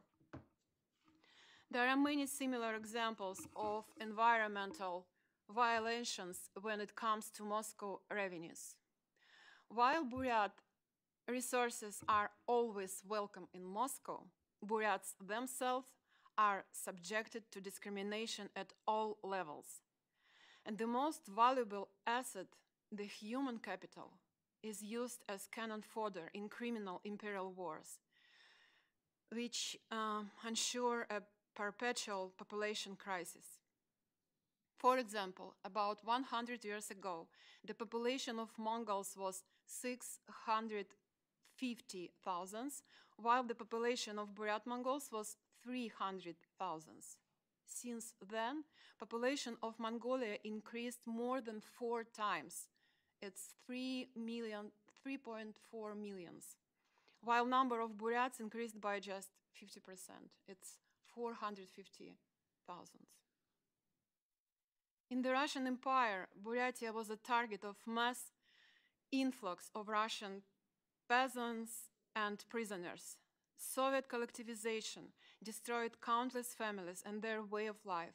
After the, the, repressions of the 1930s, the number of Buddhist monks in Buryatia decreased from 23,000 to just 600. In 1937, Buryatia was divided into five parts by, by, Russia. As a result, Buryatia lost 40% of its population, and Russians became the majority. Whatever century it is, whatever government and political system is in Moscow, one thing was unchanged the purposeful, systematic annihilation of Buryat culture and replacement of it with things Russian to make sure the land of once conquered become Russians forever. The war in Ukraine became a new shameful page in the history of Russia and Buryatia. Buryats are sent half of world away to fight the immoral war Buryats have no stake in. If you live in Buryatia, you have a 65 times higher chance to die in the Ukraine war than if you live in Moscow. This war is Moscow's pet project, but when it comes to dying, they prefer somebody else to do it. While they engage in lofty rhetoric about everybody's debt to their motherland. Even worse, the blame assignment is also skewed. Somehow Buryats turned into the villains of this war, while it is well documented that Buryats had nothing to do with most atrocities. Maybe this is because all real Russians are kind and gentle and cultured people and are not capable of killing civilians. So, when it happens, it must be somebody else who did it. Russia has always been an aggressive empire who prioritized gaining new territories over everything else. Just look at the world, world's map. The prospect of Russia do not look promising even after the end of Putinism. The imper imperialist thinking is deeply ingrained into the Russian conscience, so that people, including most anti-Putin, pro-democracy politicians, do not even realize their imperialism. Even aside from the people who are openly imperialist and chauvinist, most regular people consider it matter of national pride that their country is so large and powerful. They have no they have not even started to ponder by which means their country became so big. Haven't started to realize what their terrible posterity and the magnitude of the crime which had been com committed against numerous indigenous people of what is now called Russia. As far as most people are concerned, the problem of indigenous people in Russia doesn't exist. Even many of democratic, uh, democratic opposition leaders who risk their lives fighting for freedom and democracy in Russia somehow do not think that indigenous people of Russia have their right to control their own life and destiny. The most which is allowed to us is to be a part of federation. But we know all too well that there is no federation in Russia. Enough is enough. We don't want to be a colony. We stand for a fully independent Buryat state. We want to build a state based on democracy, human rights, economy, freedom, and fair laws. We want an immediate stop to the war in Ukraine, return of all occupied territories, and trial for all war criminals. We support the right of other indigenous people of Russia to independence. We realize we cannot do it alone, because the moment we want to become independent, Moscow will send its tanks to our cities, for sure. We need to unite with other people of Russia in this fight. Independence is the only way for Buryats and all indigenous people to survive, the only way to keep our culture and dignity. Independence will mean a lot of work building the new country, and we want to ask for the support of the international community. We need laws which will leave no room for autocrat governors, corruption, and militarism. We want to nurture Buryat culture, and we want to treat with great care the rights of all other people who consider Buryatia their home. Russians, Soyots, Evenki, all 167 nationalities living in Buryatia. We want close ties with all our neighbors, including Mongolia. If it's based on mutual interest and respect. It may be painful to realize that Buryatia lost many of its territories due to redistricting by Russia. But first of all, we want peace and friendship with our neighbors. We want to avoid any territorial dis- disputes. We would like to ask for international help in the early stages of building our nation. We believe we can become self sufficient fairly quickly due to rich resources which will no longer go, longer go to Moscow. But we need help and support and the critical, at the critical moment of declaration of our independence and early stages of nation building. Some of the documents what demand independence for Buryatia are the Charter of the United Nations, the Declaration of the Granting of Independence of Colonial Countries and Peoples, United Nations Declaration of the Rights of Indi- Indigenous People, Universal Declaration of Human Rights, US Law PL 8690 of colonized nations. Ladies and gentlemen, remembering Martin Luther King's words, I dream that one day this nation will rise, rise up and live out the true meaning of its creed. We hold this truth to be self evident that all men are created equal. As a Buryat, I have a dream that this criminal war against the freedom loving Ukrainian people will end as soon as possible with a total and crushing victory for the Ukrainian people. And Buryatia will be the first to sign a peace treaty with Ukraine and become, become an independent and peaceful state. Thank you. Thank you, Marina. Are there any questions from the audience? Okay, thank you very much. Our next participant is Luke Coffey. Luke is a senior fellow here at the Hudson Institute. Uh, thank you, Luke, and you have 13 minutes. 13? 15. Oh, gosh. Okay. I don't know where After that came the from. technical difficulties this morning, I don't even deserve time, uh, uh, I think. Anyway, um, uh, first, uh, I want to thank all the participants and people attending this event. It's great to see such interest uh, and to hear some of these very passionate uh, remarks and and views. It's it's it's great to hear hear that here in Washington D.C. Um, I'm giving my my views here as uh, as an American uh, commentator, as a think tanker, someone who writes policy papers to hopefully inform policy prescriptions on Capitol Hill or in the executive branch. Uh, so keep that in mind. We've heard some very passionate views from different uh, groups uh, inside what is currently the Russian Federation, but I'm going to be taking more of an outside U.S. American uh, point of view. My starting point is that I do not believe the Soviet Union collapsed in 1991. I think it's actually still collapsing today. I think 1991 was the beginning of the collapse, and history has the ability to condense time. So when historians 200 years, 300 years from now are writing about the collapse of the Soviet Union, they will describe and write about all of the events we have seen over the past 30 years. And perhaps they will identify February 24th, 2022 as the most consequential moment in the collapse of the Soviet Union, if not the final moment in, in this collapse.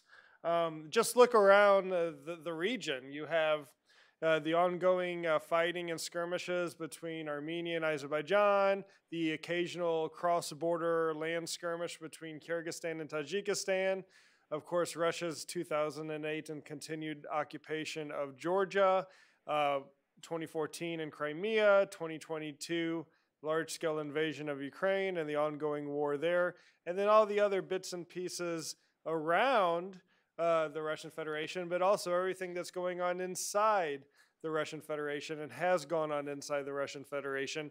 And just the testimony and the, um, the views that we've been hearing today, all of these combined show that the Soviet Union is, in fact, still collapsing. So, when it comes to this, uh, I, I like to share the, the goals of the United States in the event that we see the final collapse uh, of the Soviet Union and the complete breakup of the Russian Federation. What are what should America's goals be? What are the assumptions that we can make now to better plan for this possibility? And then what are the questions that policymakers need to be asking now instead of asking, you know, months or years after we see the, the, the final collapse of the Soviet Union and the breakup of the Russian Federation. And the reason why I think this is very much possible is because of what's happening in Ukraine. Uh, I do believe if the Russian military is militarily defeated inside Ukraine and Ukraine is able to restore its 1991 borders, uh, the, the consequences for the Re Russian Federation will be great. And I bet in 10 to 15 years, the Russian Federation we see today on a map will not look the same um, then as it, as it does to us now. So in terms of the, of the goals, uh, the, the, in the event that this happens, the first goal for American policymakers is to not let idealism trump and be realistic about Russia's democratic prospects, at least in the short term. We should learn the mistakes of the 1990s when we thought that we should, uh, or we, when we thought we could uh, play a role in transforming Russian uh, democracy, Russian society, the Russian economy. We should be humble in acknowledging our limitations uh, in this, uh, and we should um, we, should not uh, let idealism cloud our thinking. we should also do whatever we can to contain any spillover uh, outside of the current borders of the Russian Federation of, of any fighting that might that might take place inside uh, uh, the Russian Federation in the event of a of a collapse. Uh, this this might mean uh, picking sides. This might mean uh, boosting the the military and security and border security capabilities of the countries around uh, the periphery of the Russian Federation, that we should do what we can to prevent the spillover of fighting. Another goal is to account for the stockpile of Russian weapons of mass destruction, including the 6,000 nuclear weapons. I don't have an easy answer for this. Uh, I don't think anyone does, but we should be thinking about it now, not whenever it becomes a, a, a major problem. Uh, another goal should be to spread stability on Europe's periphery by expanding Euro Atlantic integration and deepening bilateral relationships. Um, Euro Atlantic integration over the years, at least since 1949, has been one of the greatest drivers of uh, peace, stability, economic prosperity, and democracy, and it could continue to, to do so uh, well into the future. We could see an opportunity for a big bang round of enlargement uh, because Russia would, in the event of a collapse of the Russian Federation, it would no longer have this de facto veto that it currently has on countries like Georgia or Ukraine or Moldova, for example, joining uh, these Euro-Atlantic institutions. And, and the, especially the EU should be planning now on the required institutional reforms that would be needed to bring in new members. I mean, one example off the top of my head is with Ukraine. Uh, if Ukraine joined the European Union tomorrow, it would become, I think, the Union's fourth most populous country in the European Union, fourth or fifth, which completely alter the way voting is done and uh, how QMV is qualified majority voting uh, is done and the way seats in the European Parliament are allocated. And then you add Poland to that block, Romania to that block, and you start to really see the center of, of gravity in Europe shifting east in practical terms. And I don't know if Berlin and Paris are really going to like this. They may say now, oh, we want Ukraine in the EU, but are the institutional reforms taking place now? Uh, to, to make that a reality. Uh, the United States should also have a goal of, of maintaining a superior military presence and strength in Europe. Uh, there, there are some who believe that uh, when, when Russia's defeated in Ukraine, the U.S. can pack up and leave Europe. History tells us that Russia will be back. Uh, the peace dividend that we thought existed in the 1990s turned out to be a fantasy, and we should not fall for this trap again. And finally, the, the goal, uh, the last goal I have is when possible, we should have the goal of holding those accountable in Russia for, for those who committed atrocities in Ukraine. And I know a lot of work is being done on that specific issue today, so I'm not going to dwell too much on that here right now. In terms of the assumptions, I have uh, seven uh, planning assumptions. You know, we don't know what a breakup of the Russian Federation will look like. We don't know what the final collapse of the Soviet Union will give the world, but we can have certain assumptions, make certain assumptions to help us help us uh, plan. The first one, the first assumption is pretty obvious, Setting here today, and that is Russia will fragment even further. Uh, the 15 states that emerged after uh, the uh, start of the collapse of the Soviet Union in 1991, I describe that as the safety glass breaking. So that window, for example, if it shattered, it would break in kind of like a safe, almost a neat way. It wouldn't be perfect, but you know, it would be relatively safe. If there's another round of shattering, it's not going to be safety glass that breaks. It's going to be very unpredictable. It could be very dangerous, very sharp, uh, and we have to think very carefully how, how we deal with that. But I do think there could be further fragmentation of the Russian uh, Federation. Um, another assumption to make is that Russian regions uh, will have significant populations of unemployed minorities predom- uh, uh, ethnic minorities that are combat veterans. Um, we've already heard multiple examples today of the disproportionate burden that Russia's ethnic minorities are taking in Ukraine. Um, if there's a defeat in Ukraine, they're going to come home to nothing but a lot of combat experience and uh, perhaps a new drive and motivation for self determination. So we should assume this to be the case. We should also assume that China and Turkey will try to play a role in maximizing their influence in across the Eurasian landmass, where Russian influence might be uh, receding. We should also assume that private armed groups will proliferate. That's one of the things we've noticed in Russia recently, in Ukraine specifically, groups like the Wagner Group. Uh, more of these groups will be popping up You hear of examples already of Gazprom creating a private military group. I, I heard that uh, Defense Minister Shoigu has also created his own uh, private military company, which is a very curious thing for the defense minister of a country to do.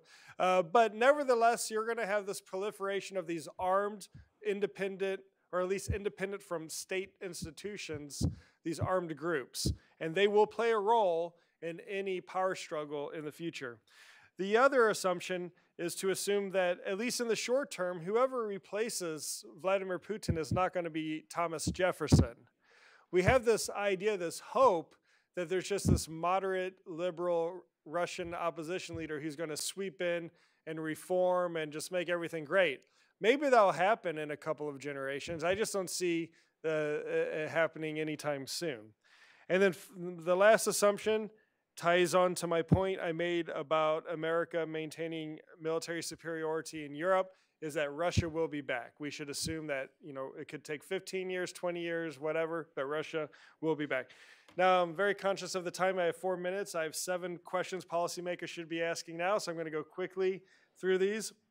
The first question we should be asking now, what should the U.S. be doing with our international partners to um, develop a response for the calls of independence and self-determination that we are bound to hear by certain parts of the Russian Federation. And how do we recognize these calls for self-determination and independence in a way that is best aligned with U.S. national interests? Because remember, I'm speaking here as an American policy maker, and in line with international law. There are answers we can develop, but we have to start thinking about this now. Second, um, how can uh, we keep, uh, how can the U.S. work with its partners to keep that internal fighting that could likely erupt inside the Russian Federation, keep it contained? And this is where we have to work closely with countries in the region, uh, countries that are not in NATO or the EU or the, that don't have any desire to join NATO or the EU, uh, we should be having better relations with the Central Asian republics. We should be more involved with some countries in the Caucasus to help them improve their security sectors so they can do a better job at containing any fighting that might take place. Um, we need to think about that question about the proliferation of uh, weapons of mass destruction and the accountability of the weapons of mass destruction uh, in the event of a breakup of the Russian Federation uh, we should think about what NATO and the EU needs to do about those issues of institutional reform that I mentioned earlier, about a possible Big Bang enlargement, about the future of these organizations. We need to start thinking about that now.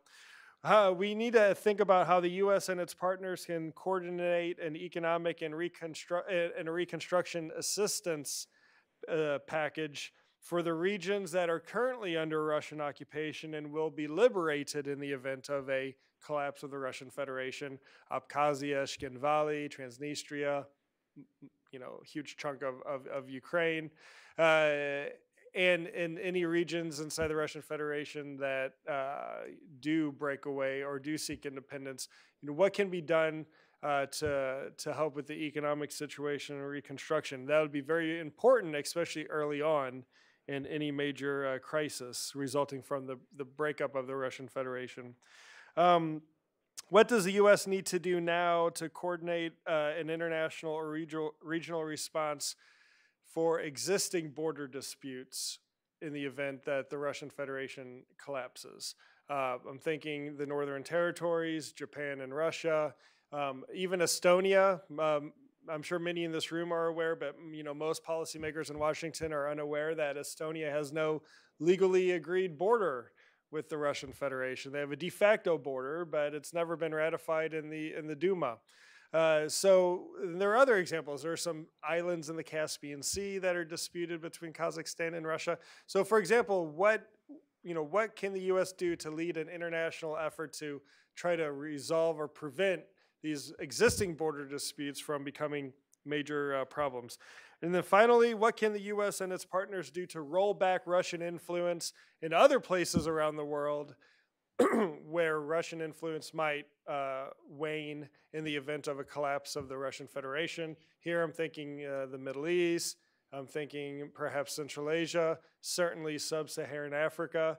We should be thinking about this now, not uh, not months after uh, we need to be thinking about it. So I'll stop there because I realize I used most of my, I used all of my 13 minutes, and uh, um, I just used all my 15 minutes right there. So thanks, Kennedy. Thank you, Luke. Any questions from the audience? Yes, in the back. Hello, Magomed Arif from Ingushetia. Thank you very much. Thank you very much. It was a very nice speech. You know, it was a very interesting question. And my question is, uh, previous uh, the speaker Inozemtsev from Russia, he said that uh, don't think about separatism because nobody in the Europe or in the United States will support it and will like it. But actually, for me, as a non-Russian person, yeah, uh, I'm not care as for example Jefferson or George Washington who create these countries, they're not created to make happy people in Belgium or in France, yeah? yeah. Because for us it's a question of the, our freedom of our future. And second question, uh, what do you think? It's, it's, we have to care about this. We have to sit and think that how we can make happy or be, I don't know, how, how understand him, you know? Are you agree with that? Uh, uh, with who? With this guy who before you told, the, told this Inozemtsev, Sir Inozemtsev, he said that West Europe Union and United States never support separatism. They don't. Oh like yes, it. yeah, oh yeah, yeah. Because yeah. of yes, I understand mm-hmm. that. Well, yes, publicly, the U.S. government is not going to do this, um, uh, but we have a couple of points to make. Firstly, many people fail to understand the foreign policy making role that the US Congress has in our presidential system of government. Having the appropriations and the authorizations authority for funding, the US Congress has the ability to make US foreign policy, certainly shape and edit US foreign policy. So I think a lot of the advocacy, a lot of the education now needs to be done on, on Capitol Hill. And then, like we saw the uh, President Bush's, President Bush's um, uh, so-called chicken Kiev speech was mentioned earlier. Um, but then that was quickly overtaken by events, and then Americans were catching up. Uh, so behind the scenes, uh, uh, you know, we need to be working with the executive branch to at least get them thinking privately about answering some of these questions that I outlined today, because it could be a real uh, uh, it could be a new reality, and we had to be prepared. But I do agree with the previous speaker. You, you'll never get this to be a policy of um, the, the U.S. government. And in fact, you know, I don't advocate personally for regime change in Russia. This is a matter for the for you all, for the, the people of Russia to determine not for me sitting here thousands of kilometers away in Northern Virginia or Washington, D.C. But uh, the responsible thing is for American policymakers to be planning uh, for this possibility because it is real. Thank We're you. here for this. yes, exactly. Thank you very much. And we will now move on to our next participant who should be online with us virtually here. Um, Andrius Salmanis is the president of the Institute of Russia's Regions and captain in the reserve of the Lithuanian Armed Forces and a founding member of the Lithuanian Republic Freedom Party. Andrius, are you with us? Great. Welcome. You have 15 minutes. Uh, I represent uh, here only uh, Institute of uh, Russian Regions, but also Committee of uh, Independent Confederation of Siberia. Uh, last year in December, um, during our forum, uh, which was in, in, in Sweden, uh, we signed and declared a declaration about uh, independent Siberian Confederation. as everyone understands, um, it wasn't the um, re real declaration, but like uh, more, like pre-declaration, say, can say so. But anyway, we declared, uh, announced uh, declaration, and um, at the beginning of, uh, this year, as uh, I think all of you know, uh, online referendums were organized in a few regions of uh, post-Russia.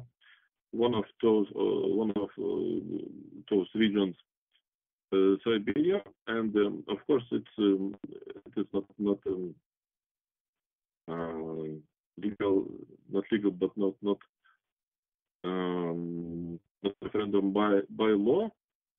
But anyway, it was uh, uh, very very many people uh, took part in this referendum, and the result is uh, willingness uh, willingness of people to uh, to declare uh, new independent states, including uh, including uh, Siberian Federation or Confederation. people will decide which which form will be.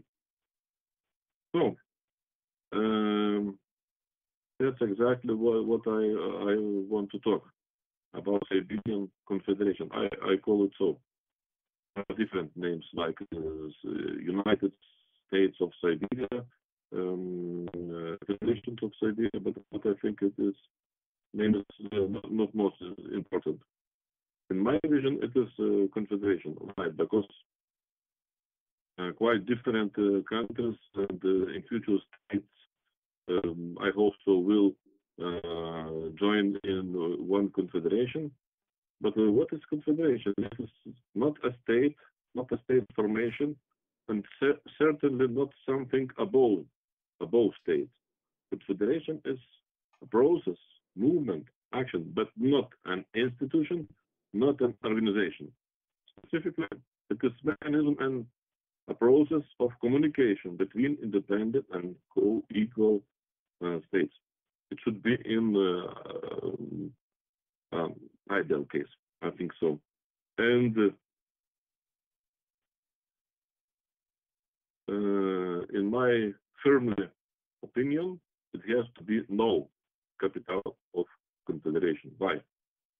Because uh, every country, every future state will have own capital, and the confederation doesn't need one one capital, and no central government, no no president, because it's confederation. We will not elect any central Siberian government. We will solve everything only by mutual agreement. And why no capital and why no president? The Siberian answer is very clear. Because Siberian people are free people.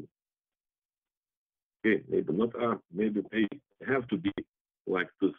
But um, on history of uh, Siberia, it is uh, like recorded uh, on on the mentality of Siberian people, uh, freedom and liberty, uh, because Siberian Siberian people are quite uh, quite um, similar to to America.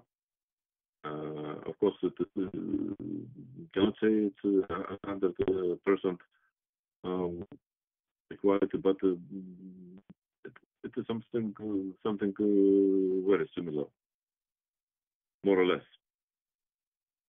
And uh, in place of one common parliament, Siberian Confederation will have only uh, parliamentary assembly, and of course, um, in the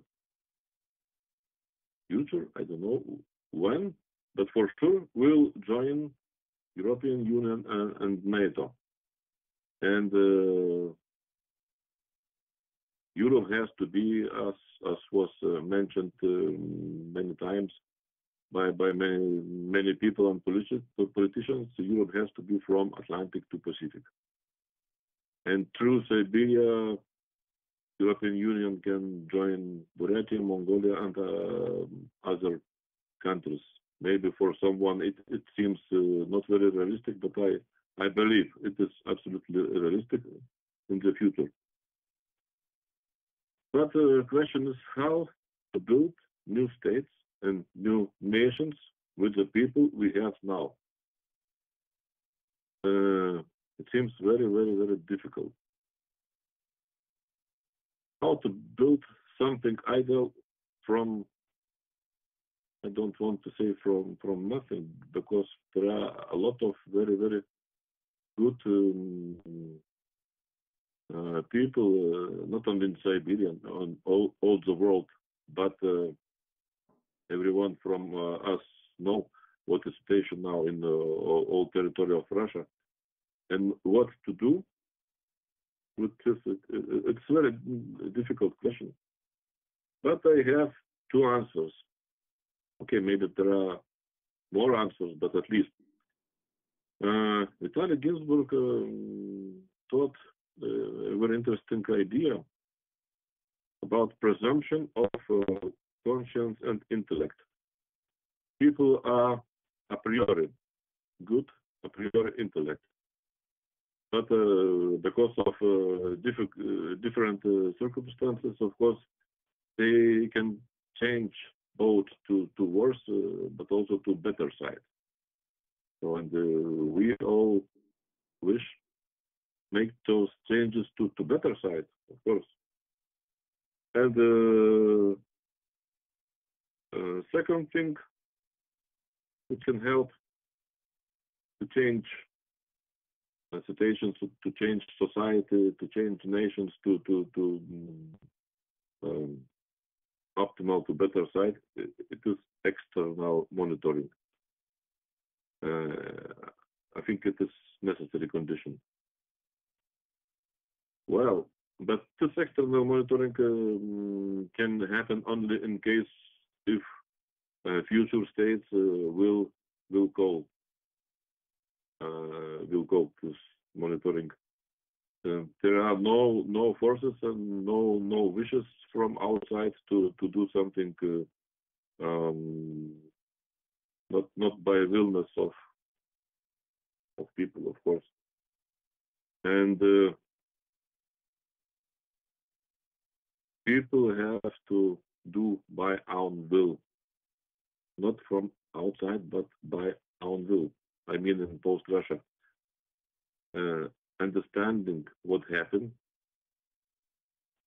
analysis. What happened, reco- recovery, regret, reparations, and only then, only after those things, building new prosperous nations and states. And I believe also United Nations uh, will. Okay, will not change. Uh, it is no sh- chance to change to United Nations in place of uh, uh renovation of um, uh, United Nations. Uh, I firmly, I have firmly opinion it's much better to create new organizations, new organizations like United Democratic Nations. So, and the United Nations we have now, this organization will um, slowly disappear and, and, and, become absolutely not important as, as it is um, now. But in future, more and more and more not important. And in place of this organization, we will have United Democratic Nations. I think it's the only way. Not to reform United Nations, but create new organization. And uh, the conclusion I, I would like to say about about about our Institute of Post Russia uh, regions. Well, I am president of this institute, and um, we have um, a lot of co-workers and um, very big uh, experience. It's uh, in general due to Vadim Shtepa, creator of this institute, and um, we call to to to use our uh, forces and our possibilities um, in this branch. So, thank you for attention. Thank you. Any questions from the audience?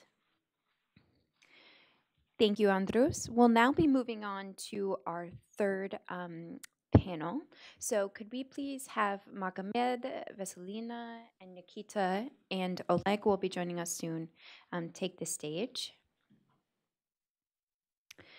And Ilya had to leave, so we actually will be moving, I guess, 15 minutes ahead of schedule for the remainder of the afternoon. So that means that we will be um, starting our next panel with Magomed Terayev. He is a journalist, a representative of Committee for Ingushian Independence, and we welcome you to the stage. Thank you. You have 15 minutes for your opening remarks.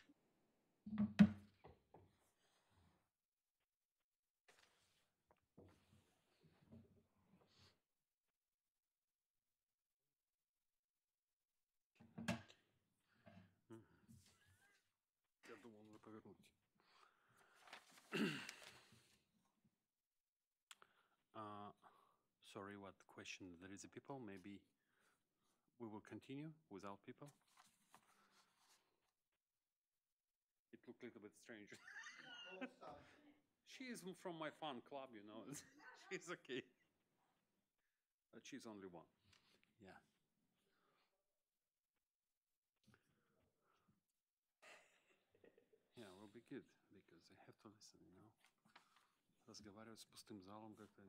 Prospect that is not unlikely. Why is this prospect not unlikely? And here I would disagree with uh, Inozemtsev, who thinks it's unlikely because there is this monolithic Russian people there. Um, this is also another uh, argument, uh, but the question is always how exactly did this uh, census, how, how exactly did the census, um, you know, come to be? Because we know that there was a sizable population of Ukrainians before the invasion and only recently. And now, according to the most recent census that was conducted even before the invasion, Ukrainians disappeared. So, what happened to them? Uh, evidently, some people are being recorded as Russian, even though they might not identify themselves as Russian, for instance. So uh, the prospect of disintegration of Russia is not unlikely because of the full-scale war that is eating up resources, people, um, and of course the growing, you know, dissatisfaction with the lack of uh, successes on the bat- battlefield, right? Uh, that there is, of course, uh, a huge pressure of economic sanctions that is adding to the prospect of potential disintegration of Russia. Uh, national elites, uh, intelligentsia of the colonized nations continue to envision the future for their own people, which of course they have every right to do so. And sometimes and often this includes forms of independence and sovereignty. And because the discourse of history and border revisions in Russia right now is very powerful because the Russian government set it forward, actually. So Russia constructed the breakaway republics in the body of Ukraine, so-called LPR and DPR republics, as we all know, Luhansk People's Republics and the Donetsk People's Republic, in the mockery of the Ukrainian state that existed in the year of 1918. There were no LPR and DPR before the Russian invasion of Ukraine in 2014, and Russia crossed the border with tanks and denied its military presence, trying to portray the invasion of 2014 as people's uprising. All this talk about breakaway republics in relation to these quasi statelets uh, pose a reasonable questions. Why do LPR and DPR uh, have the right to, to define themselves, supposedly, right, according to the Russian uh, propaganda, within the state of Ukraine. But let's say Tatarstan, who actually conducted the referendum in 1992 and voted for independence, doesn't. Unlike Luhansk people and Donetsk people, Tatar people actually exist as an ethnicity, and therefore it kind of easy easier for them to uh, take a step and become also a, a national and citizenship and identity. This powerful discourse of independence and self definition of the people is not some armchair invention. Rather, it is a powerful discourse set in motion by Russia itself from 2014 in regard to Ukraine and in 2008 in regard to Georgia, where similarly Abkhazia and South Ossetia got so-called military support from Russia on their way to independence, not to mention Transnistria, similarly a breakaway area in Moldova that appeared after the collapse of the Soviet Union. So uh, this discourse is coming from Russia, uh, and uh, all of these entities and military occupied territories, such as parts of Kherson and Zaporizhia districts in Ukraine, uh, according to the propaganda, have the right to define their own belonging in, and statehood. So uh, why wouldn't the potential states within the Russian Federation not have a similar right to define themselves as separate from Moscow one way or another? Uh, it doesn't work like that. People beginning talking about it and they begin envisioning different futures, and there is no way out of it, you know. And of course, the system of the vertical power and the great centralization of Russia that Putin built himself over these uh, 20 years including um, you know stopping of the election of the governors and most recently the mayors of big cities it doesn't help. Because when you have the re-elections regularly at least there is not that much concentration of power in one hand. So the system where Russia is overly centralized is untenable, and nobody could object to the idea of the Russian decentralization, the local governments that uh, actually locally decide where those money that they earn are going to be spent and so on. The objections, however, come triggered by the word decolonization, and these objections fall into several categories. Nuclear weapons, threats of civil war and ethnic cleansings, waves of refugees, fall of resulting entities into dependence of China, and peculiarly enough, the dangers that the decolonization of Russia presents to the to the West, the decolonization of the West. So let's look at these objections uh, and see uh, what are they. Nuclear weapons. The question is for many who will come in possession of those nuclear weapons and whether they will fall into the ownership of various warlords. This is what one often hears from people who object to the decolonization of Russia. And as many of these objections, they belong to the world that no longer exists. Why? Because we already have these nuclear threats. We already have 200 something nuclear uh, threats issued by the Russian government, by these warlords that are in the Kremlin. It virtually makes no difference whether the, those warlords are in the Kremlin or somewhere else. We already have this situation. Um, we identified this worry and now we have to work with it. Rather than saying Russia has nuclear weapons and therefore we cannot imagine a better future for the entities that comprise it, we must realize that when the time will come to fix the results of the Russo-Ukrainian war, there might be a window of opportunity that will open uh, when newly emerging leaders of the various states will be willing to trade nuclear weapons for various advantages. It is time to talk now about what will be offered in exchange for those nuclear weapons. Perhaps suggest that newly forming entities in Russia may be offered the lifting of sanctions and the establishing of economic and democratic relations in exchange for giving up on nuclear weapons, their share of reparations, and so on. So for that, the, the West must be open to communicate with somebody else apart from the established Russian government. So yeah, this course must be held on the, the denuclearization of Russia in particular and the world in general. The talk must be about how it is responsible for to denuclearize and that in the question of international security to denuclearize Russia. Uh, the discourse must unfold in this direction. It is much easier or it could be easier to denuclearize the emerging entities as opposed to the Moscow-centered Russian Federation. Um, of course, that the West disarmed Ukraine um, and in exchange of some memorandum and the vague words of security and support didn't help. So it does present a huge obstacle for the future denuclearization. This is something to be thinking about. The next objection to the decolonization of Russia is that in the process of decolonization, a series of civil wars and ethnic cleansing will emerge. Many predict that the dissolution of the Russian Federation, unlike the dissolution of the Soviet Union, will bring along a bloodbath. Um, however, again, like with the threats of uh, nuclear weapons falling in the hands of local warlords, this um, statement often is based on the assumption that there must be some uh, white man, or in this particular case, the Russian man, uh, you know, Slavic-looking Russian something, somebody who represents the totality of the nations on the international stage, and who um, kind of has to control. And otherwise, without them, without this layer of control, uh, you know, local people or, you know, colonized nations will not be able to agree with each other upon simple things. So at least there is this colonial assumption in the foundation of it. And at least those authors who write against decolonization, they must at least acknowledge that this assumption dictates um, some of the things that they say. So the USSR, as, um, the USSR's dissolution was actually not peaceful.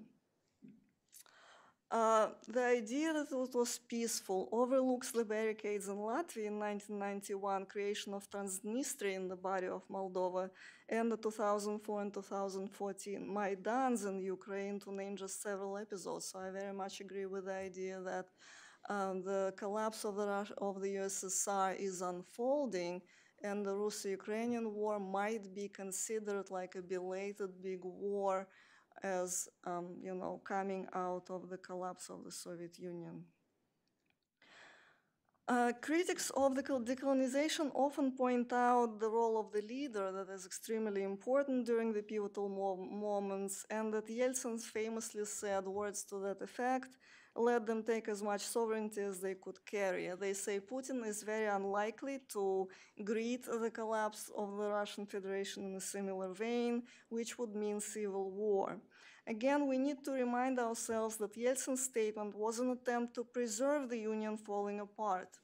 After the collapse of the Soviet Union, many other unions emerged in place, uh, such as the Commonwealth of Independent States Collective Security Treaty Organization and so on so on. Resisting the dissolution on part of Moscow's government would have made it impossible. If Moscow resists the new stage of the dissolution, uh, that would lead to further fracturing. Maybe the leaders in Moscow will not be able to grasp it, as they evidently failed to grasp that the attack on Ukraine will not be a blitzkrieg, Maybe the collapse of the Russian Federation will result in tensions. One way to minimize these tensions is talking about uh, these prospects, which is exactly what we are doing here, and which is exactly what I suggest we should continue by organizing the think tank that will be focusing specifically on the many issues of Russian decolonization. As Ruth and uh, Benedict, a famous anthropologist, said, we need to make the world livable for human differences. Decolonization is a process of restoring justice. In the world of colonialism, it is very difficult to imagine what decolonization may look like or what it can bring. The fear is that decolonization must bring the same violence that decolonization brings. However, this must not be the case precisely because decolonization is the opposite of colonization. If we can have a revolution of the mind, a revolution in the streets may not be necessary or come smoothly. This is something we have to be thinking uh, through a lot more, which is why the think tank of decolonization of Russia is necessary. Thank you so much. Thank you. A quick question from the audience? Yes, in the back. Rajana Dugar-DePonte, uh, Democratic Movement, Buryat Mongol Arhatin, and uh, Free Nations League.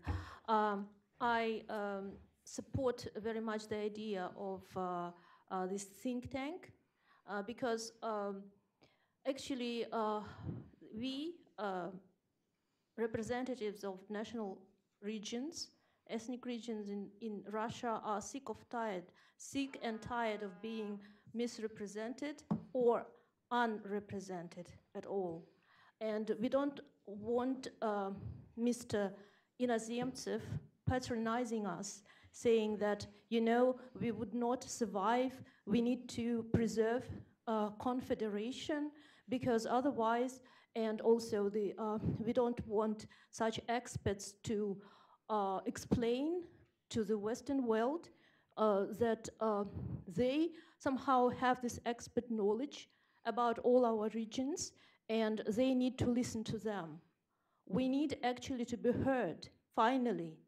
And uh, that's why I think that this forum gives us this great opportunity to discuss our problems and to uh, actually be heard, speak and be heard. And uh, I would really uh, would like to maybe later dwell on this idea that uh, uh, uh, Ms. Orlova uh, just suggested. Thank you. Thank you so much for your support, Ranjana. I appreciate it. And I think one of the things that this think tank must be working on is creating the de, the program of de-imperialization of, uh, of the mind. You know, if, yeah, so uh, the thing is, the writers of these articles that I've been reading about decolonization who voice all these objections, and I'm not taking those objections flippantly, we need to think carefully about them. Uh, they very rarely, if ever, interview for their pieces indigenous populations of Russia, indigenous peoples, colonized nations, and so on. And this is not just a mechanical, um, you know, uh, pointing out of the lack, okay, you didn't interview those. But the thing is, you cannot really write a piece about, you know, black people in America or women without interviewing, you know, black people or women, and somehow it is considered acceptable still to talking about Russia to just uh, interview Russians or Russian politicians, ethnic Russians, and I think this is precisely what this think tank should uh, you know, rectify and amend because the leading role must belong to the indigenous people for once, you know, in this particular structure. Thank you so much. Thank you. Our next participant is joining us virtually. Um, Dr. Mustafa Jambek is the Secretary General of the Council of United Circassia. And um, Mustafa, are you with us? Yeah, I am here. Uh, thank you for this opportunity. Uh, I'm Mustafa Jambek, uh, greeting you with respect on behalf of the Council of United Circassia. Uh, today is our National Flag Day. I would like to congratulate to all uh, Circassians uh, National Flag Day. We hope our flag to fly freely soon. For the beginning, I want to make a comment about uh, what uh, Mr. Goble said about uh, ethnicity. The situation may be different in uh, in the U.S. and in the European Union, but at the rest of the world, ethnicity works. Ethnicity is functional. I am here because of we Circassians are tired of the behaviors of ethnic Russians. Additionally, I agree with Mr. Torjev, uh, we have similar problems. Well, uh, we all know how Russia is a huge threat for the earth and the humanity. In the past, my nation faced a brutal face of the Russians and resisted uh, their aggression through decades. Circassia has never stopped being an eyewitness of several genocidal practices during the Empire, Soviet Union, and Federation periods. Even after the spread of the universal values throughout the world, it seems nothing changed in Russia's mind. Russia's history is based on three main essence, killing people, plundering resources, and lying to the world. If you read the history of Russia, you can see many examples about what I said. If we want to have a clear vision about the circumstances, we have to make our assessments according to irrefutable trust. These are the Russia's trusts. Russia is holding countless nations, cultures, and languages under pressure and continuous classification. This madness must end and the nations must be liberated as soon as possible. I don't want to take your time with well-known issues and want to proceed with our projections for the post-Russia era. We are aware of the risks which may be occurred after Russia collapses. First, nuclear weapons can be handled by uncontrolled groups. as uh, prior uh, speaker uh, implied, uh, we have to deal with this. We have to face with this problem. We know handling and transferring these weapons is not so easy. Nevertheless, a research and program should be implemented by the experts. However, I want to imply that Russia is already an uncontrolled outlaw structure. I don't want to name it as state. It is already not possible to trust and feel in safe while Russia is holding a horrible quantity of nuclear weapons. Second, a significant amount of people will try to immigrate or seek asylum. This is an inevitable result of crisis in general. In this context, I can make a suggestion according to specific circumstances of Russia. Russia is the largest country with its west territory accounting for almost one in seven of habitable areas in the world. It seems impossible holding this territory for decades with its 143 million population. Anyway, numerous safety areas can be established within Russia and all the asylum seekers or irregular migrants can be led to these areas. Safety can be provided by the UN or the NATO. Such operations were managed in the past. Mostly third country territories were used before, but in this case, Russia's own territories can be used with an international agreement.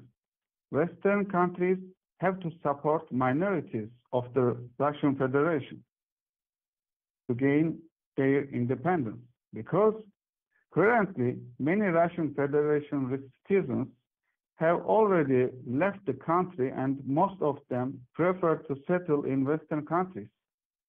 West has to support these nations to make them stay in where they are now. Russia is collapsing and this must be held under control. Will the, will the West wish to manage this situation or willing to face shocks? Third, China or India can occupy valuable natural resources of Russia. It is a claim discussed by the experts, but this is also a manageable issue. An international union should be founded, led by the UN, with the participation of Russia's border neighbor countries and representatives of the post-Russia republics. A consensus can be issued which indicates how the resources and the length of the territory will be used and by whom.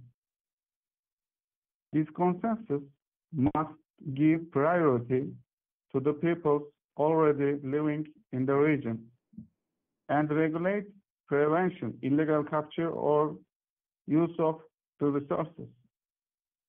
In the other hand, it can create a mistake for China if it occupies large areas of Russia. Uh, only cancer cells grow out of control. This option can weaken China too. As you can see, humanity can find a way with international collaboration to cope with the biggest threat for itself. Russia is the most serious threat for the earth and the humanity.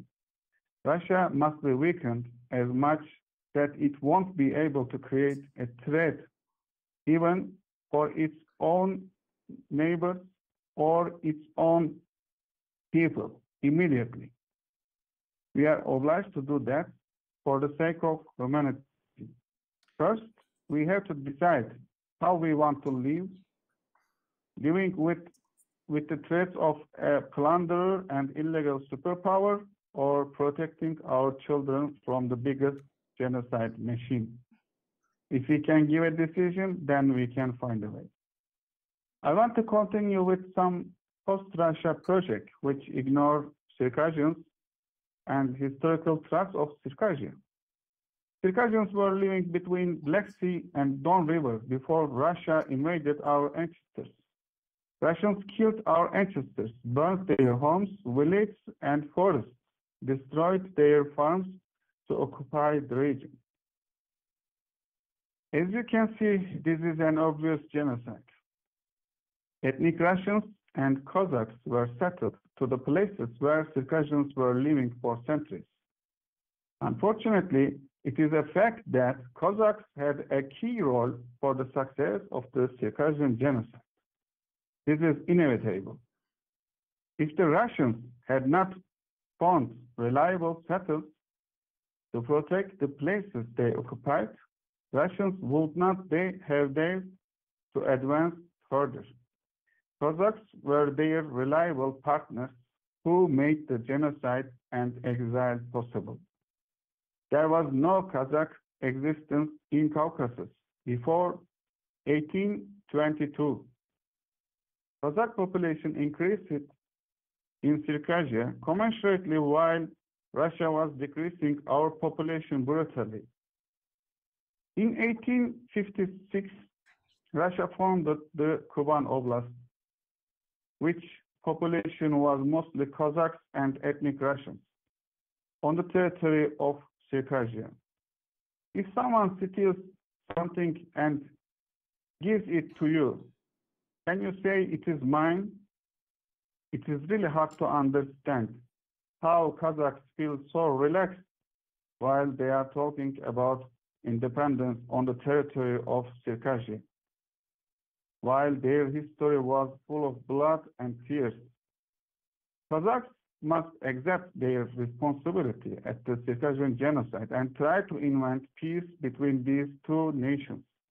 If you listen to, to the speech of the representative of this idea in the previous forum, you can see that the speech is like a confession of the Cossacks' role at the Circassian genocide.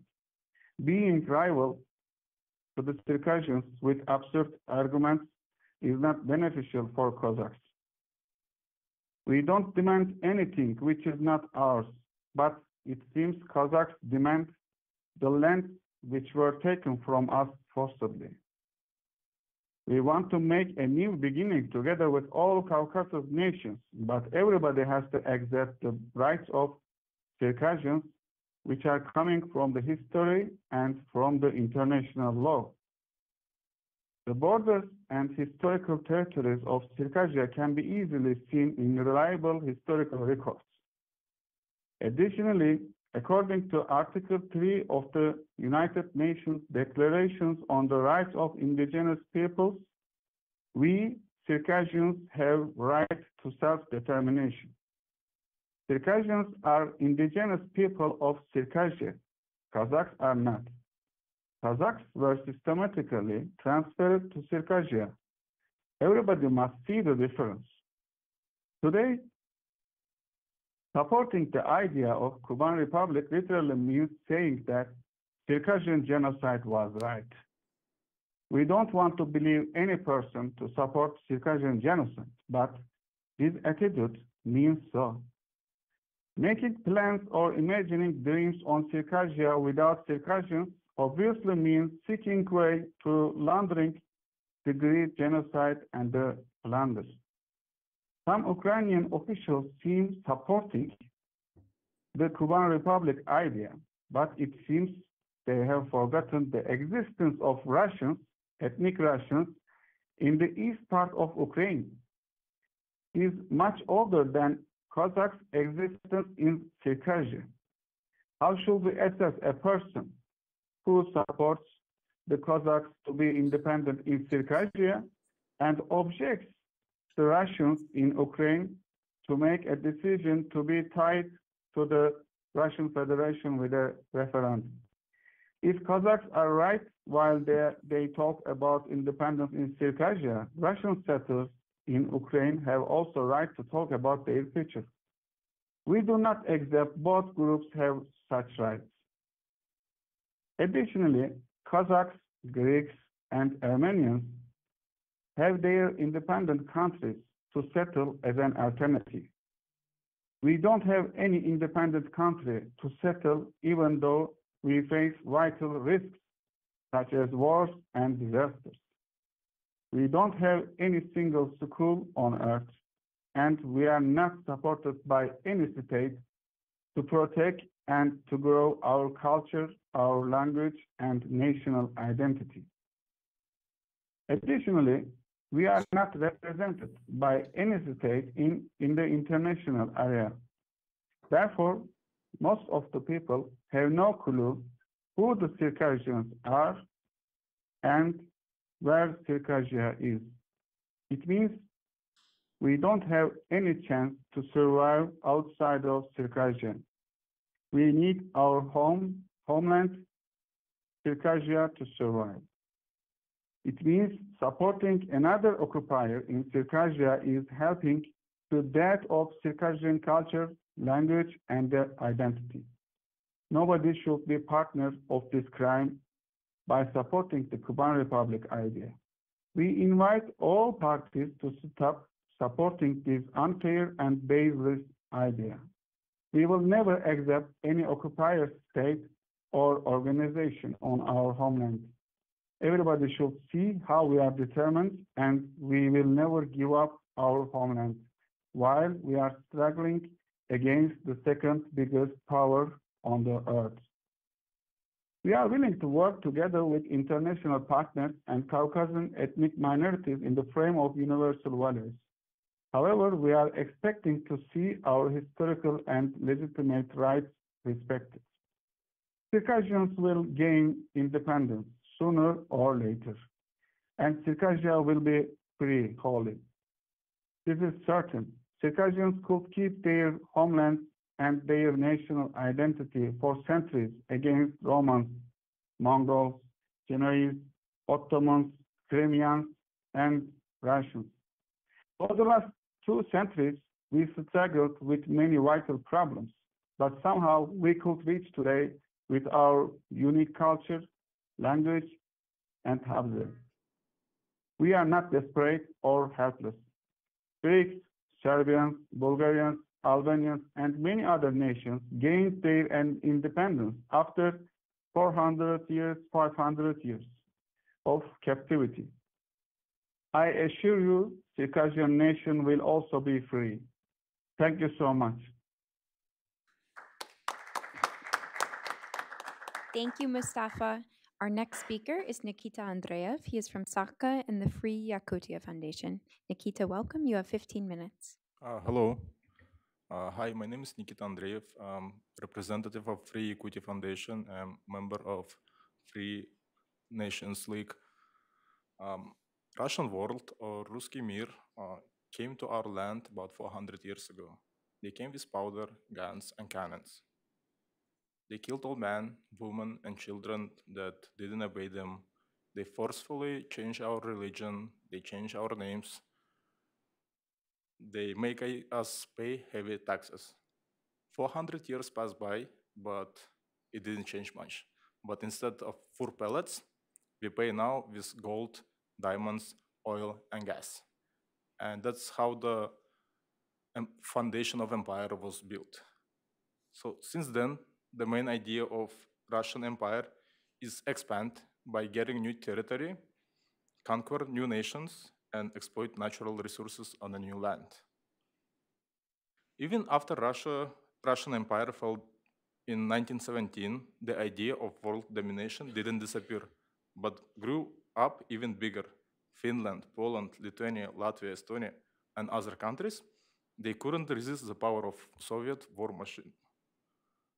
However, it was not enough for the USSR. You remember Cold War days and tension between our countries when USSR was so strong and powerful. In 1991, the whole world felt safer when USSR collapsed. Russia once again lied and played a role of a democratic country, but not for long, and now it's showing a true face. Based on historical facts, it is just a matter of time when we will see new expansional war. We are all lucky that Russia is corrupted and incompetent, poor, so it's stuck in Ukraine and didn't go any further. Russian-Ukraine war proves that Russia is still hostile.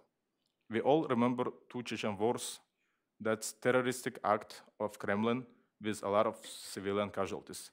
And I don't understand why Western countries uh, didn't put heavy sanctions that time, but instead they give cheap loans and access to technologies.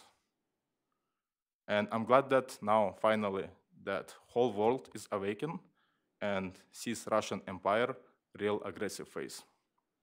Okay, now the main idea of my speech. Okay. So while Russia has big territory filled with natural resources, has money for rockets, bombs, battleship, and tanks, Moscow will not hesitate to use it. The solution is easy. No money, no guns. Russia without big territory and endless resources is not going to be dangerous in future again. And if you all want the peaceful future for our children, Russia has to be divided. Um, life in Republic Sakha is not easy. Wintertime temperature goes down 80 degrees below zero. Just our existence is already challenged, but living under Russian oppression makes it 100 times harder. Corruption, broken infrastructure, poor people, all mineral extraction taxes and other financing goes to Moscow.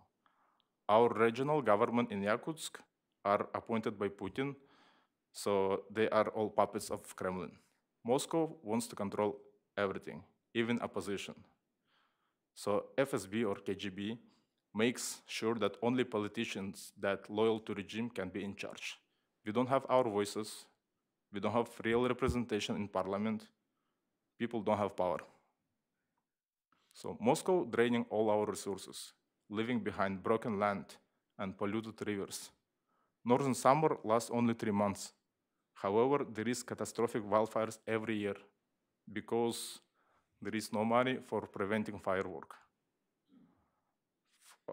In 2021, there was a world record wildfires and carbon monoxide pollutions in the Republic of Sakha. Did Moscow help us? No only local communities, including children and women, was uh, fighting the wildfires without any special equipment. Why would they risk their life? And the government didn't defend our rights before Moscow, didn't help with equipment, and there was no medical help either. It is why we don't trust our government. But despite all of that, we are survived and prevailed. We save our culture, our folklore, our language under Russian Empire to, through oppression of Soviet regime. In 1991, we wanted to be free, but Moscow lied to us again and made false promises about democratic federation. And now, thousands of civilians men forced to fight in this criminal war. That, that's it. We are done with criminal lies. We go separate way. My people are kind and hardworking. We do respect Mother Nature, and we're ready to be part of democratic world. We are ready to be, um, to be free from Moscow oppression. Once again, like we did in 1917 and 1991. We wish have our freedom again, but without support of Western countries, it will be very hard. Um, we want to say thank you for all people that standing ag against this evil empire. Big thanks to Ukraine and uh, soldiers and civilians. Uh, you guys are awesome. We want to say thank you for the host for this opportunity to speak up. So nobody even checked my text, what I did. so big thank you. And I want to say thank you for audience, for your attention, and for your future help and support. And we want to say thank you for my comrades. You guys are very bright and brave. Uh, it gives me strength in these dark days. So today, world is big and dangerous for a small nation. It's changing very fast. And I want to make sure that my people have right for a future. And I don't see this future with Russia. So thank you. And I want to finish with wise words of Ronald Reagan.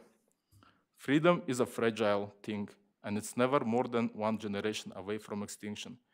It is not ours by way of inheritance. It must be fought for and defended constantly by each generation, for it comes only once to a people.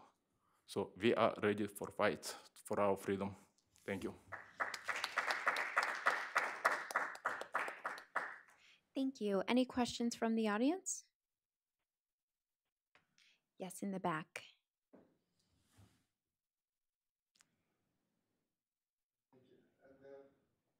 There were already discussion today about China and its role in, you know, east of Russia, east from Urals Mountains. So you in Yakutia and your friends, your colleagues, what do they think? Do they afraid Chinese occupation if Russian Federation collapses?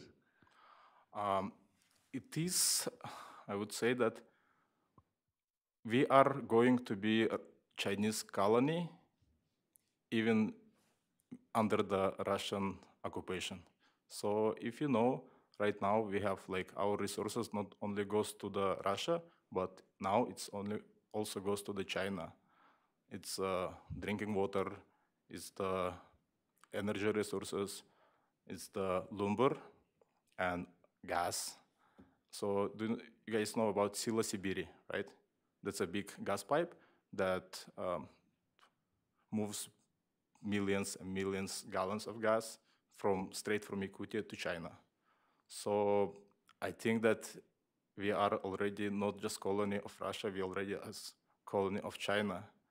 But I want to say that people of Yakutia do not um, do not agree with China in a lot of things.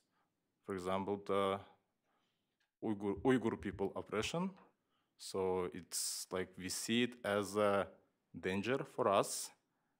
We are um, we have democratic point of view. So I would say that Western, European, and American um, moral standards are closer for us, even though we are nearby the China.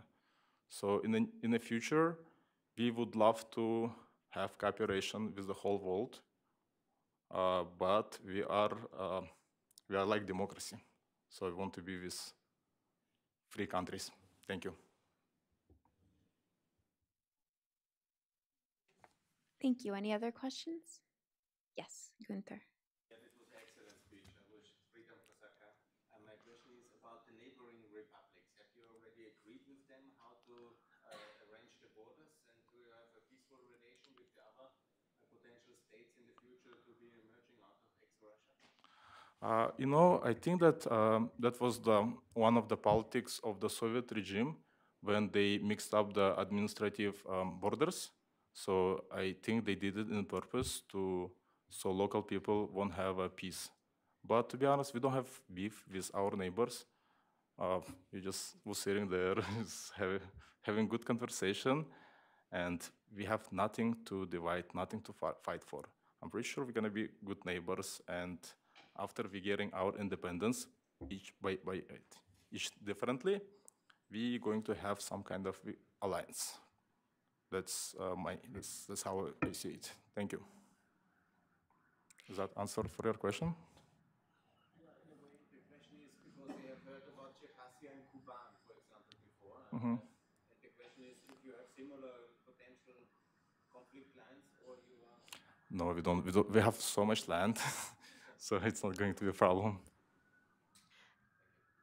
Thank you. We'll take just a one minute break to set up our last group of panelists here, and then we'll begin with our next speaker. Thank you.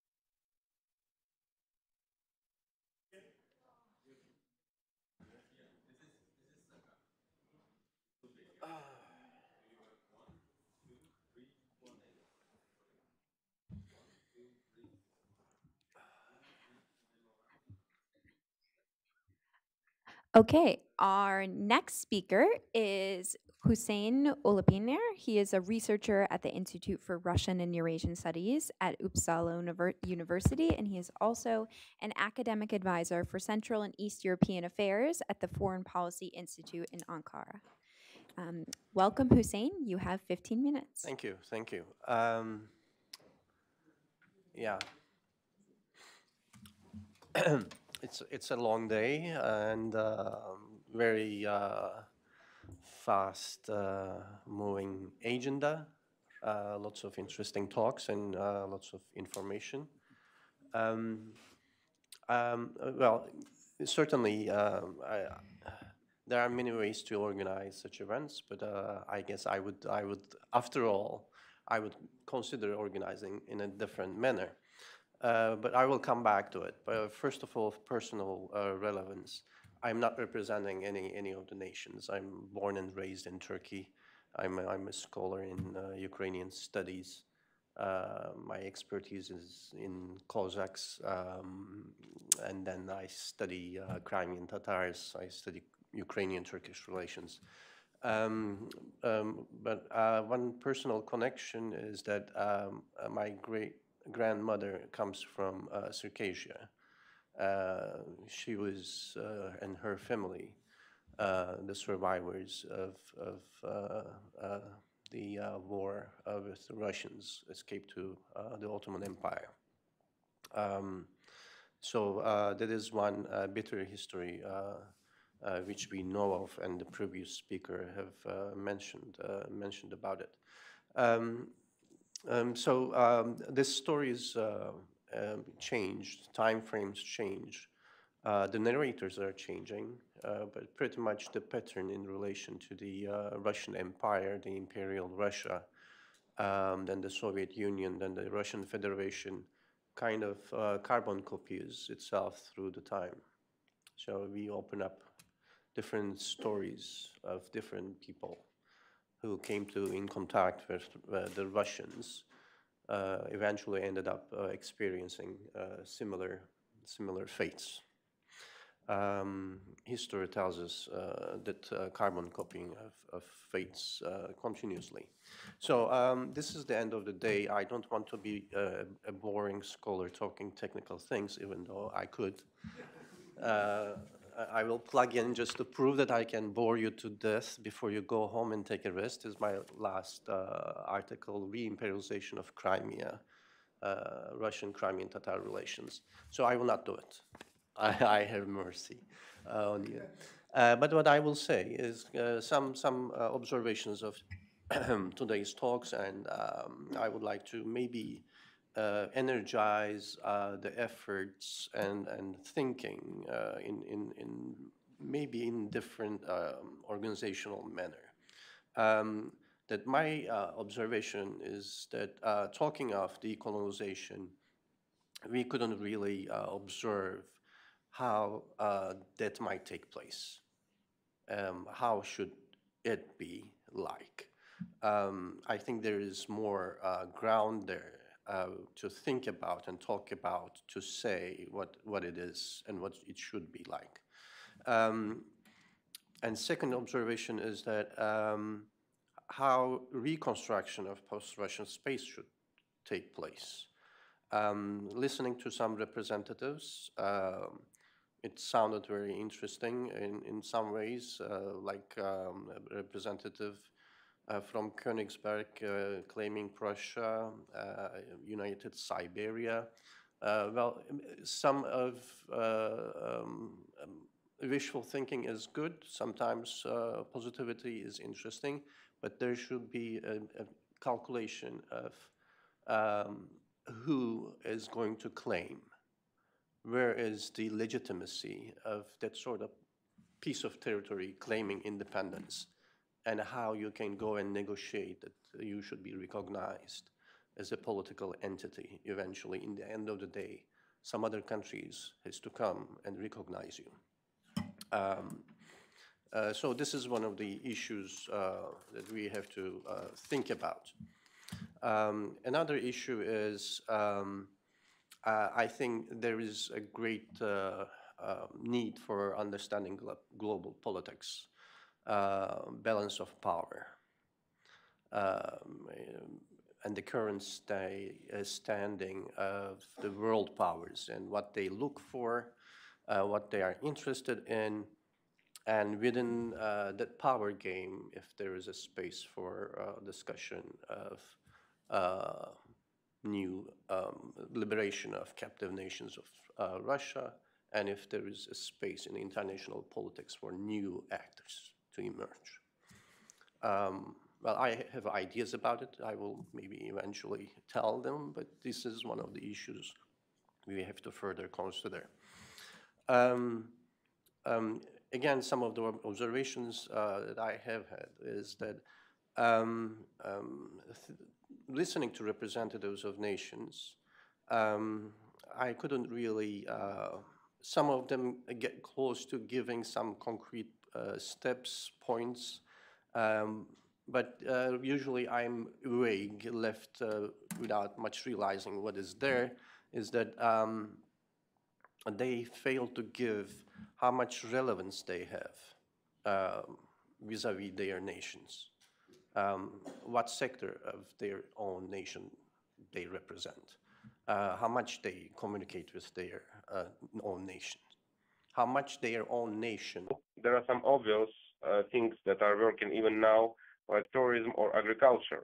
But also, I would like to mention that Kuban will be a very good place for the remote workers because, I mean, uh, if you work remotely, if you earn your money uh, remotely, and there are a lot of people like this nowadays, um, you want to live in a good climate, in a good ecological situation, etc., uh, without uh, with very good crim criminal level, I mean, very low criminal level.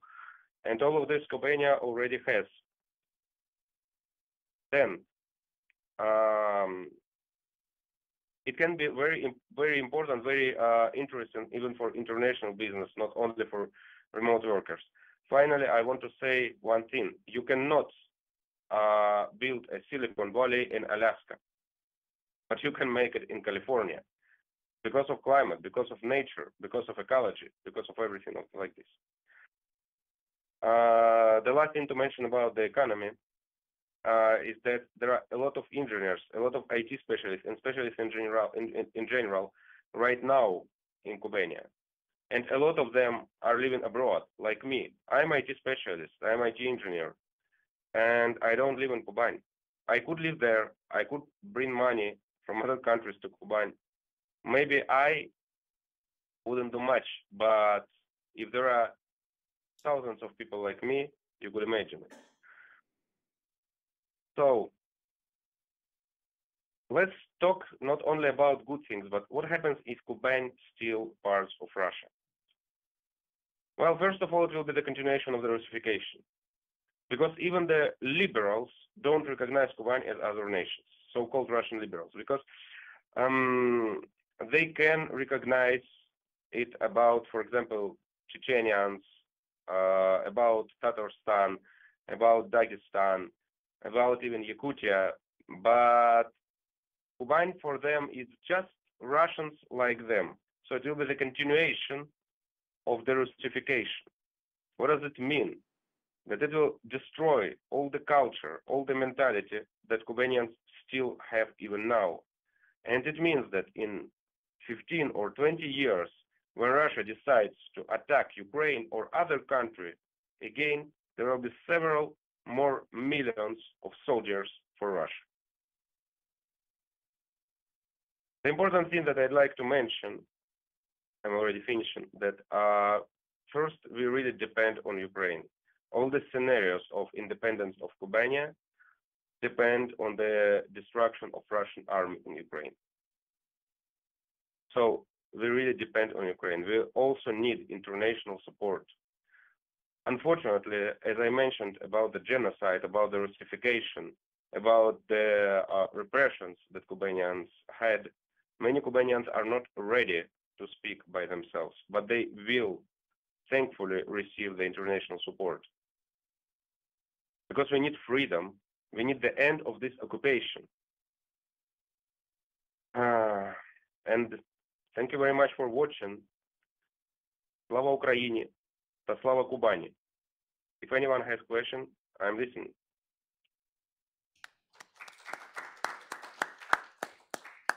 Thank you. Do we have any questions from the audience? Yes, Barbara.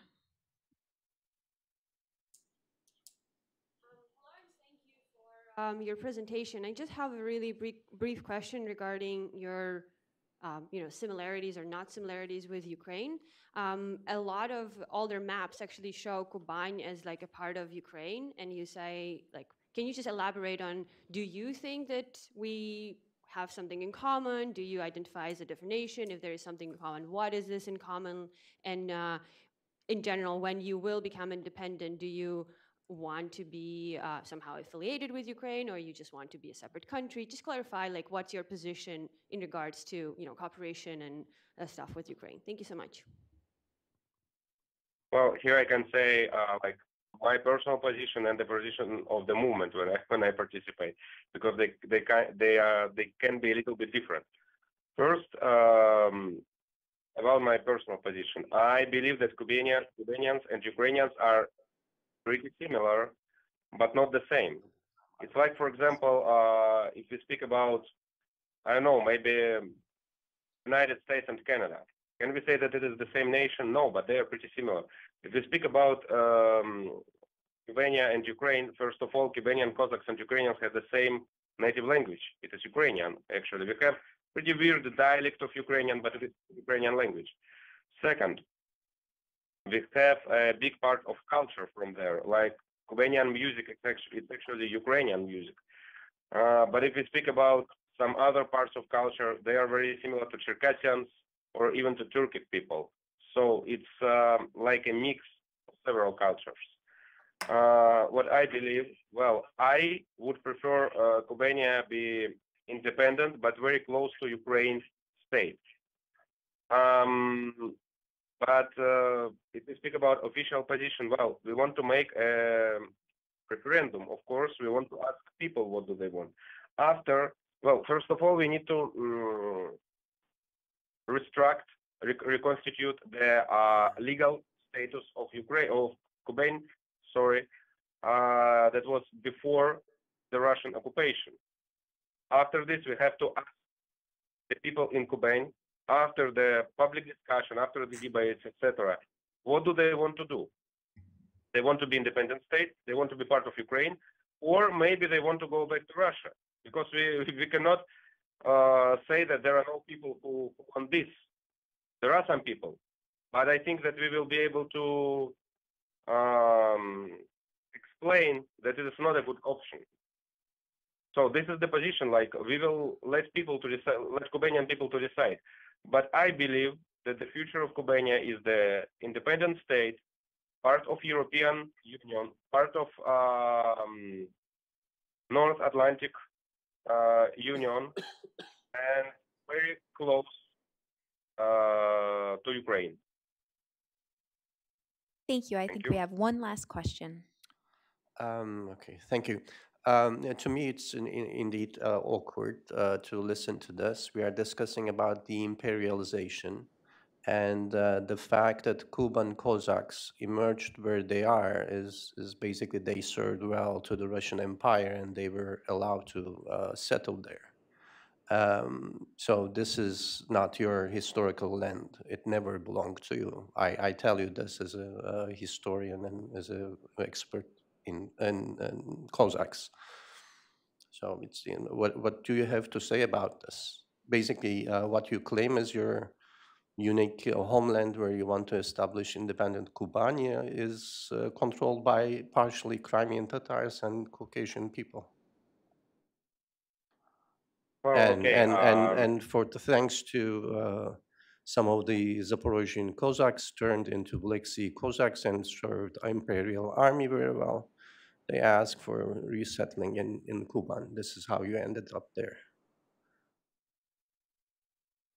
Well, um, first of all, uh, if we speak about um, like indigenous population of Kubania, in which country, in which century should we stop? if we speak about, um, so I, I, will start with something not so good and then with something better.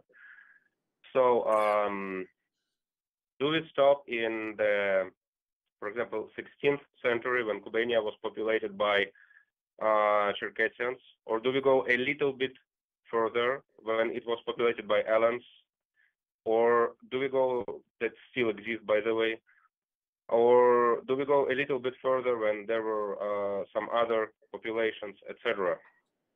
This is the first question. My opinion about all of this, that um, that's why I'm saying Kuban and not, for example, something like Kosakia, because I don't believe that Kuban um, belongs to uh, Cossacks. For example, if you speak about myself, yeah, for the most part, I'm ethnically Ukrainian, but I, I also have, of course, some uh, Caucasian roots, native Caucasian roots. I also have some uh, Asian roots, um, some Turkish roots, etc. And I think this is like this for the most part of Kubanian population. Uh, compare the um, descendants of uh, Cossacks from Zaporizhia uh, with the um, actual Kubanians, it's not like I, I, mean it's pretty different nation. I mean if even if you see the national costumes, the the national um, like um, traditions, etc., it's already different.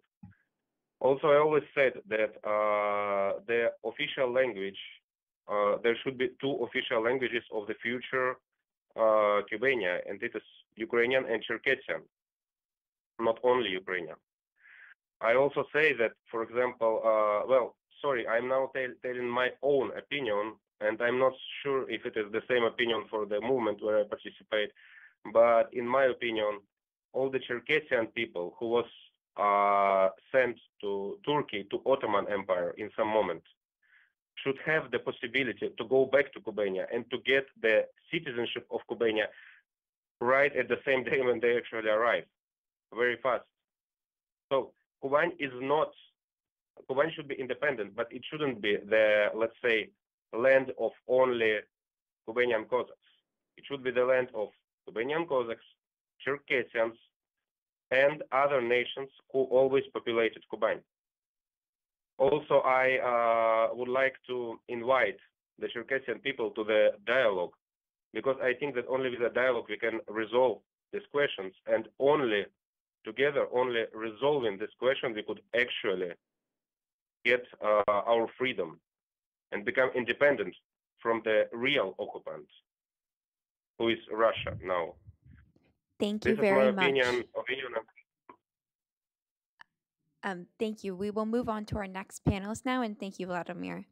Um, our next panelist is Denis Ukrumov. He is a representative of the Free Ingria social, socio-political movement. Welcome, Denis. You have 15 minutes. Э, спасибо большое. Я буду говорить по-русски Для разнообразия и потому что должен же кто-то говорить по-русски на форуме свободных народов пост России. Э, большое спасибо за то, что предоставилась возможность выразить позицию нашего движения на программу деимпериализации путинской России. Коллеги отправили меня с целью убедить присутствующих офлайн и онлайн в том, что этот взгляд не так однозначный, как принято считать, может быть, в э, странах развитого мира. Ну, приступаю. Э, наш форум проходит в США. Это важно и символично минимум по двум причинам.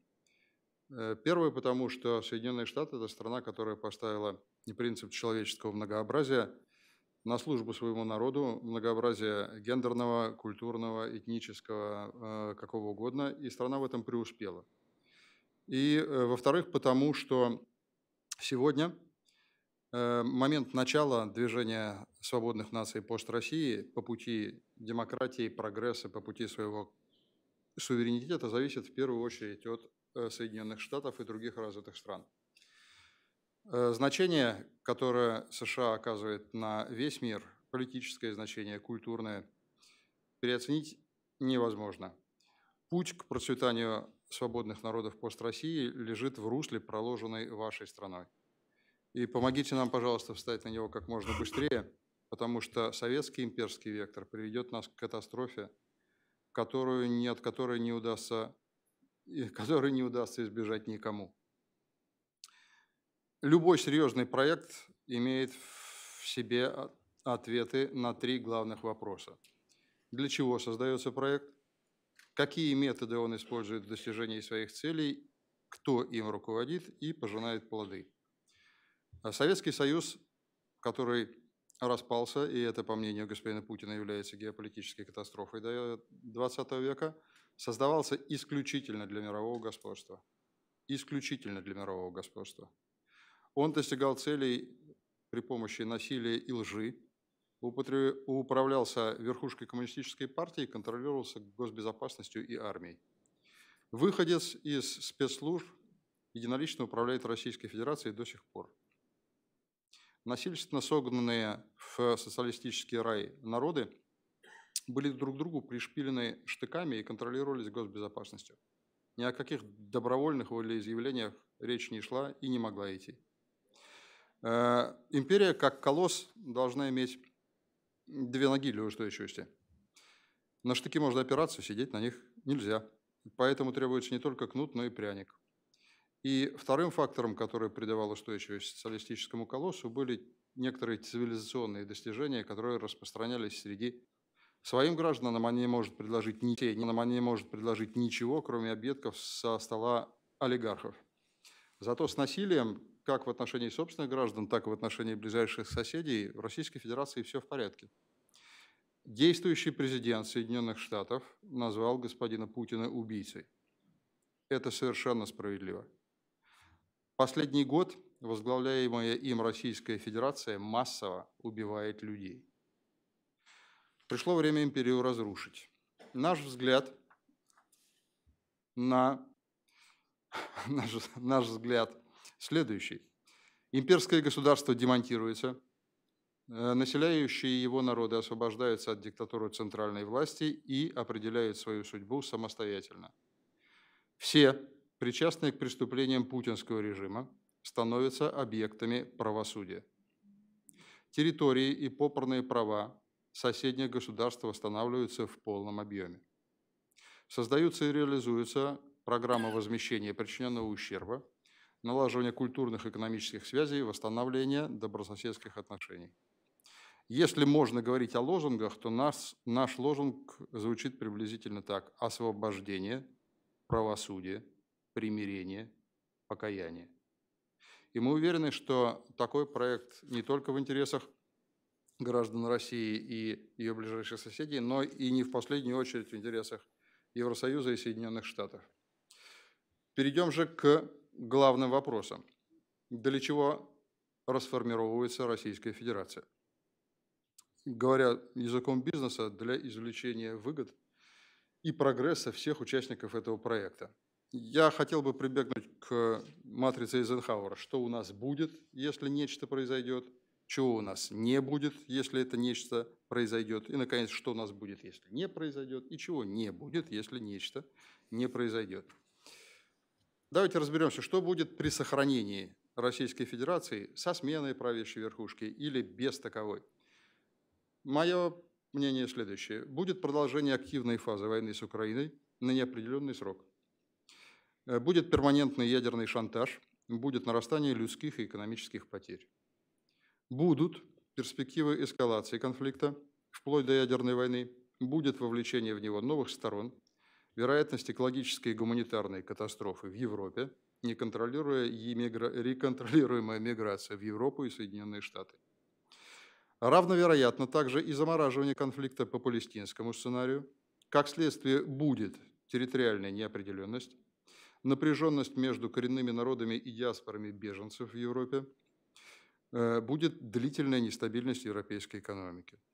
И это не все. Будет обострение ксенофобии и национализма и в Российской Федерации, и в Европе. Будет использование этих низменных инструментов различными политиками праворадикальных и ультранационалистических течений. Будет вмешательство во внутренние дела и подрывная работа спецслужб во всех странах, которыми заинтересуются Россия и Китай. Будет нарастание раскола старых и новых членов Евросоюза и информационная война.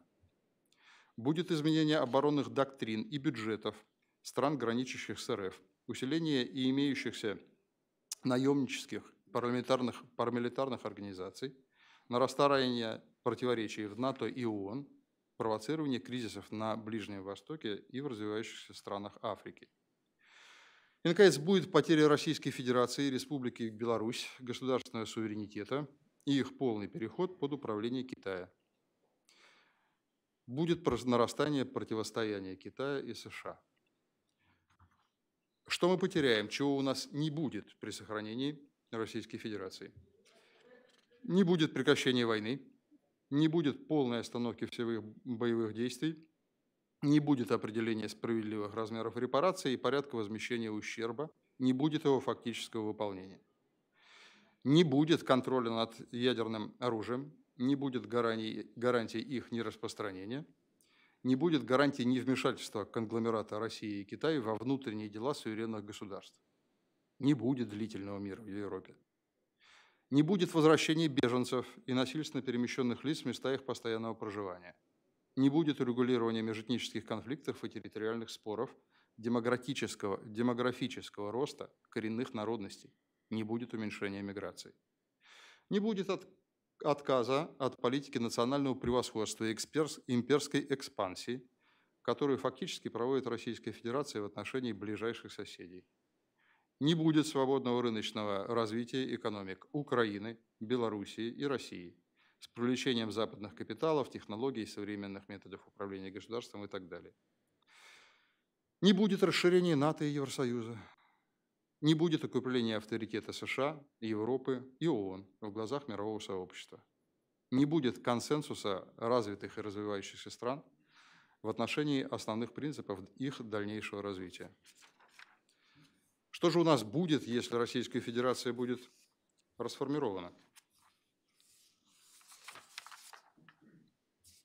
Будет несколько новых национальных или территориальных государств, строящихся на основе демократических ценностей и ориентированных на сотрудничество с коллективным Западом и друг с другом.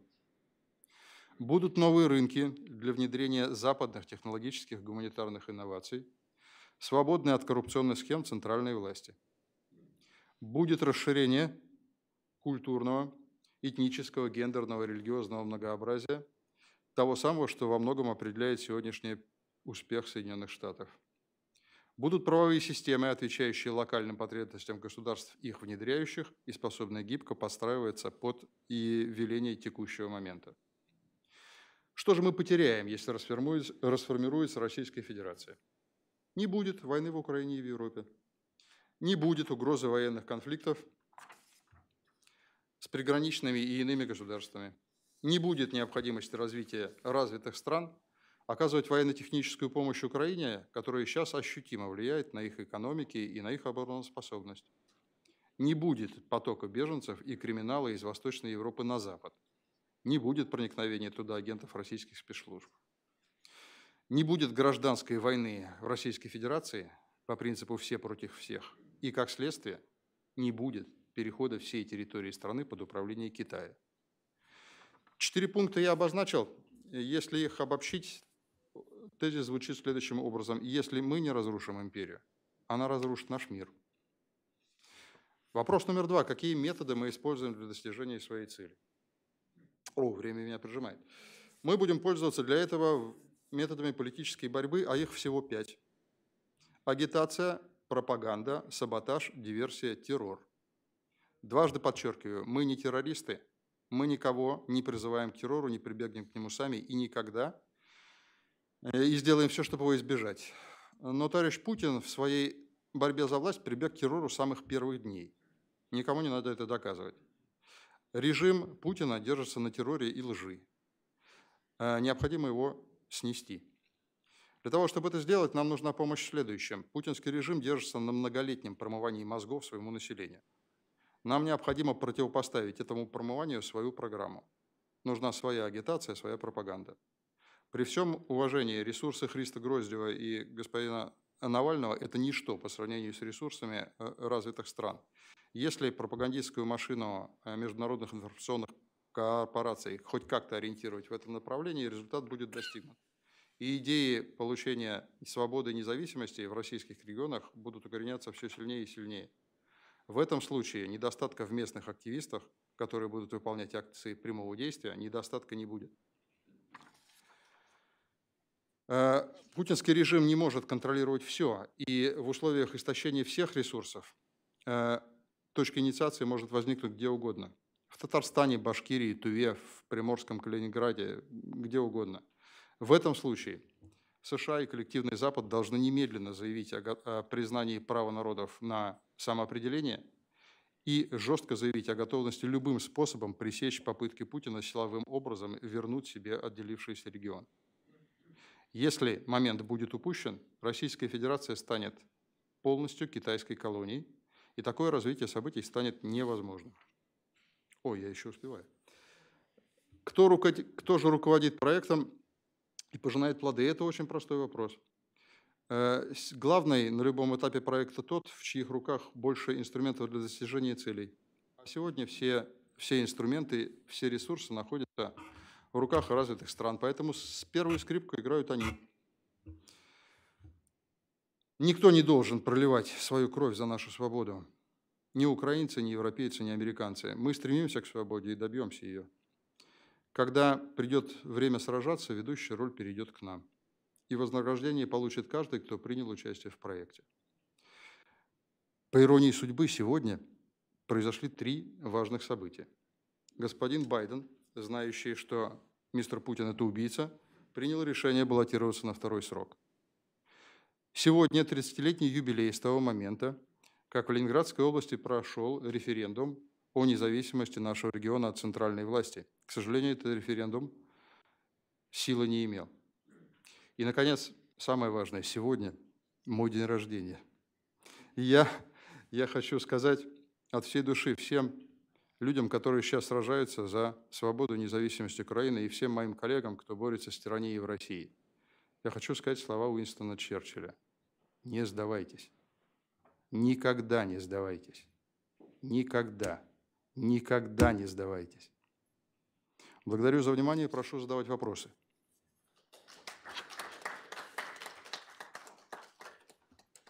Thank you. We have time for one question from the audience.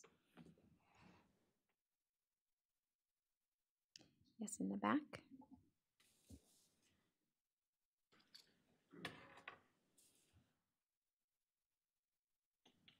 Какие э, реальные э, в нынешней ситуации факторы могли бы приблизить э, разрушение России? С точки зрения Ингерманландии, наше расположение оставляет мало надежд на то, что вспышка произойдет именно у нас. Этот регион не лучшим образом расположен для этого, и из-за него Путин будет драться когтями и зубами. Но такое уже сегодня, как мне кажется, совершенно возможно, например, в Приморском Калининграде. Э, дальше сработает эффект домино.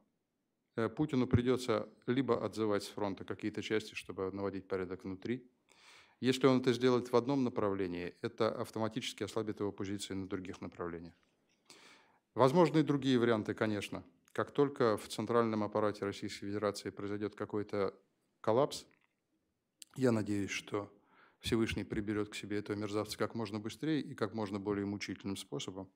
В этот момент в Российской Федерации начнется политическая турбуленция, но, к сожалению, это уже фактор объективный, он зависит не от нас. А от нас зависит борьба ни в коем случае нельзя упускать ни единой возможности.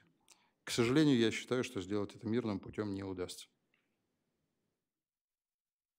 Спасибо. Если есть вопросы, я готов ответить. Thank you. We will now move on to our last speaker of the day. Thank you, Denise. Um, Pavel Zulyanziga is from UDE. He is on the International Committee of the Indigenous Peoples of Russia. Pavel, welcome. You have 15 minutes. Спасибо большое. Я если позволите, тоже.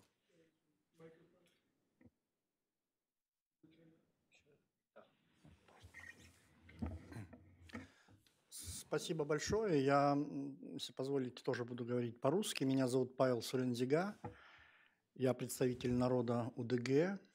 Э, мой народ живет э, на Дальнем Востоке, в Уссурийской тайге. Я хотел бы вам немного рассказать о коренных малочисленных народов Севера Сибири и Дальнего Востока, защитой прав которых я занимаю, занимаюсь последние годы.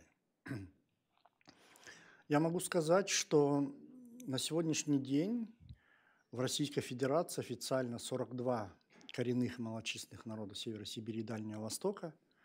Из них 7 народов имеют меньше одной тысячи по численности, и 12 народов имеют численность меньше двух тысяч. Мой народ, народ УДГ, это примерно 1600 человек, это всего 4 деревни. И э, я сразу хотел бы сказать, что, конечно же, да, мы должны быть реалистами и четко понимать, ни о каких созданиях своих собственных государств речи идти не может. Такова наша судьба. Нам придется быть в составе каких-то государств. Будет ли это Россия, будет ли это а, новые государства, которые образуются на руинах России. Но это факт.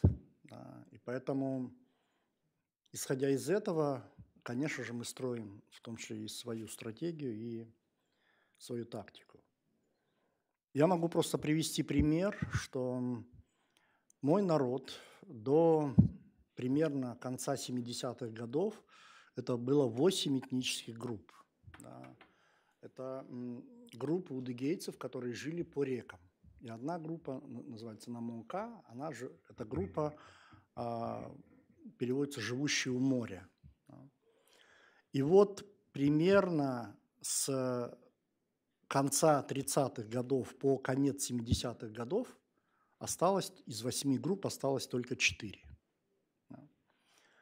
При этом а, никакого, скажем так, прямого геноцида, уничтожения моего народа не было, а случилось очень просто. У тех групп четырех, которые исчезли, у них вырубили тайгу. И они просто дальше не смогли заниматься тем, чем они занимались все время, и они вынуждены были уехать со своих мест. Часть из этих э, групп переселились к нам. Э, я представляю группу БКНК, то есть это удыгейцы, которые живут на реке Бикин. А, и вот таким образом наши, вот, мои удыгейцы исчезли. И понимая вот э, все, что произошло, уже была, слава богу, возможность у нас осознавать это. Вот история, современная история э, жизни моего народа, начиная примерно с конца 80-х годов, это борьба за свои собственные территории. Потому что наши территории, территории, которых, которые остались у четырех групп, это абсолютно богатые природными ресурсами территории, на которых есть золото, лес, уголь, различное биоразнообразие и так далее. И, конечно же, в 90-е годы, когда Советский Союз развалился, наши территории стали лакомым пуском вот для этих, как я их называю, варваров от цивилизации.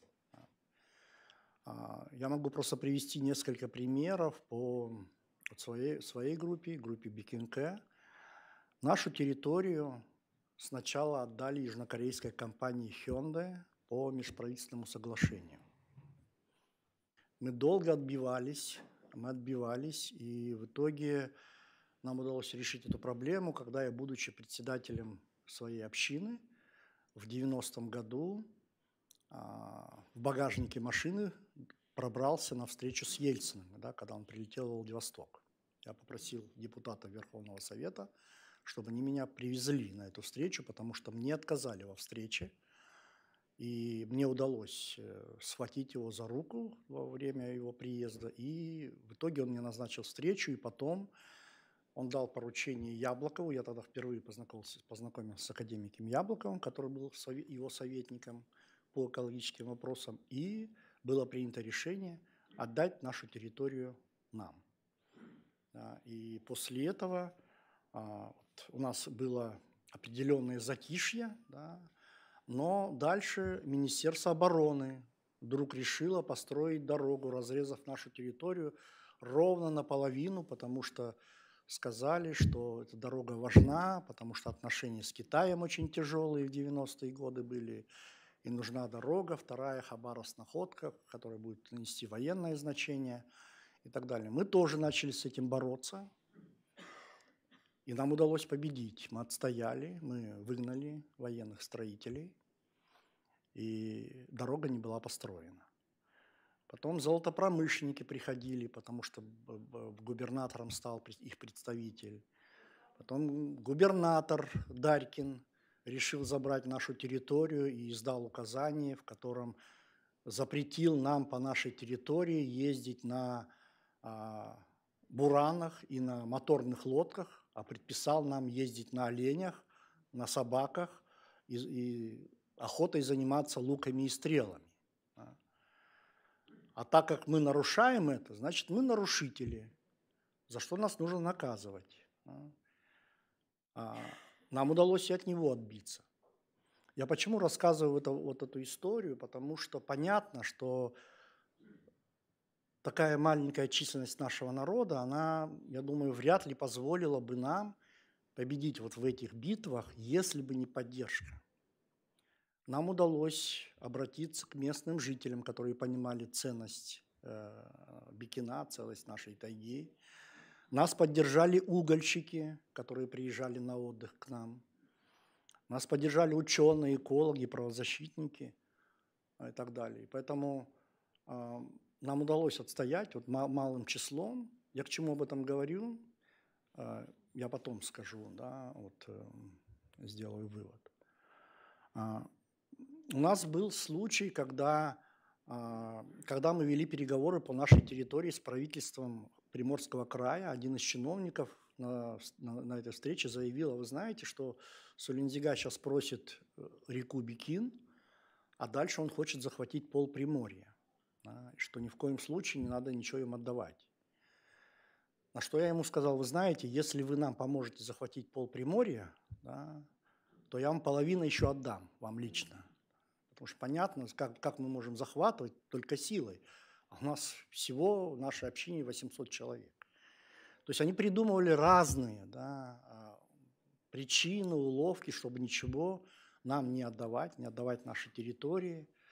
Один ученый договорился до того, что он сказал, что вообще удыгейцы в верховьях Бикина никогда не охотились, никогда не жили, что впервые на верховье Бикина пришли русские староверы. А, на самом деле это была ложь, да, удыгейцы там всегда жили, просто потом пришли русские староверы, и они там вместе уживались. Но на что я ему сказал, да, что если вы хотите да, рассматривать, вопрос при отдаче нам наших территорий с исторической точки зрения, я готов, да, и мы готовы, мы удыгейцы готовы. Но тогда с исторической точки зрения отдавайте пол Приморья, потому что наши стойбища – по всему Приморскому краю были, пока вы не пришли. И поэтому э, вот в таких условиях нам приходилось бороться. Я могу привести еще один пример, когда меня вот на этих встречах обвиняли в национализме, шовинизме, еще в чем-то. И э, мы придумали даже такой ход, когда у меня в моем национальном совете было два депутата украинца, Вознюк и Писарец. А, возник э, у него жена Удыгейка, да, он был депутатом избран. И мы ездили на эти совещания, я молчал, выступали они, да, где заявляли о том, что отдавайте территорию удыгейцам. А, и это сработало, потому что обвинить их в удыгейском национализме невозможно. Да, они не удыгейцы. Они просто требуют, чтобы удыгейцам отдали землю. И эм, я к чему вот это говорю, да, рассказываю эти истории, потому что в такой же ситуации, как мой народ, находятся вот эти 42 коренных малочисленных народа.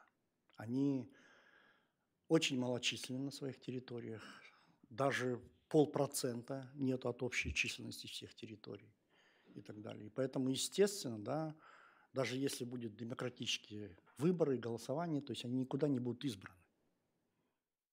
То есть подавляющее большинство избирателей, они их не выберут. И поэтому это большая проблема, которую необходимо решать, да, которую необходимо находить возможности решения этой проблемы.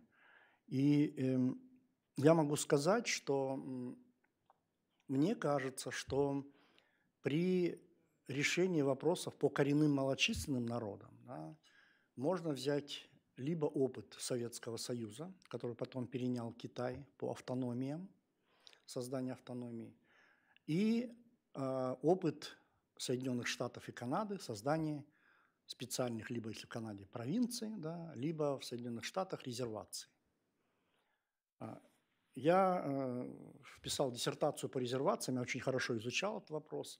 Есть много да, различий, но самое главное, что в настоящее время мы знаем, что создание резервации – это трагическая история на странице, э, трагическая страница в истории США, но в настоящее время необходимо признать, что резервации играют положительную роль в вопросах самоуправления и многих других вопросах, связанных с э, коренными народами. Конечно, здесь есть очень много проблем, но а, этот опыт, мне кажется, он вполне возможно применим с учетом наших реалий э, с коренными малочисленными народами. Я э, хотел бы также сказать по поводу вопросов деколонизации. Э, мне кажется, что этот вопрос на сегодня в Российской Федерации на повестке, если не номер один, то номер два точно. Потому что то, что сейчас происходит да, в Российской Федерации, то, что сейчас Россия творит в Украине, да, а, то, что в целом, как себя ведут россияне и так далее, становясь преступниками и убийцами, мне кажется, очень многие а, не задают себе вопроса, почему это происходит, а если задают и отвечают на него, вопрос деколонизации для многих людей стоит на каком-то непонятном месте, потому что, по моему мнению, никто не понимает, а, что такое колонизация, деколонизация, вообще как с этим жить и что с этим делать. Но, по моему мнению, этот вопрос, почему он очень важен, потому что Э, к тому, к чему пришло российское общество, российское государство, это все начинается со лжи и обмана. И первое на повестке, да, ложь и обман, это как Российская Федерация собирала, захватывала все земли, которые принадлежали нашим народам. Это вопросы колонизации. И если этот вопрос не поднимать, то получается, будет продолжаться такой же обман – да, это означает, что Российская Федерация там, или русский народ будет опять ходить по тому же кругу. А, и поэтому, мне кажется, вопрос деколонизации – это вопрос очень важный, его необходимо обсуждать, находить пути решения деколонизации а, и, исходя из этого, конечно же, строить э, вот, политику в отношении будущего коренных народов. В данном случае я, конечно же, имею в виду не только коренные малочисленные народы, но и все коренные народы России. А, я как-то написал, да, была статья, к сожалению, в Российской Федерации никто на эту статью не обратил, и эту статью написал ученый, он себя называет русским националистом. Он, кстати, был одним из тех, кто написал донос на вот, одного из лидеров поморов, в Архангельской области. И вот он разразился статьей в, в средствах массовой информации в России. Эта статья была от, его ответом на решение Государственной Думы э, Российской Федерации, которая э, Госдума приняла в ответ на принятие украинского закона о коренных народах. Вы помните, да, а в прошлом году украинский парламент принял закон о коренных народах Украины. После этого Путин выступил, назвал этот закон фашистским, при том, что он показал себя абсолютно безграмотным, да, ну, он каковым он является. И Госдума дальше принял, приняла постановление, где тоже назвала этот закон фашистским, э, плохим и так далее, и так далее. Почему русских не признали коренными народами в Украине – и вот этот русский националист, он Путина решил не трогать, понятно, Почему? Но он решил тронуть Госдуму, и он написал эту статью, в которой пишет, что вы, депутаты, не со- совсем плохо соображаете. Зачем вы требуете, чтобы русский народ был признан коренным? По международному законодательству коренные народы – это дикари, это дикие народы.